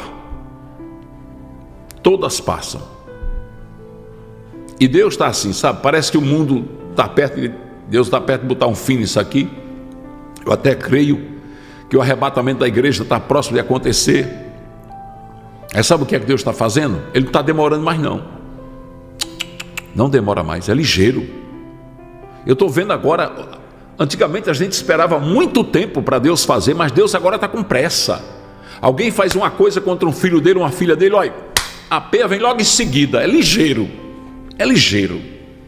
Eu digo porque eu tenho visto como Deus tem trabalhado assim. Então a mensagem de hoje é: o planejar pode ser teu, aleluia, mas o realizar é dele. E quem é dele diz: Deus, só deixa eu fazer aquilo que o Senhor quer. Se o Senhor não quer, não deixa eu meter a mão. Se o Senhor não quer, não deixa eu entrar onde não devo. Aleluia. Eu quero fazer a tua vontade, mesmo que doa mesmo que eu sofra, mesmo que eu pague o preço, mesmo que eu fique olhando, mas eu quero, Senhor, contemplar a tua glória na minha vida e quero obedecer a tua voz, porque eu quero é morar no céu. Eu não quero perder a minha salvação por desobediência ou por rebeldia. Eu quero morar no céu. Eu quero estar com o Senhor. vivo para ti. Temos que dizer assim, eu e vocês, viu? Eu estou falando aqui, mas é nós. Eu vivo para o Senhor. Eu coloquei a minha vida no teu altar santo, como holocausto vivo. Então, dirige a minha vida. Eu te amo, eu tenho o teu Santo Espírito, mas eu ainda sou carne. Não fui arrebatado em glória, sou carne ainda. Diga para Deus, eu sou carne ainda. Então Deus me orienta para fazer aquilo que o Senhor gosta e aceitar aquilo que o Senhor quer que seja feito. E acabou-se, pronto, acabou-se. Deus tira pessoas das nossas vidas, às vezes a gente fica reclamando, fica chorando, entra em depressão, noites de sono perdida, a gente fica se lamentando, ah, porque fulano me deixou, ah, porque não sei o que, porque eu amava, porque isso, porque aquilo, porque eu gostava de estar perto. Você podia gostar de estar perto, mas a pessoa não gostava de estar perto de você, não. Ela foi embora porque não gostava de estar perto de você. Agora, se você quer ela de volta, ore, mas ore dizendo: só traga se for transformado, só traga se vier para me amar, porque voltar para me fazer sofrer, fique lá, pode ficar lá, porque eu fico aqui com Jesus, sempre com Ele, em todos os momentos, em todos os instantes. Porque se eu peço a Deus, eu sou filho dele, você é filho e filha de Deus. Se eu peço a Deus insistentemente para ele ouvir a minha voz, para ele consolar meu coração, para ele me restituir aquilo que eu perdi, eu não sei se o que eu perdi, voltando, vai me fazer feliz ou vai me fazer sofrer. Nem você sabe também. Porque tem muita mulher que desejou o marido de volta, orou, pediu, mas quando o marido voltou, o sofrimento foi tão grande que ela disse: Homem, antes ele tivesse ficado, era lá. Por quê? Porque Deus fez a vontade do teu coração para mostrar a você. Às vezes Deus faz, sabe? Eu vou trazer de volta. Toma, está aqui, toma, toma. Você não está pedindo? Está aqui. Aí Deus fica olhando. Aí você começa a sofrer, está vendo aí? Ó. Por isso que eu não queria te dar de volta. Mas você pediu tanto que eu tive que deixar, eu tive que permitir para você entender que não era isso que eu tinha para você. Eu tinha algo melhor. Você sabia que quando Samuel recebeu os, os anciões de Israel, chegaram para ele, o profeta Samuel, filho de Ana, o profeta, o juiz, o sacerdote, ele foi chorando para os pés de Deus e disse assim: Deus, o povo está pedindo para mim ungir um rei para eles, como tem as outras nações, porque, segundo eles, Deus, os meus filhos já não andam na tua presença. Você sabe qual foi a resposta de Deus? Deus viu que Samuel estava triste e disse: Samuel, unja um rei para eles. E não fique triste, não. Eles não estão rejeitando você, não estão rejeitando a mim. O que era que Deus estava dizendo? Ele estava dizendo: eles não estão rejeitando você, não estão rejeitando a mim. Porque você é meu representante, você é meu profeta, meu juiz, meu sacerdote. Eles não têm rei, agora estão pedindo um rei. Eles não acreditam que eu possa transformar a vida dos teus filhos e fazer eles tão poderosos como você. Agora diga para eles que você vai ungir um rei sobre eles. Agora esse rei vai cobrar imposto deles, o povo não pagava imposto. Esse rei vai cobrar imposto deles e vai mandar seus filhos para morrerem nas, nas guerras. E foi o que aconteceu. Aí Samuel disse: Ah, então eu pensei que ele estava rejeitando a mim. Não, estão rejeitando a mim, disse Deus. É a mim que estão rejeitando. Porque você é meu representante. Se você é meu escolhido e eles rejeitam você, estão rejeitando a quem? A mim. E Samuel disse ao povo: olhe, Deus mandou dizer que vocês querem um rei, tudo bem, vocês vão ter um rei. Agora não esqueçam que esse rei vai pegar seus filhos, formar um exército, colocar eles na guerra, vão morrer na guerra e vocês vão pagar imposto para manter essa guerra e manter esse reinado. E o povo quis. E teve um rei, Saul, o primeiro rei de Israel, que foi um desastre. Se não fosse Davi, levantado por Deus, segundo o coração de Deus, aquele povo não tinha suportado, não. Olha Rosa Souza Gama dizendo: Verdade, pastor. Eu já fiz isso, voltei com meu ex-marido e foi pior. Deus sempre confirma o que eu estou pregando, louvado seja o nome de Jesus por isso. Então, a minha vontade, Deus, eu quero que seja a tua vontade. Que os planos que chegarem ao meu coração venham do teu coração, Pai. Essa deve ser a nossa oração. E a gente tem que falar para Deus como, como Davi falava, porque Deus se agrada de Senhor, sou pequenininho, sou frágil, meu tempo aqui na terra não é muito longo, então não me deixe errar muito não. Não me deixe errar muito não. Chega, Senhor, com força na minha vida, impedindo a minha insensatez, impedindo aquilo que eu vou fazer que não te agrada. Aí você diz: Aí, pastor, eu já errei tanto, parabéns para você e para mim, porque eu também já errei demais. Demais. Me diga uma coisa, deixa eu perguntar para vocês que hoje eu estou querendo interagir com os filhos de Deus, as filhas de Deus aqui. Você já teve raiva de você mesmo porque você errou? Já.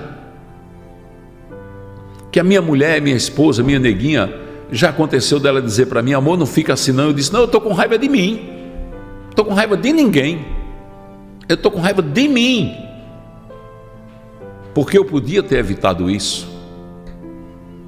E aí Deus usa ela para me consolar, dizendo: Deus, amor, traz um cafezinho para mim, amor.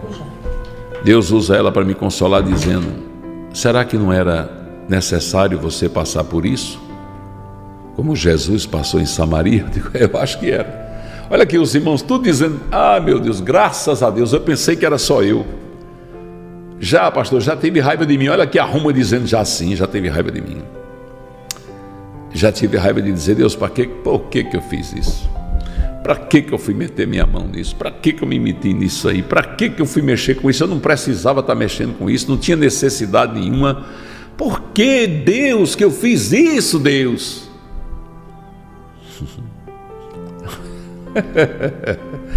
Louvado seja o nome de Jesus. A Cida de Macaé botou várias vezes, pastor, já teve raiva de mim por fazer coisas que não devia ter feito. Pois é. Está vendo como é bom interagir com vocês, como é bom a gente ouvir, porque isso, isso aqui, nessa quantidade que está aqui, conforta meu coração para me dizer, Deus, ainda bem que o Senhor, ainda bem que o Senhor é compreensivo, ainda bem que o Senhor entende seus filhos, porque senão, Pai, como seria isso aqui? Como seria essa vida, Pai? Se não fosse a tua compreensão, como viveria a gente no meio disso tudo?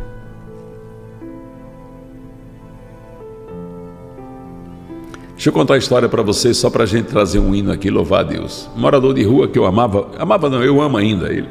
Está por aí, não sei nem onde é que ele anda. As pessoas que são viciadas em drogas, elas são profissionais em mentir.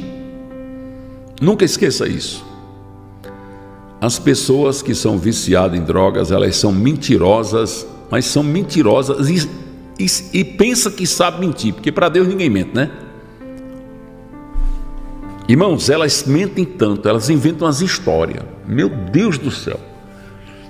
Vou contar duas histórias bem curtinhas. Primeira história: chegou um cara lá em casa, quando eu morava lá na outra casa.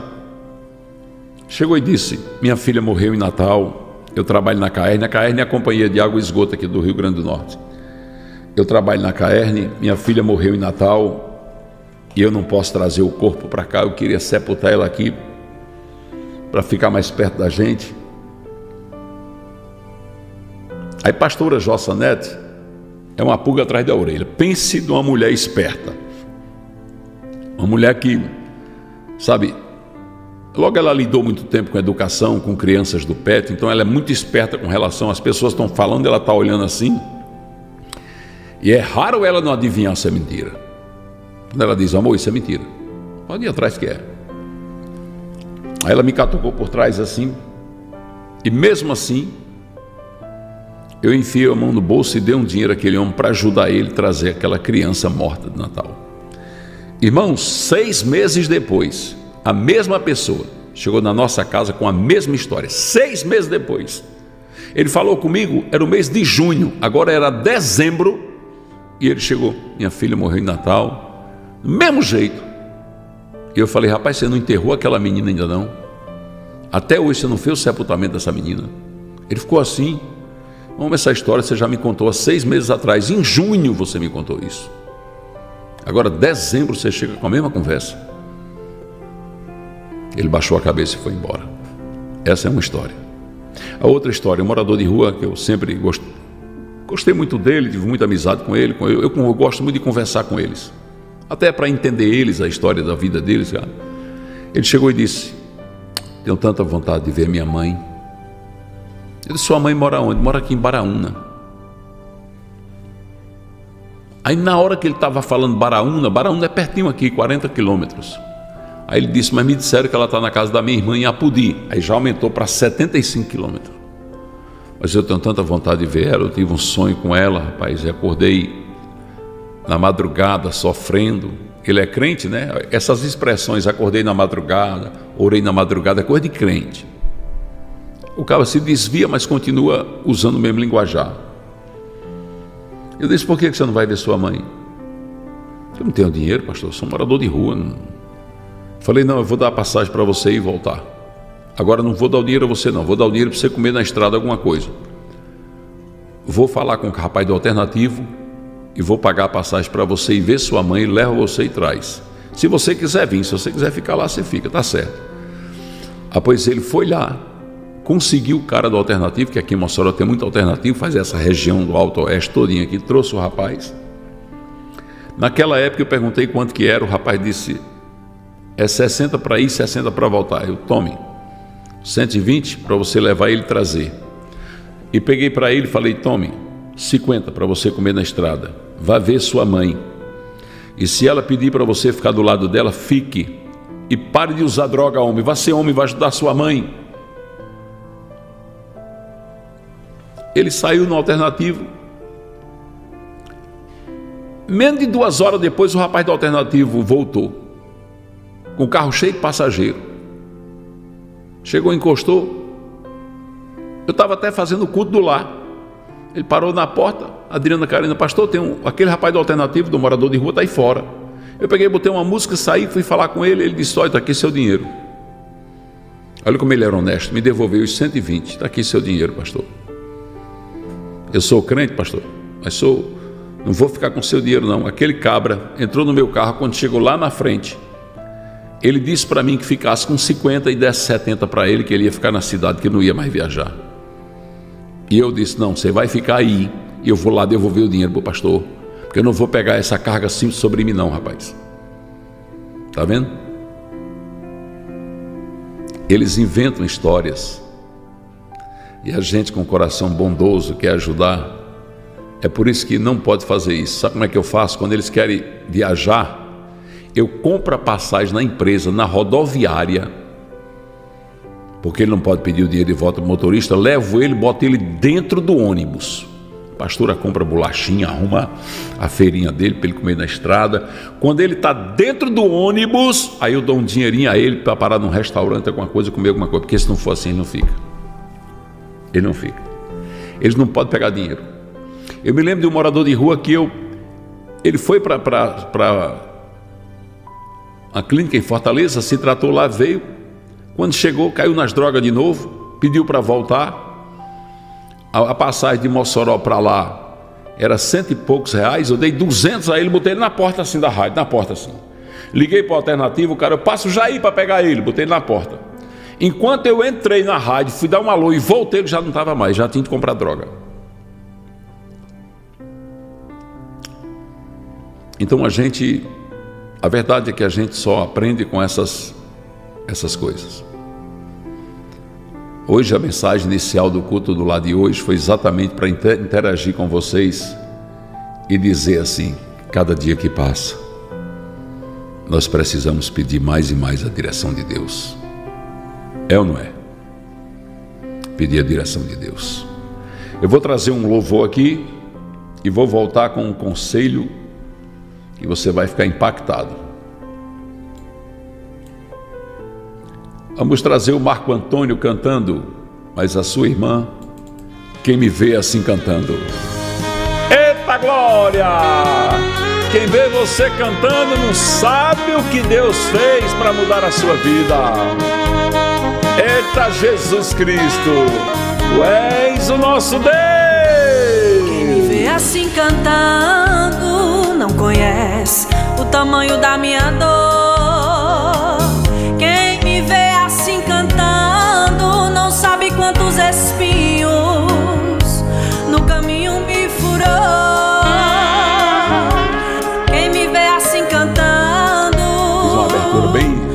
Conhece com minha eles. história, não sabe das noites em claro pra cantar agora. Noite chorando, noite gemendo, Deus escrevendo a minha história.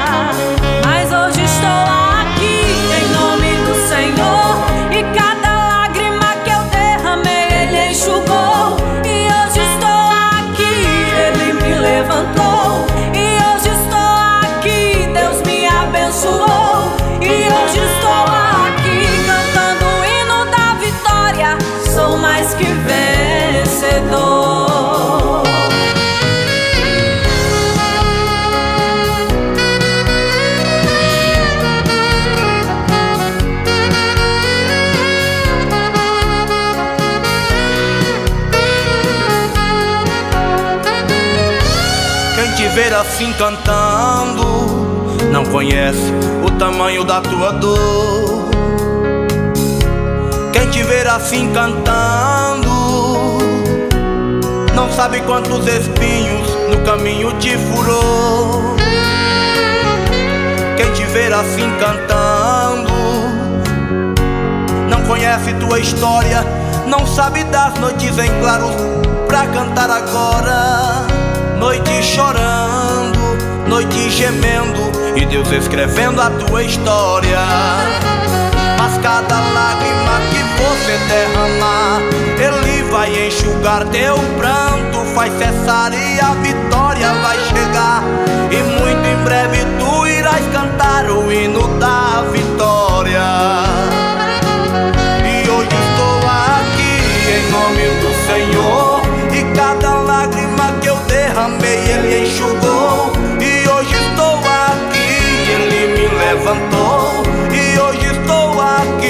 Deus me abençoou. E hoje estou aqui, cantando o hino da vitória. Sou mais que vencedor. E hoje estou aqui em nome do Senhor. E cada lágrima que eu derramei, Ele enxugou. E hoje estou aqui, Ele me levantou. E hoje estou aqui, Deus me abençoou.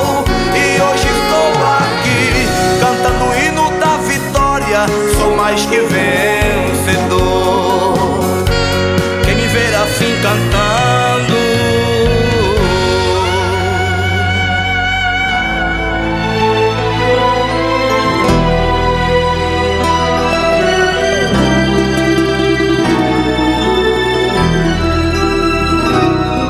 Se você tem promessa de Deus, pode se alegrar. Porque Deus é fiel e o que ele falou cumprirá. E se a prova for grande vier a morrer, vai ter que ressuscitar. Pra Deus cumprir com a promessa, porque ele não falha, ele é Jeová. Promessa de Deus é prego batido em ponta virada. Ele passa por cima de quem estiver na estrada, querendo a promessa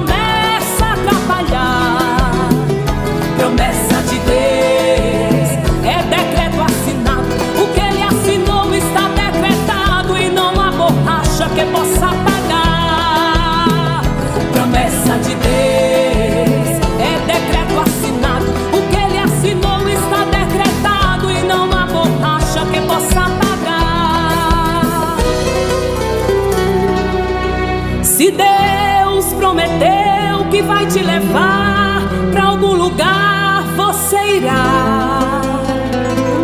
Se Ele disse que tem uma cadeira para você, nela você sentará. E se Ele falou que vai te abençoar na terra, a benção virá. E o que Ele disse que você vai ser, você será. Promessa de Deus em ponta virada. Ele passa por cima de quem estiver na estrada, querendo a promessa atrapalhar. Promessa de Deus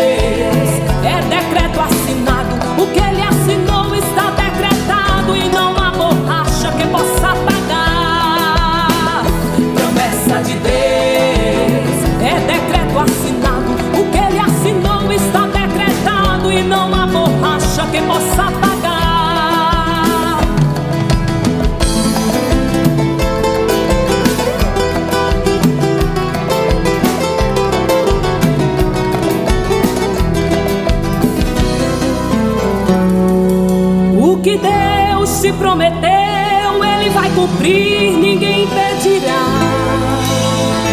Ninguém toma, ninguém tira, ninguém cancelará. O que Deus prometeu é propriedade tua, é compromisso de Deus. Pode se apossar, porque é teu, é teu, é teu. Promessa de Deus é prego batido em ponta virada. Ele passa por cima de quem estiver na estrada, querendo a promessa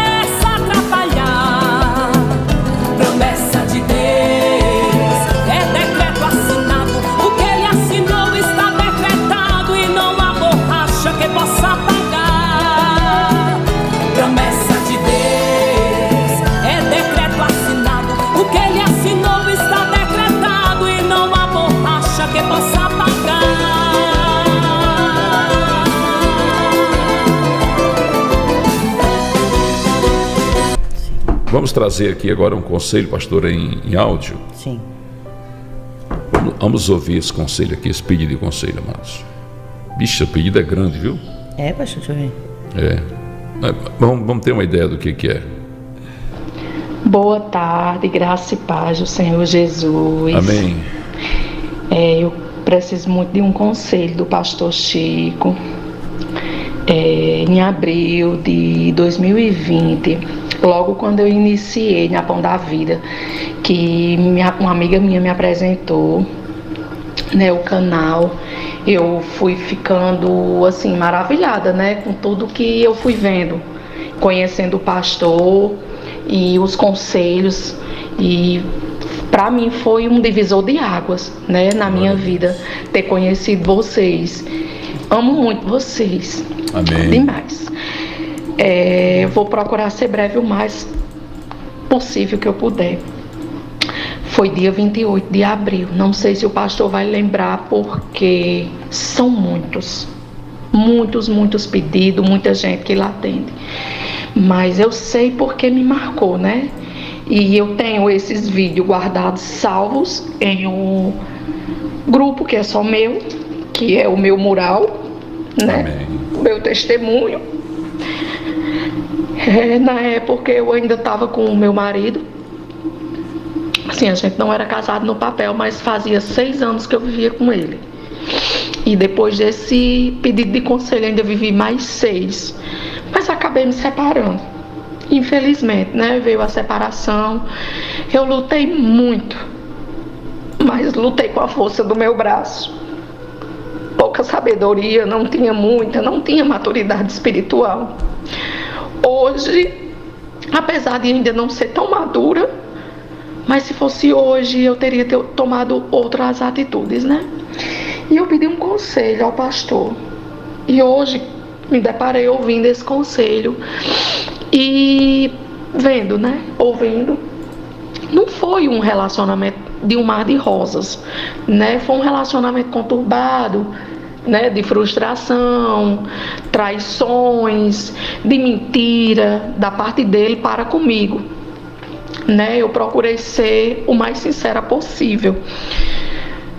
Não fui uma prostituta no passado, assim, não fui para um prostíbulo, mas era uma mulher solteira que tive vários relacionamentos, né, que não deram certo.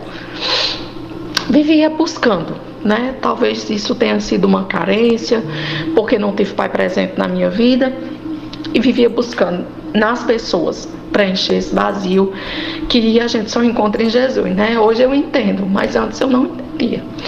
E Jesus ele mesmo disse: "O que eu faço agora você não entende, você só vai entender depois". Verdade. Mas graças a Deus que eu encontrei, né, o Senhor Jesus e também vocês. Tenho aprendido muito com vocês. E é para falar sobre isso, né? Fez dois anos, agora em outubro, que eu vim a me separar. No caso, eu o mandei embora. Eu que mandei embora. Foi uma separação muito traumática. Para mim, para os meus filhos, né? Eu tenho dois filhos, um filho com ele, que na época tinha cinco anos, hoje o meu filho tem sete. Faz dois anos. E assim, muita coisa eu já consegui superar mas eu ainda não me relacionei com ninguém, nem pensamento, né? Me permiti que o Senhor sarasse essas minhas feridas. Como eu escuto muito o pastor falar, não embarque em outro relacionamento, não coloque outra pessoa na sua vida que não adianta. Você só vai sofrer e fazer outro sofrer. E eu não estava pronta. Porque na verdade, quando eu mandei ele embora, eu não queria mandá-lo embora, eu não queria me livrar dele, eu queria me livrar da dor que ele me causava, né? Que na verdade ele era usado pelo inimigo, por ele não ter o conhecimento de Deus, não ter o temor. A crente era eu, me achava uma super crente porque não traía. Mas muitas vezes a gente trai as pessoas, né? Não é, não é só com né, cometendo o adultério, você trai de várias formas, né, você desonra com palavras, né? Hoje eu entendo, graças a Deus. Então eu quero um conselho do pastor, né? Se devo continuar orando pela restauração desse relacionamento ou se eu devo orar, mudar a minha oração, que até hoje eu orei por isso mas quando eu mandei embora, eu disse: eu vou me arrepender. Eu sei que eu vou me arrepender, mas vai ser necessário isso acontecer, porque do jeito que estava não estava bom. Ele me machucava, eu machucava ele, a gente se feria muito. Então foi necessário. Assim como Deus é, endureceu o coração de Faraó, ele endureceu o meu, ele passou dois dias ligando para mim, chorando, pedindo para voltar para casa. Mas ele não estava liberto. Eu creio que teria sido pior e a gente precisava desse tempo. Só que no meio desse tempo, ele se relacionou com uma pessoa. E tudo bem, estava vivendo com ela. E pouco tempo de que ele embarcou, assumindo aí com 15 dias que eu me separei dele, ele conhece, vive, né, foi viver com essa mulher e já postou foto em redes sociais. Eu sei que não acaba do dia para a noite, foram seis anos, né, apesar de tudo que a gente passou. Eu nem vou romantizar, mas também, né, não, ele não deu amnésia, né? A gente não trai porque não ama Hoje eu entendo que a gente trai por falta de caráter, né? E de cara, essa mulher engravidou, né? E, e essa mulher é, ainda é parente dele e é ex-mulher do cunhado dele.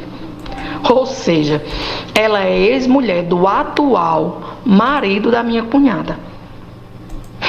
Se é que dá para o senhor entender, pastor quando o Senhor começar a ouvir isso, dá um, um nó na mente da gente.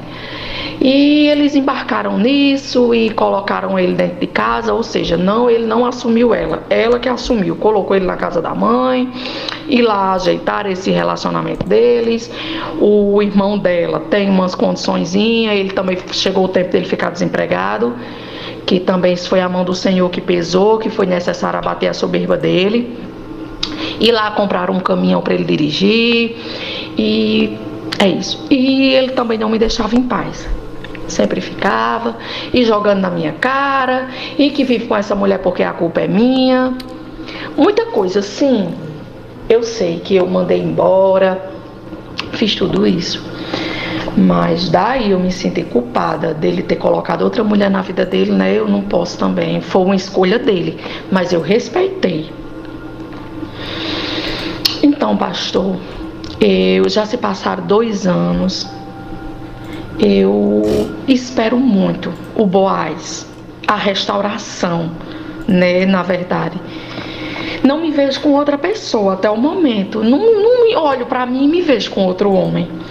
Mas se for de Deus, eu quero muito, porque eu tenho apenas 35 anos e a solidão é muito ruim. Sei que minutos de prazer não vale o inferno de uma vida. Por isso mesmo que estou sozinha esperando no Senhor. Eu até falo, Senhor, quando o Senhor mandar, eu ainda vou fazer como Gideão. Senhor, eu, se o Senhor tiver num negócio, eu quero o novelo seco. Agora eu quero ele molhado. Então vou fazer muita prova com Deus. Porque eu só quero um homem se for de Deus. Eu disse ao Senhor, quando eu mandei embora, eu disse, Senhor, tu tem ainda propósito com esse homem na minha vida? Se tu tiver, restaura e traz. E se tu não tiver, Senhor, me dê descanso para o meu coração, para minha alma. Eu aceito, pastor. Apesar dele viver com essa mulher, e ter todas essas coisas e ter tido, sido isso tudo muito rápido e lá ele agora está frustrado, mas eu desejo que ele seja feliz, porque como eu falei para ele, ele disse como é que pode ser isso? Que ele falava que eu nunca tinha amado ele. Eu disse se você souber que hoje eu amo você muito mais, que hoje eu sei o que é e antes eu não sabia. Ele disse como é isso que eu não entendo? Eu disse meu filho, o amor, ele não é invejoso. Se você me disser, eu tô feliz, eu vou tentar construir uma história com ela, você me mandou embora, então tudo bem, eu vou tentar viver com ela, né? Então eu disse, Senhor, eu só quero ele na minha vida. Eu falei, igual a Moisés. Se o Senhor tiver no negócio, se o Senhor não tiver, Senhor, não deixa. Mas até então, pastor, ele não me deixa. Mas eu não quero ser tapete do diabo, pastor. Eu não quero ser usada. Como eu falei para ele, eu quero ser amada. Porque eu mal como sou, se eu tivesse uma filha, jamais eu queria que a minha filha chegasse ao ponto de se separar do marido e fosse servir de amante para ele. Eu até perguntei a ele, né, se ele queria isso para a irmã dele. Eu disse, pois é, a gente mal como a gente é, queremos coisa boa para os nossos e Deus que é bom. Então, pastor, eu preciso muito desse conselho, porque já se passou dois anos, pastor. E eu queria muito descansar. Muito que o Senhor me desse esse descanso. Mas eu preciso de um conselho, de um servo, de um homem que tem experiência como o Senhor, porque o Senhor tem história para contar. E o Senhor tem respaldo para me dar esse conselho. Não tem outra pessoa melhor no mundo para me aconselhar do que o Senhor.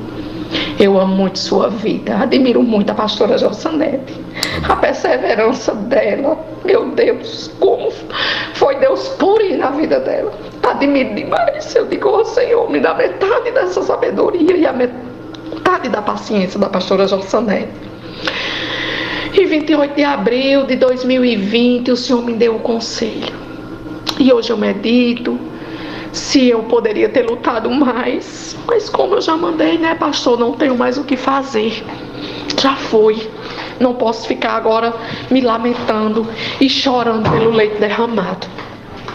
Então, pastor, me aconselhe, pastor. Me aconselhe como homem, como servo de Deus, como se o Senhor fosse o meu pai, que eu não tenho mas o Senhor é o meu Abraão, meu pai na fé. Me aconselhe, pastor. Eu preciso tanto romper isso. Eu só quero um pastor para casar. Porque eu disse, Senhor, para me usar nunca mais. Nunca mais. Um homem só vai me tocar Se for para ele ter compromisso comigo e com os meus filhos, com a minha casa, se for o meu marido. Se não, Senhor, eu não quero. É muito ruim a solidão, mas eu prefiro paz. Porque, como eu já falei, e esse ditado é bem conhecido, o prazer do momento não vale o inferno de uma vida. Então eu prefiro ter paz, e a paz que excede todo entendimento, que só o Senhor pode dar. O homem não pode dar, os filhos não dá, amigo não dá. Mas eu preciso, pastor. Me diga se eu continuo orando por essa restauração. Que Deus, se Deus, que se Deus pode restaurar ele, eu não tenho nenhuma dúvida do poder de Deus. A minha dúvida é se Deus quer restaurar ou ele quer fazer novo. Sim, ele pode fazer novo no mesmo, né? Mas eu não sei, eu não entendo. É, Deus me deu Isaías 54, pastor, através do Senhor. O Senhor vai lembrar porque foi no dia que o Senhor foi com a pastora Jalsanete fazer uns exames no filhinho do caseiro. Foi dia 3 de maio de 2021. Pastor, e eu nunca vou esquecer como Deus falou comigo em Isaías 54. O Senhor falou, versículo 17, que nenhuma arma preparada contra ti prosperará. E quando eu não tinha entendimento, eu disse que eu senti curiosidade de ler. Né? Hoje não, eu sei que foi direcionado ao Espírito Santo. Pastor, o capítulo inteiro é meu. Todinho, ele falou comigo fortemente. Isaías 54, eu digo, Senhor, nem se eu voltasse para o mundo, que não me deixe, Senhor, voltar para o mundo. Eu ia esquecer a experiência que eu tive em Isaías 54, pastor. Eu não vou esquecer nunca. Parecia que eu estava numa sala de aula. Era eu lendo e ele me dando discernimento. Era ele me dizendo, ele falando comigo as letras da Bíblia. Só faltava saltar diante dos meus olhos. Então, pastor, me aconselhe me diga o que eu devo fazer, me direcione como homem, como homem de Deus, como pai, que o Senhor é o nosso pai, o meu pastor, eu sou a sua ovelha. Me aconselhe, eu amo muito sua vida. Em Cristo Jesus. Vou parar por aqui que o áudio vai ficar muito extenso. Pastor, me aconselhe. Em nome de Jesus, eu aguardo o mais breve possível o seu conselho. Fica com Deus, pastor. Amo a vida de vocês. Não, os irmãos estão aqui impactados. Sabe quando você ouve um áudio gigante e, e ouve assim, se deleitando, que, que irmã quebrantada, meus irmãos. Que irmã temente a Deus. Meu Deus. Um pedido de conselho com tanta palavra de Deus. Aleluia. Com tanto louvor ao Senhor. Os irmãos estão aqui, eu tô maravilhado com esse áudio. É forte, né, Silmara?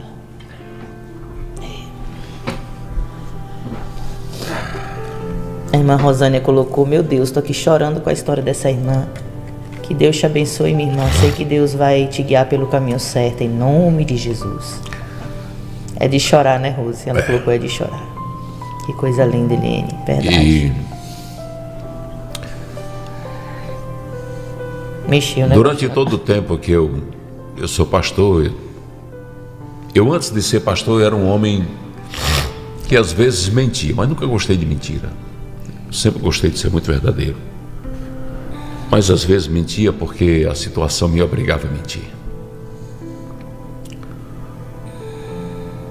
E diante desse pedido de conselho tão forte, né?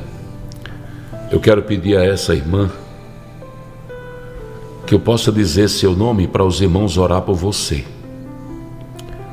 O nome dela é Andresa, ela mora em São Bento, na Paraíba. Percebi duas coisas aqui que me impactaram muito. Primeiro, o seu conhecimento bíblico. Você é uma mulher que tem buscado a Deus. E depois, a sua disponibilidade de abraçar a decisão de Deus para a sua vida, mesmo sofrendo. E eu quero aqui rasgar meu coração até para dizer para as irmãs que eu tenho certeza que com as histórias vividas por mim nesses meus 62 anos de vida, eu tenho ajudado muitas vidas. Ela diz, pastor, você é um homem de muitas histórias. Todo homem tem muitas histórias quando chega a minha idade, então tem muitas, mas às vezes não quer contar. Tem gente que não quer usar a sua vida para abençoar vidas, já eu conto para a glória de Deus. Primeiro, eu quero começar dizendo que ninguém pode lhe roubar o desejo do coração e o sonho que você mantém de um casamento restaurado. E ninguém pode também lhe censurar por um dia ter mandado embora o homem que você sempre amou o pai de seus filhos. Mas eu preciso dizer algo aqui que vai mudar muita coisa. Você disse: se eu talvez tivesse o, o preparo que eu tenho hoje, eu não teria perdido meu casamento. Olha, eu fui um homem de muitas amantes, muitas, tive várias. E pelo amor de Deus, não pense que eu conto isso me vangloriando, eu conto isso para ajudar vocês, porque eu sei o vale que eu passei, o deserto que eu andei, quando eu vivia no mundo do adultério, quando eu vivia no mundo de várias mulheres. É um inferno. Você sabe o que é o inferno? É o inferno. E vou dizer a vocês porque eu não sou diferente de nenhum outro homem. Quando nós estamos no pecado, nas mãos do inimigo, nós somos o mesmo cavalo que ele monta e faz o que ele quer. O diabo faz o que quer quando o homem cede aos desejos da carne. Mas você já viu alguém amar e trair? Ah, pois é desse jeito: ama e trai. A mulher, é muito difícil uma mulher amar um homem e trair ele. É raro você ver isso acontecer. Agora o homem ama e trai. Eu amava e traía. A minha primeira esposa, a mãe da pastora Ângela, que já dorme em Cristo, ela era uma mulher linda. Por dentro, era uma mulher difícil de você encontrar hoje em dia. Muito bonita. Bonita por dentro e bonita por fora. Parecia uma menina, linda. E eu traía ela. E até hoje, eu me arrependo, mas eu sei que já estou perdoado por Deus, porque aquilo ali era uma maldição que havia na minha vida, na vida da minha família. A minha mulher bonitinha, toda durinha, toda arrumadinha, limpinha, aciadinha, uma, uma excelente mãe, uma excelente dona de casa, e eu traía ela com uma, uma bagaceira. Que eu dizia assim: o que é isso? Pelo amor de Deus, eu traindo minha mulher com essas mulheres imundas com essas mulheres que se deitam com qualquer um, com essas mulheres que se vendem. E quando eu chegava em casa, eu olhava ela em cima da cama com meus filhinhos, tudo ao redor dela, eu chorava de arrependimento. Mas como eu não tinha Deus, a maldição estava sobre a minha vida. Eu ficava ali arrependido um, dois, três, quatro dias, voltava de novo para aquela, para aquele mesmo inferno que o inimigo estava construindo. Eu estou dizendo isso porque a primeira coisa que uma mulher sente quando o marido trai ela é que ele não ama mais ela. Eu nunca disse para minha esposa, minha primeira esposa, nem para a pastora Jossa Neto, que também foi muito traída, eu nunca disse, eu não lhe amo. Não, nunca disse, porque não era verdade. Eu sempre tive dificuldade para mentir. Eu amava e traía. Mas que maldição desgraçada é essa? Eu cheguei a viver com outra pessoa, botar duas mulheres, ter a minha esposa na casa nossa e um amante em outra casa. Eu cheguei a fazer isso. Aquela amante era um objeto sexual na minha vida, mas a mulher que eu amava era minha esposa. Pastor, e como é que o senhor ia lá? Eu ia lá porque eu era prisioneiro do diabo, eu era prisioneiro de uma maldição na minha vida. É muito fácil atirar pedras num homem que tem uma vida dessa, mas só só ele, Deus, sabe o que é que ele passa como prisioneiro do diabo, cavalo do cão.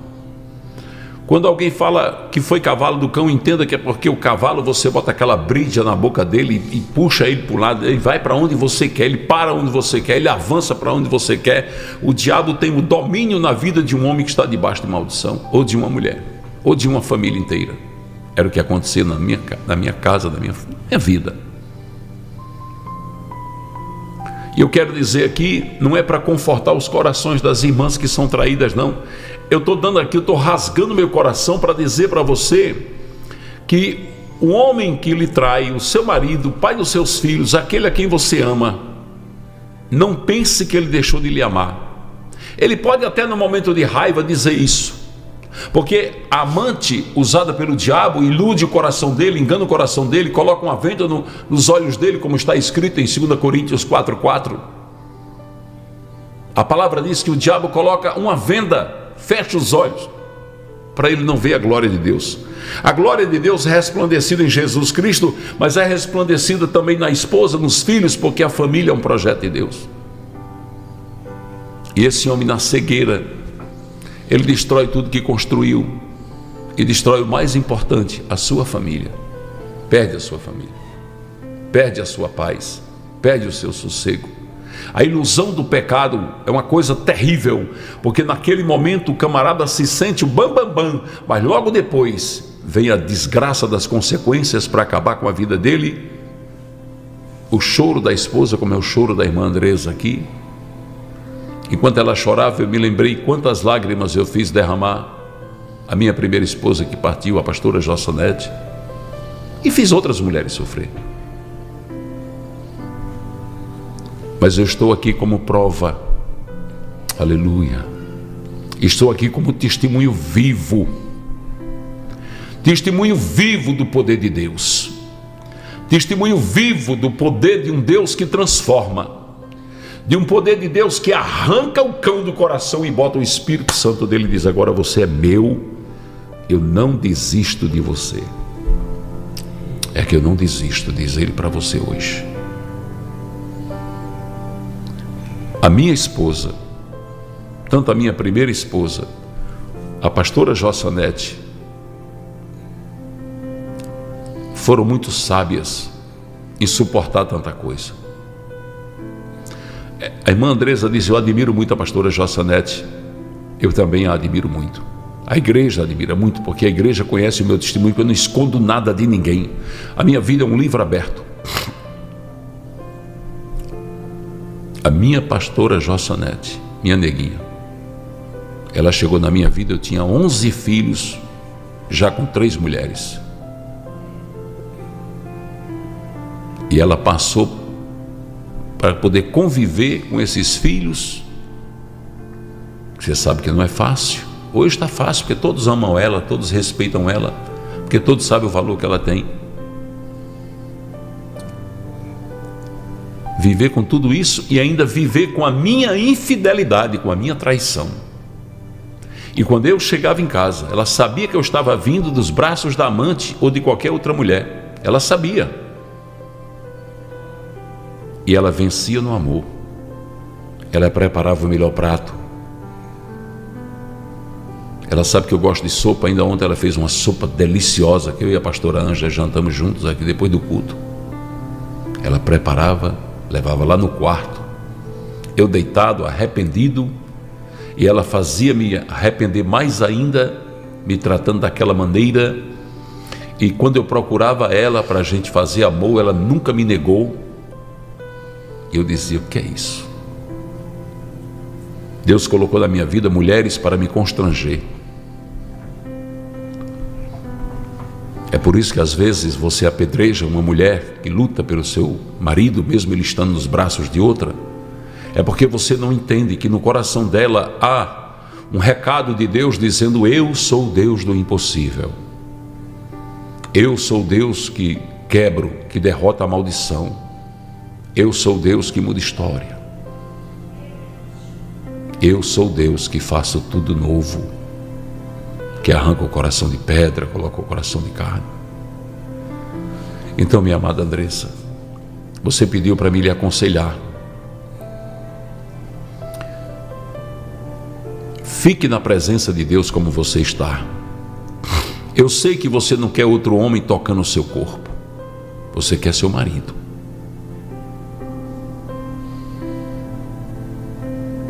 Se é isso que você quer, lute por isso e diga para Deus: transforma, e Ele transforma como me transformou. E Ele transforma e envergonha Satanás. Porque, para glória e louvor do nome santo de Jesus Cristo, eu sou um homem transformado e hoje, através da minha vida, Deus, não é eu não, é Deus, é Jesus, o Todo-Poderoso, envergonha Satanás. Dizendo, ele antes era teu cavalo, mas ele agora é meu servo.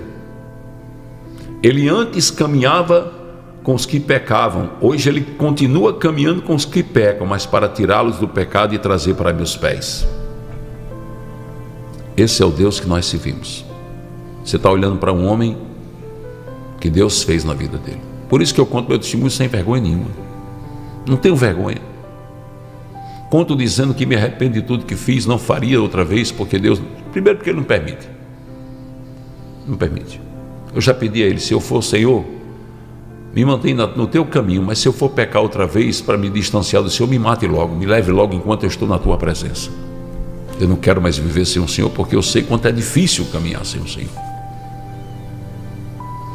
Então, Andresa, o teu sonho, quando você começa a orar, em lágrimas, como você estava aqui nesse, nesse pedido de conselho tão forte, que impactou os irmãos e as irmãs que estão aqui, o teu sonho, ele se torna sonho de Deus. Porque você você está adorando a Deus, pastor Anja, com suas lágrimas. Ana chorava. Ana tinha o marido dela, Elcana, nas mãos de Penina, nos braços de Penina. Ana passava o ano inteiro chorando. Quando ele vinha, era uma vez por ano, ele vinha sacrificar e adorar, ele ficava com Ana e mais uma vez ela não engravidava e outro ano começava e a tristeza continuava. Até que um dia, próximo da vinda dele, e ela está no templo dizendo: Senhor, mais uma vez, ele vai vir e o Senhor não me deu um filho ainda. E de tanto chorar, ela com suas lágrimas balbuciava palavras que eram incompreensíveis. O sacerdote ali achou que ela estava bêbada. E ela disse: Não, Senhor, não estou bêbado, não bebi nada, eu sou apenas uma mulher amargurada. No meio da amargura, no meio da angústia, no meio da dor, onde é que Ana estava? Nos pés de Deus, no templo, orando, chorando, clamando e pedindo a Deus. Pastor, abra aí, 2 Samuel. Depois você vai ler o 54, é? É. Pois marca aí, pega a fitinha. É, 1 Samuel, pastora, capítulo 2, aquela parte que Ana Sim. lê aí para os irmãos ver que palavra. Deus deu sete filhos a Ana. Ana consagrou a Deus. Você que está com seu casamento abalado, meu pastor, mas meu casamento não presta mais para nada, diga assim, não, não presta mais para nada, está em, tá em frangalhos, está em pedaços. Meu casamento hoje é só ruínas. Após consagra essas ruínas a Deus. Pegue as pedras que restou desse casamento e erga um altar a Deus. Por você, pela sua família, pelo seu esposo, erga um altar a Deus, dizendo: Eu consagro a Ti, Senhor. Tuas lágrimas, elas são cartas escritas ao coração de Deus. Ela vai ler agora aí. Ana já não comia com tanta irritação de Penina, só chorava e a Bíblia diz que ali no templo, ela, pois, com amargura de alma, orou ao Senhor e chorou abundantemente. A gente conseguiu perceber no áudio da Andresa uma Ana chorando abundantemente na presença de Deus. E o que Ana fez foi aquele voto que agradou a Deus, porque ela disse: te lembrares, Senhor, da tua serva, dela não te esqueceres e deres um filho varão. Ao Senhor o darei por todos os dias da sua vida. Ana faz como Andrés, fez como Andrés está fazendo.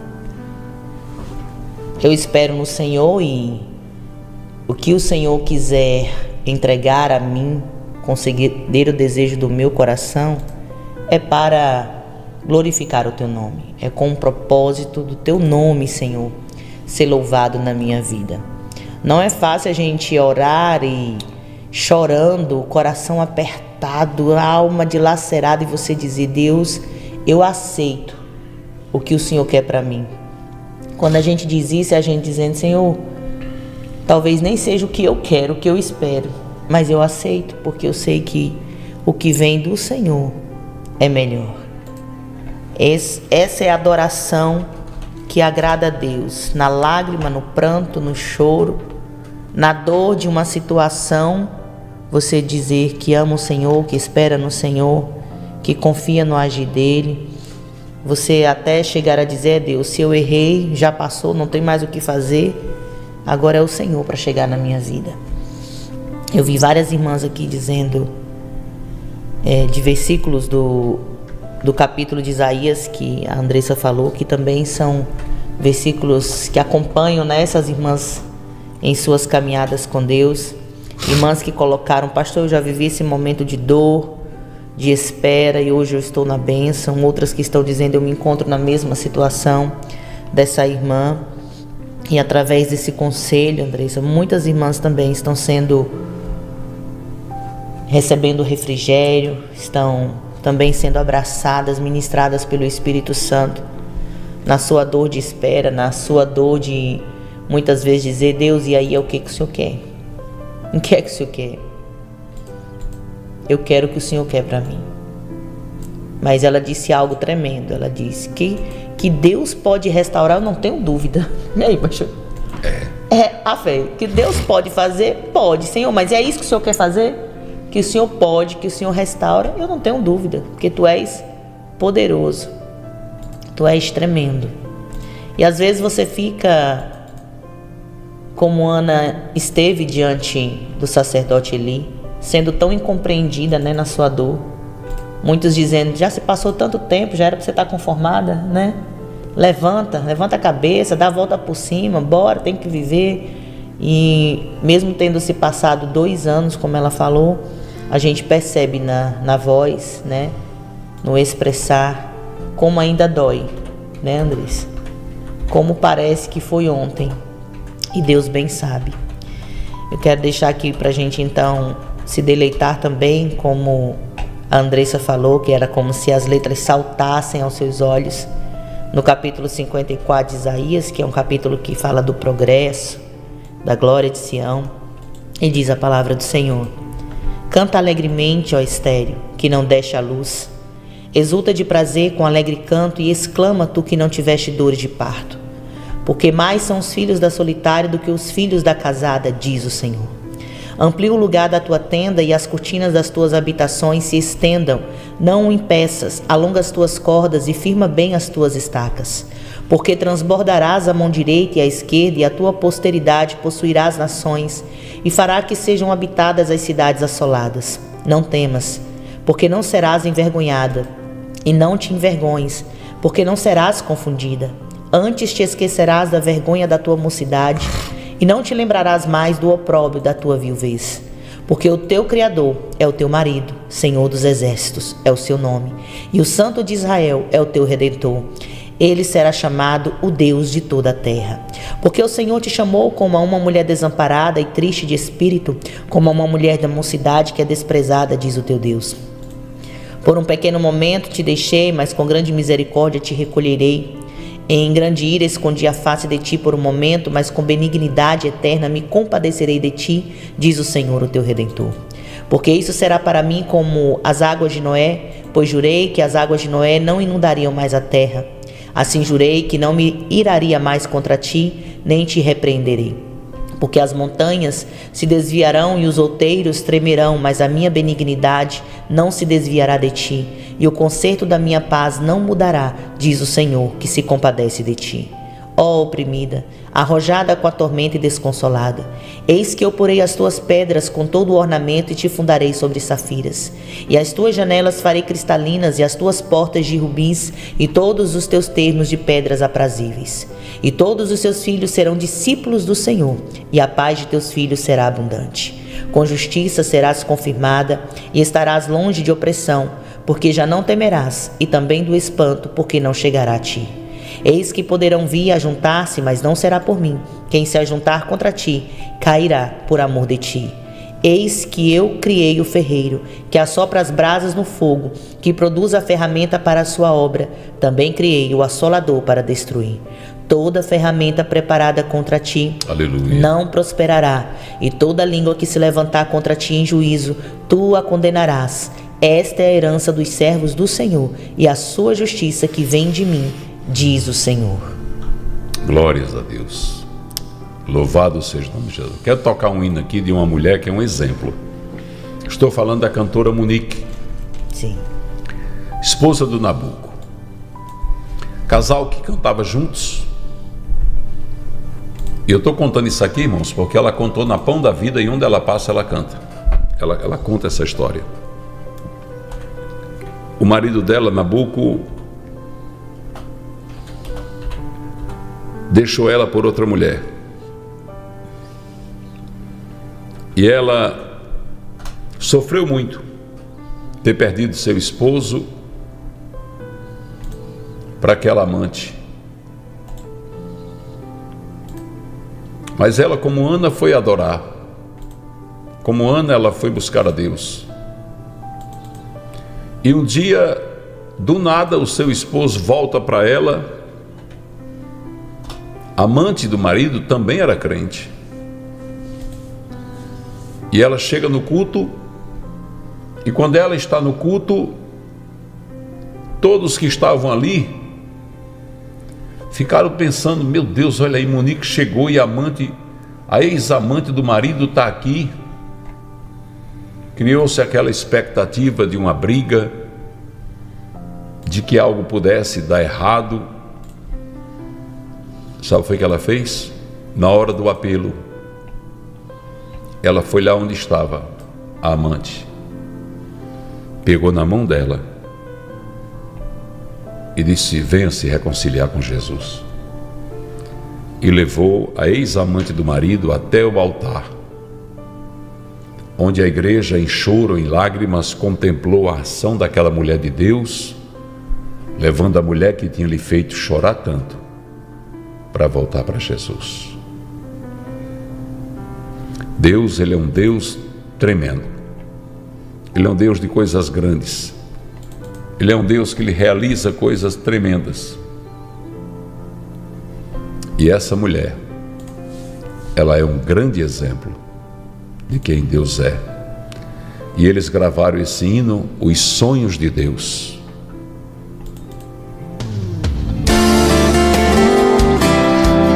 Exemplo de Munique possa encher seu coração, Andresa, da esperança da restauração.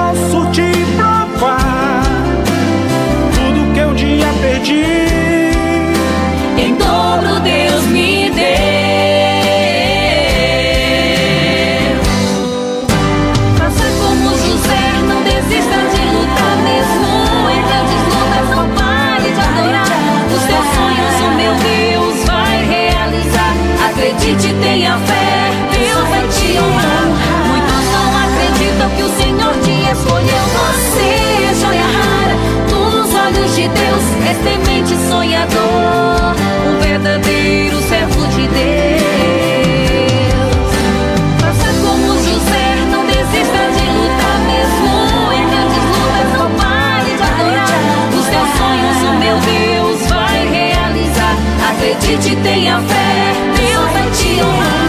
Muitos não acreditam que o Senhor te escolheu. Você, joia rara, nos olhos de Deus, és temente sonhador, um verdadeiro servo de Deus.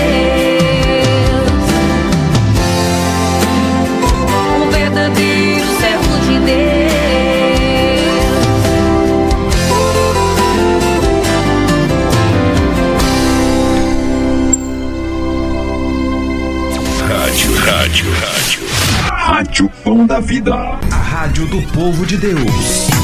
Muito bem, amados queridos de Deus, eu estava aqui comentando com a pastora Ângela que o que o diabo quer é ver os casais assim, ó. Pronto, saia tudo que o cão quer, é isso aí. Eu até cortei o fundo musical aqui só para deixar essa mensagem nessas imagens. O diabo quer isso aí: casal brigado, casal separado, casal negando um ao outro a, a intimidade. Porque na intimidade, o que é que acontece na intimidade do casal? Primeiro, tem uma aproximação muito forte, porque a relação entre um homem e uma mulher, na sua fase mais íntima, é uma doação do próprio corpo àquela pessoa. Não é verdade? O que é que nós doamos para Jesus? Nosso corpo, para ser templo e morada do Espírito Santo. O que foi que Jesus doou para nós? O corpo dele, para ir para a cruz e nos salvar de todo pecado. Então, quando a mulher doa o seu corpo para o seu marido, o marido doa o corpo para a mulher, é uma, é uma tipo uma tipologia da doação de Cristo quando se entrega. E pastor, o senhor está falando isso, mas está escrito. Está escrito na palavra. Eu estou pregando Bíblia. Isaías capítulo 53, versículo 10, a palavra diz que agradou a Deus moer Jesus. Deus sentiu prazer no sacrifício do filho dele. Então o diabo não quer, quer isso aí. Ele quer você brigado, porque você brigado não tem doação, você brigado, você nega o seu corpo, você brigado, você quer distância. E ele, se alegra nisso aí. A Bíblia Sagrada diz em 1 Coríntios capítulo 3, que quando o casal está separado, o diabo entra no meio. Está escrito. Ele não quer isso aí. A união não, ele não quer isso aqui não. A mãe e os filhos felizes, não quer. Ele não quer isso não. Ele quer o choro, as lágrimas, o sofrimento, porque ele veio para matar, para roubar e para destruir. Então esse aqui é Nabuque e Munique. Que ela foi quem levou a ex-amante do marido até o altar para restaurar a comunhão dela com Deus. Imagina como ficou o diabo naquela hora, meu Deus do céu, ficou louco. Mas não adianta, quem sempre vence é Deus. Quem sempre vence é Deus, Deus não perde nunca. Deus ele não vai perder nunca. Nunca ele será derrotado.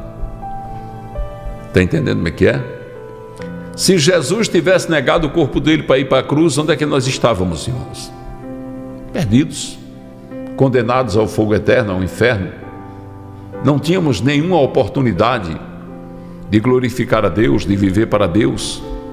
Então o que ele quer é isso. Mas só que em nome de Jesus Cristo ele não vai conseguir, nunca. Ele não vai conseguir porque Deus é grande.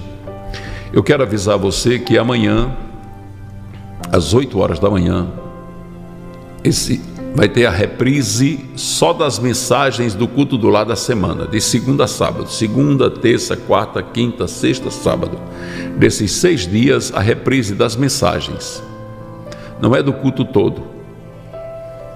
Mas o conselho dessa irmã foi tão forte que eu vou reprisar ele amanhã. Pastor. Importante, pastor. Tem que botar.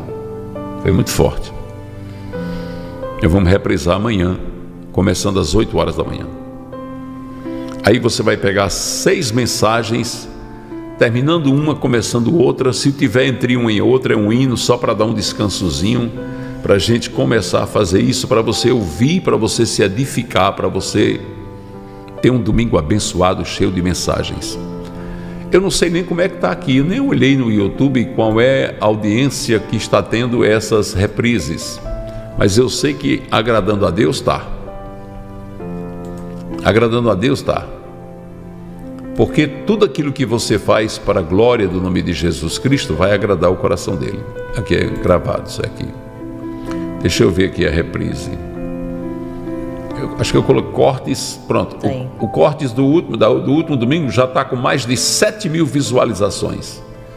Deixa eu ver o outro que eu botei. Deixa eu ver o outro que eu botei. Hum, deixa eu ver se eu encontro aqui. Está aqui. O outro está com 11 mil visualizações. O anterior. Né? Cortes. Eu até botei a imagem do podcast aqui. Né? O que eu quero dizer a você é que não desista daquilo que você tem colocado diante de Deus. Não desista. Ah, o inimigo. Tá... Não, o inimigo faça o que ele quiser. Ele se dane. Ele... Não vou nem dizer que ele vai para o inferno, que é para lá que ele vai mesmo, né? Quero saber dele, não. Quero saber de Deus. Eu quero saber do que Deus tem reservado para mim, para minha família, para minhas, para minhas ovelhinhas, para os irmãos que eu amo. O, inimigo ele quer nos destruir mesmo, mas ele não consegue porque Jesus Cristo disse que as portas do inferno não prevalecerão contra a vontade de Deus. Pastora, prepara uma palavra aí, pastora. Deixa Deus te usar para a gente colocar nos cortes amanhã também. Deus é Deus, irmãos. Irmãos, Deus é Deus e ninguém frustra os sonhos desse Deus grandão. Não tem quem frustre. Não adianta. Não adianta teimar, não adianta correr contra, não adianta fazer nada contra a vontade dele, porque não vai fazer aquilo que ele não quer que seja feito. O inimigo não vai vencer você porque você está com Deus, quem vai vencer é você. Você que vai vencer, você que será abençoado, você que vai erguer o troféu de vitória, é você que vai. Vai recebendo aí. Eita Deus. Irmão José Silva botou que culto maravilhoso. Hoje foi forte, viu? Hoje foi forte, hoje foi tremendo. Espera aí a palavra. Deixa Deus usar a pastora Ângela para minha e para a tua vida. Amém, Jesus.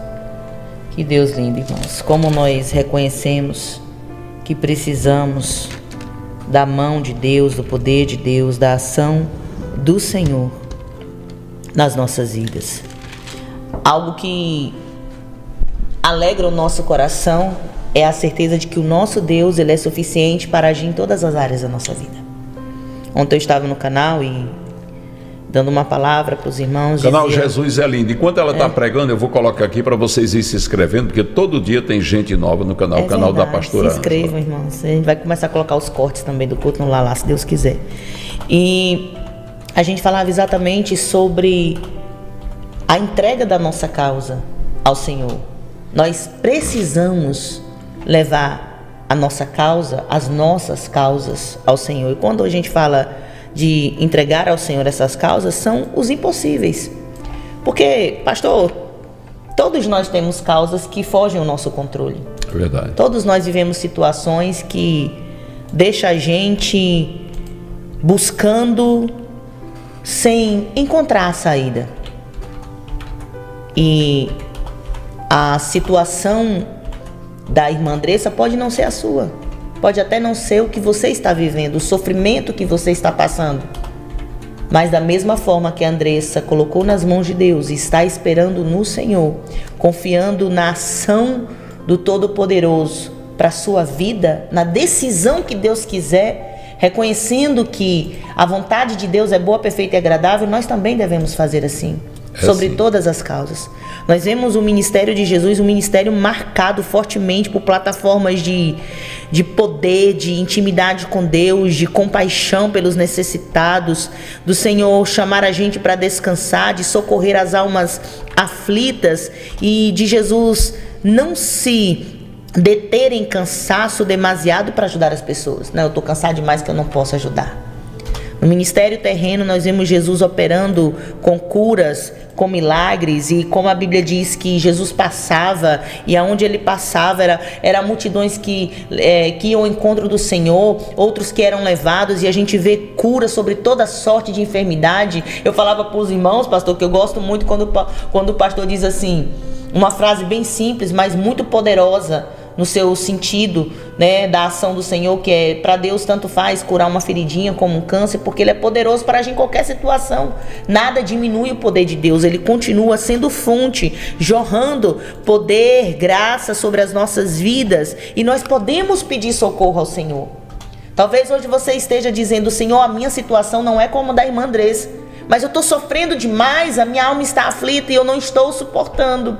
Deus, eu estou chorando como Ana, Senhor nos teus pés, na tua presença, pedindo que o Senhor me ajude, dizendo para o Senhor: Senhor, me tira dessa vergonha. E assim como Ana, eu não estou pedindo para o Senhor mostrar para a menina que o Senhor é Deus na minha vida, eu estou dizendo: Senhor, realiza com grande propósito, glorifica o teu nome através da minha causa.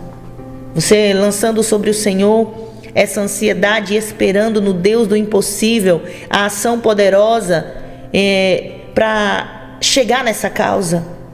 Nós podemos confiar em Deus. O salmista diz: Senhor, eu confio no teu amor leal. Então, Senhor, eu posso confiar a ti a minha vida, a minha família, os meus projetos, as minhas causas. E fazer como essa irmã que Aleluia. impactou nossas vidas nesta manhã, dizendo: Deus, eu espero no que o Senhor quiser para mim, eu aceito. O Senhor operou libertando. Pense no coração dessa mãe que também pediu um conselho sabendo que o seu filho está preso e o que eu posso fazer, Deus, eu não posso estar lá. Eu não posso passar a mão na cabeça e dizer, filho, encosta aqui. Eu não posso estar o tempo todo consolando, mas eu sei, meu Pai, que tu és aquele que liberta, tu és o Deus da causa dos oprimidos.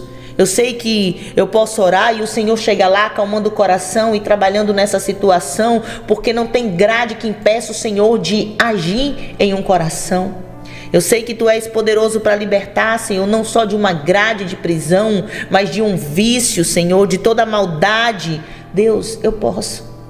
Assim como o Senhor, eu quero orar e na intimidade com o Pai descansar o meu coração, sabendo que o Senhor está me vendo. Ei, Deus está te vendo. Aleluia. Jesus conhece a tua situação. É verdade.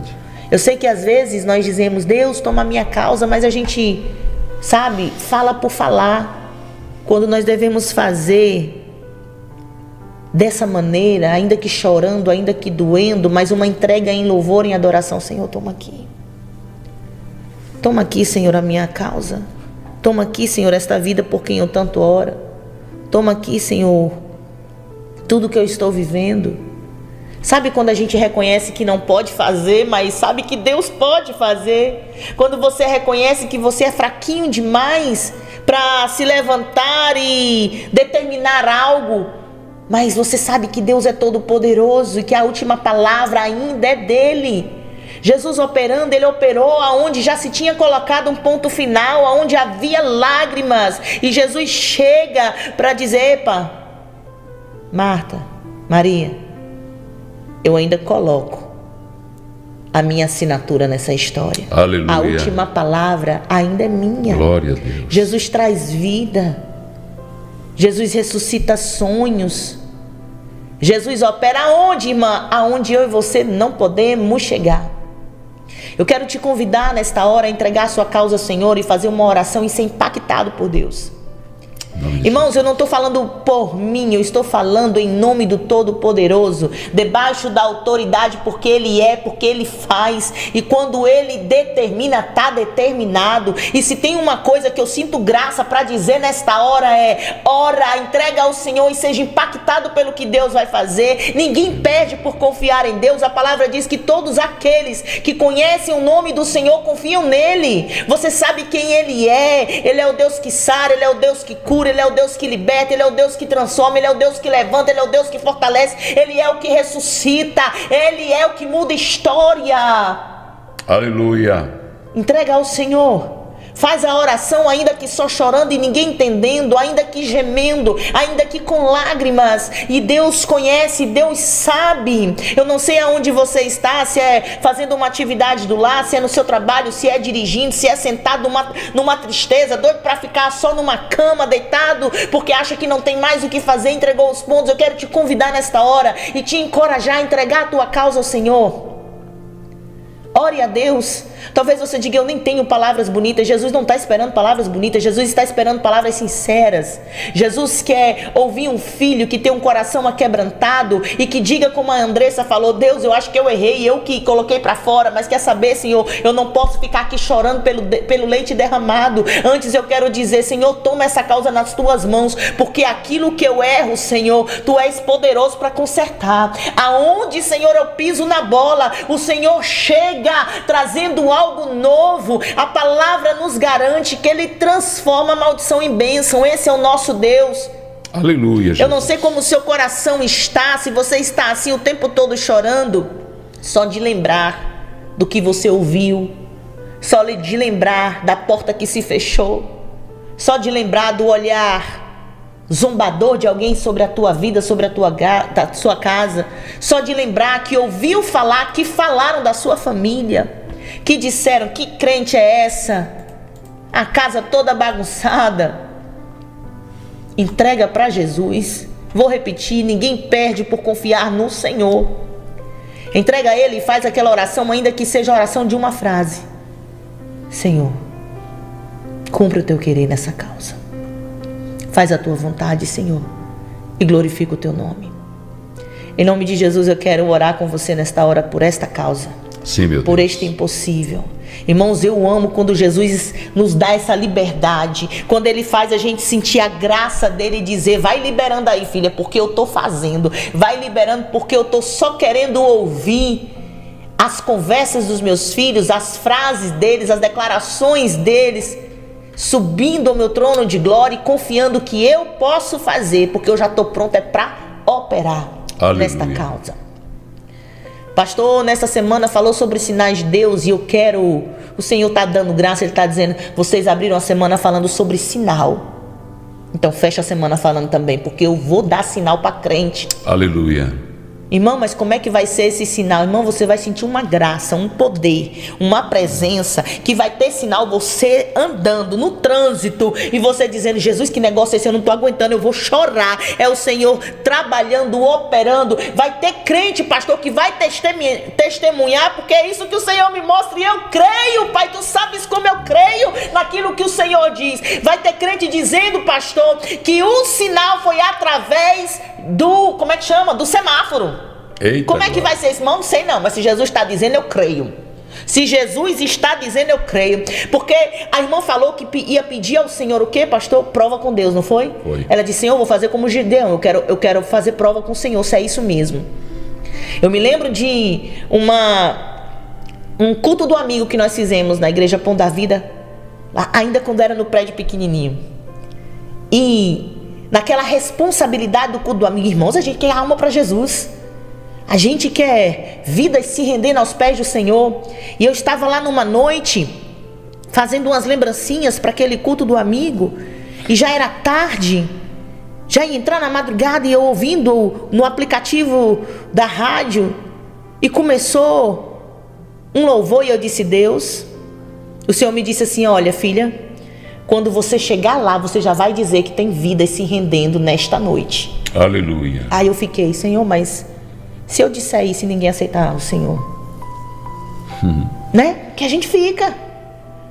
Porque era tudo que eu queria, claro, que aquele culto do amigo tivessem vidas no altar. E o Senhor disse: você vai chegar lá. Assim que abrir o culto, você já vai dizer: Nesta noite tem salvação. Aleluia. Disse Deus. Se a ousadia vem do teu espírito, a gente faz, né? Mas aí aquele receio, eu disse: Senhor, me confirma se é isso mesmo, me dá um sinal. Eu disse: Deus. Aí tava tocando, começou a tocar aquele louvor, pastor. Raridade.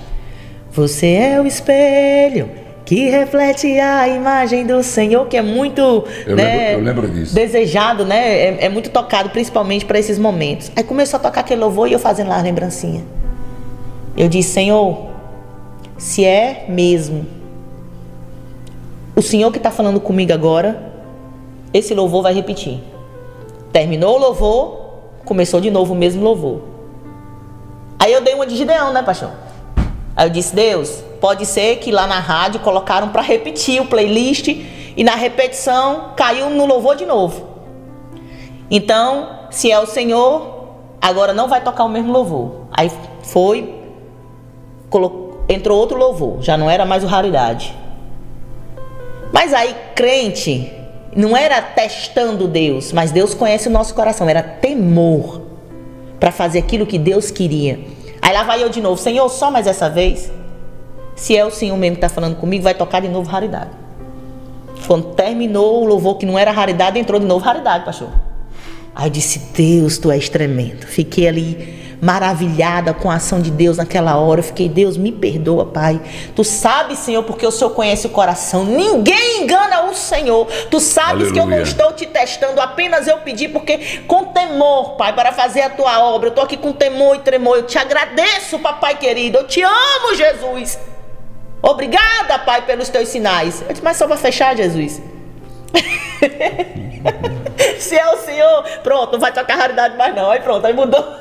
Entrou outros louvores e eu fiquei lá descendo a madrugada, trabalhando naquelas lembrancinhas e foi benção. Você fez o que Deus falou, irmão, fiz. Deus ainda me deu uma visão.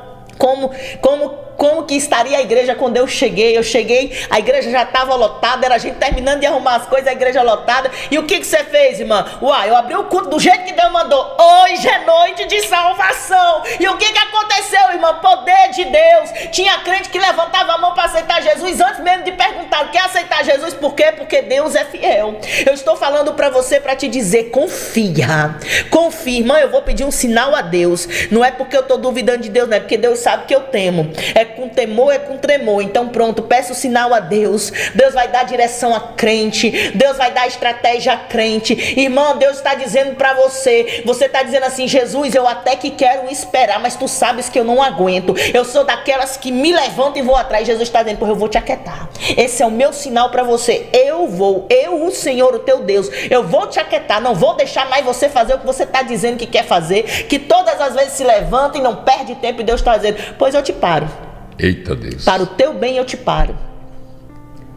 Se você quer o sinal e, e para saber que é Deus que está dizendo eu vou fazer, então espera, Deus está dizendo eu vou te parar. Uhum. Eu não vou levantar, não, Jesus, vai não. Uhum. Vai não. Porque se você quer a vitória de Deus e você entregou a causa nas mãos do Senhor, Ele está dizendo eu faço. Quem confia nele vê coisas grandes acontecendo, irmãos. Deus é fiel demais, Deus é tremendo demais. Eu sei que vai ter filhos dizendo: Deus, eu posso pedir um sinal assim? Tipo, o que, que eu posso falar? A pastora Ângela disse que ela pediu o sinal. Eu, e se eu disser ao Senhor para fazer assim? E se eu disser para você que de madrugada teu marido vai te acordar? Eita. É ele que vai chamar você para orar. Irmão, isso vai acontecer? Deus está dizendo que é para alguém aqui. Você vai. Agora, irmão, testemunha. Não é para dizer a pastora Ângela falou, não sou eu que estou falando, porque eu não tenho como garantir nada, nem ao meu respeito. É para louvar, engrandecer o nome do Senhor, edificar a fé dos irmãos, porque Deus não faz só nas nossas vidas, não. Ele faz na vida de todos aqueles que a palavra diz que buscam, esperam, amam, temem ao Senhor. Aleluia! Para dar glórias a Ele, porque é Ele, viu? A oração é poderosa, não é porque a gente ora, é porque é Ele que ouve. É Ele que ouve. Você tem fé que Ele ouve e Ele, com a sua mão estendida, opera em seu favor. Eita. E nós vamos orar nesta hora. Amém? Por essa causa aí. Por essa vida aí. Por essa situação aí. Que você até está dizendo, Deus, eu não sei nem como orar. Jesus entende. Aleluia, Jesus. Pai querido e Deus amado, Senhor Sim, das papai. nossas vidas. Eu quero te louvar, Senhor, com meus amados irmãos, Pai, porque tu és fiel. É. Não há nada, Senhor, que impeça o teu agir. Não há nada, Deus, que detenha a tua mão poderosa quando o Senhor quer fazer algo. Pai, é nesta hora que nós oramos juntos, Pai, numa certeza. O Senhor sabe trabalhar. O Senhor sabe o tempo certo de agir. O Senhor sabe como tocar o coração. O Senhor sabe, Pai, como mexer na estrutura do homem. O Senhor sabe, meu Deus, porque o Senhor nos criou, nos formou.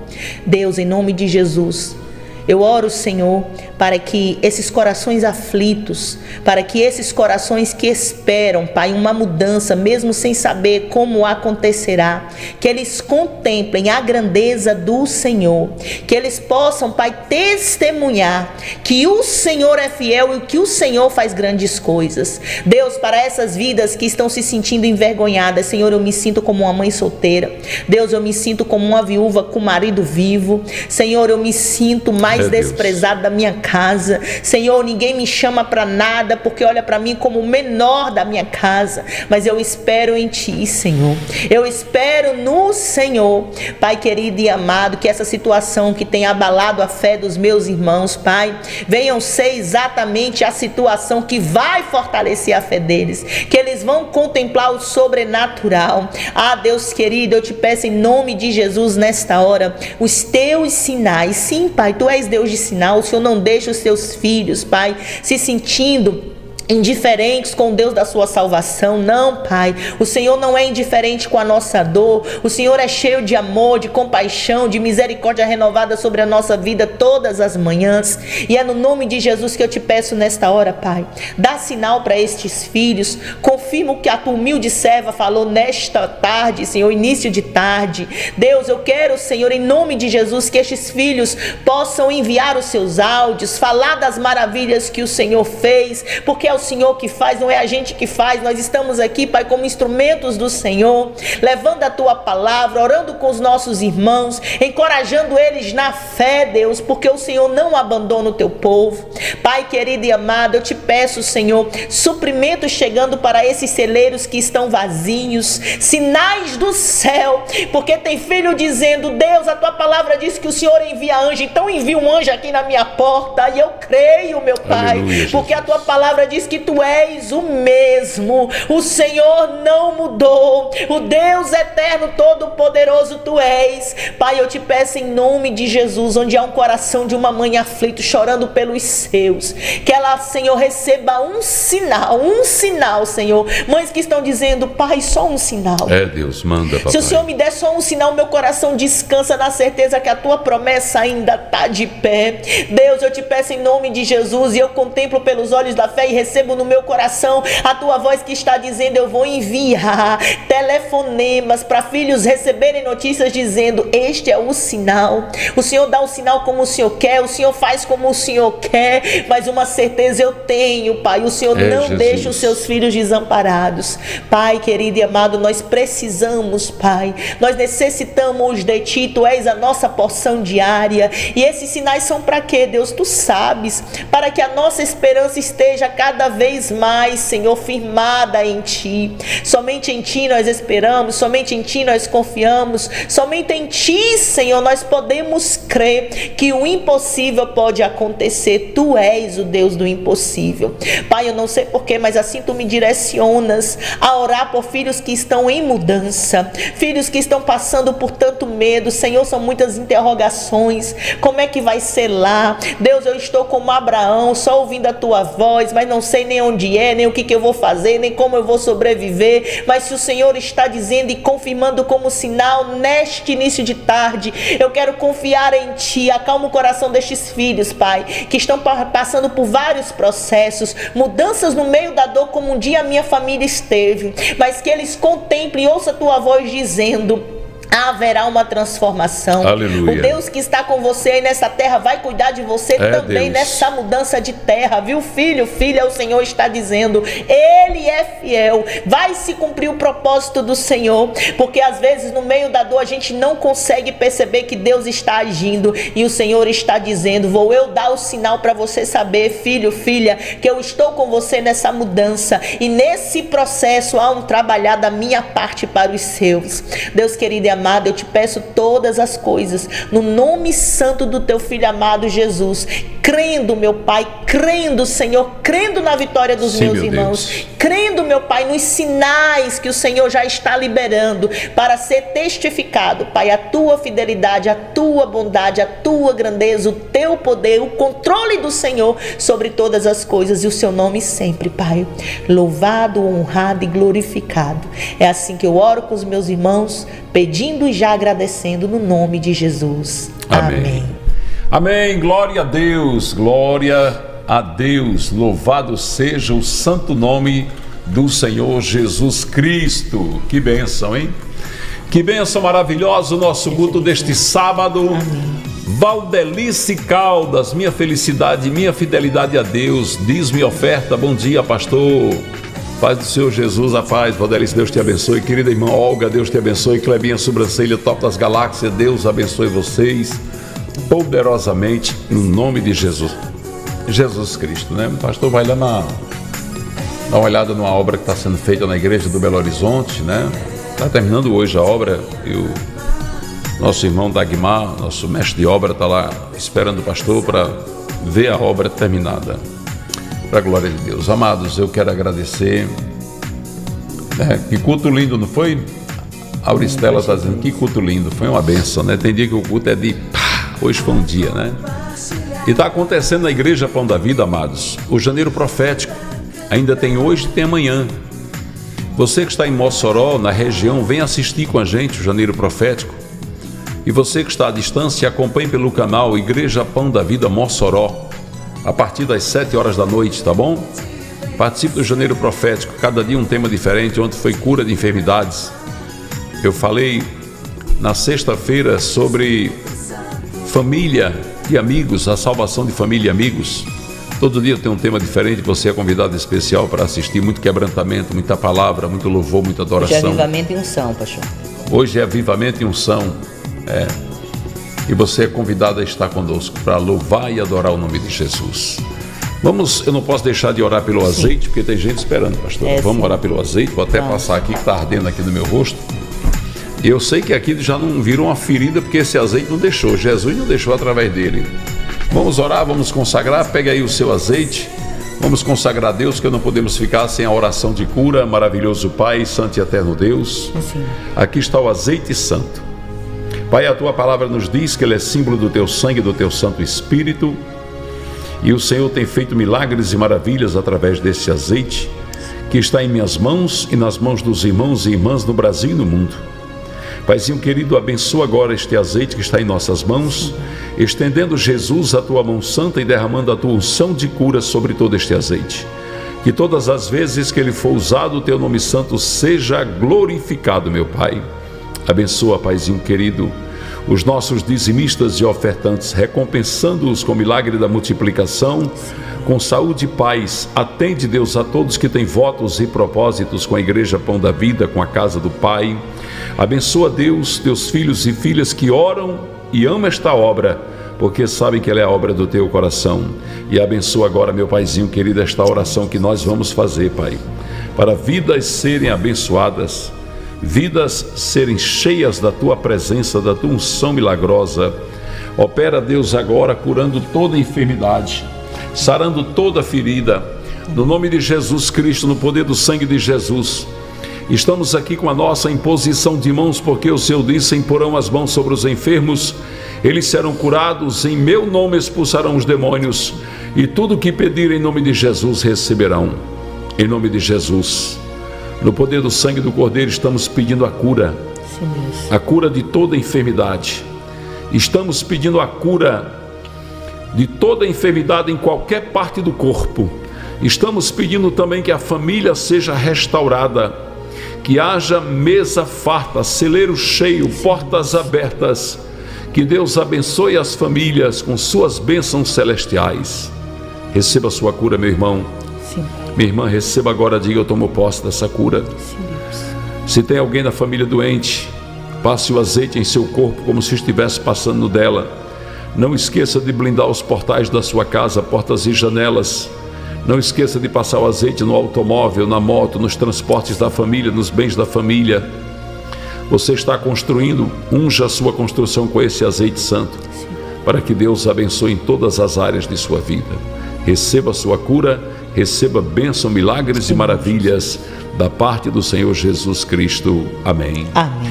Amém, Igreja Santa, igreja Amém. comprada com o sangue do Cordeiro. Bênção demais, escuto, meu Deus.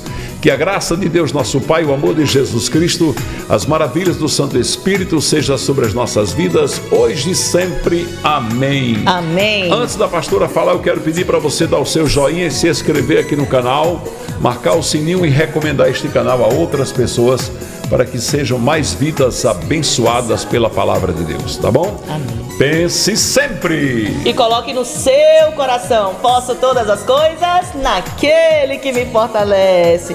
Que Deus lindo, que Deus tremendo. Beijo.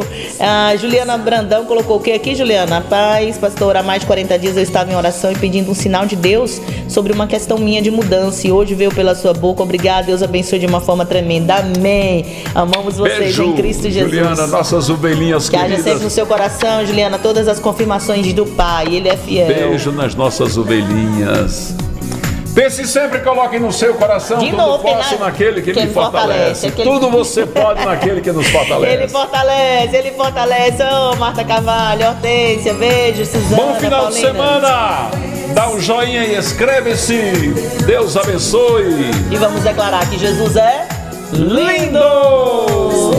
Eita, culto abençoado, Jesus. Obrigado, queridos. Amadas de Deus. Moderadoras, Deus abençoe.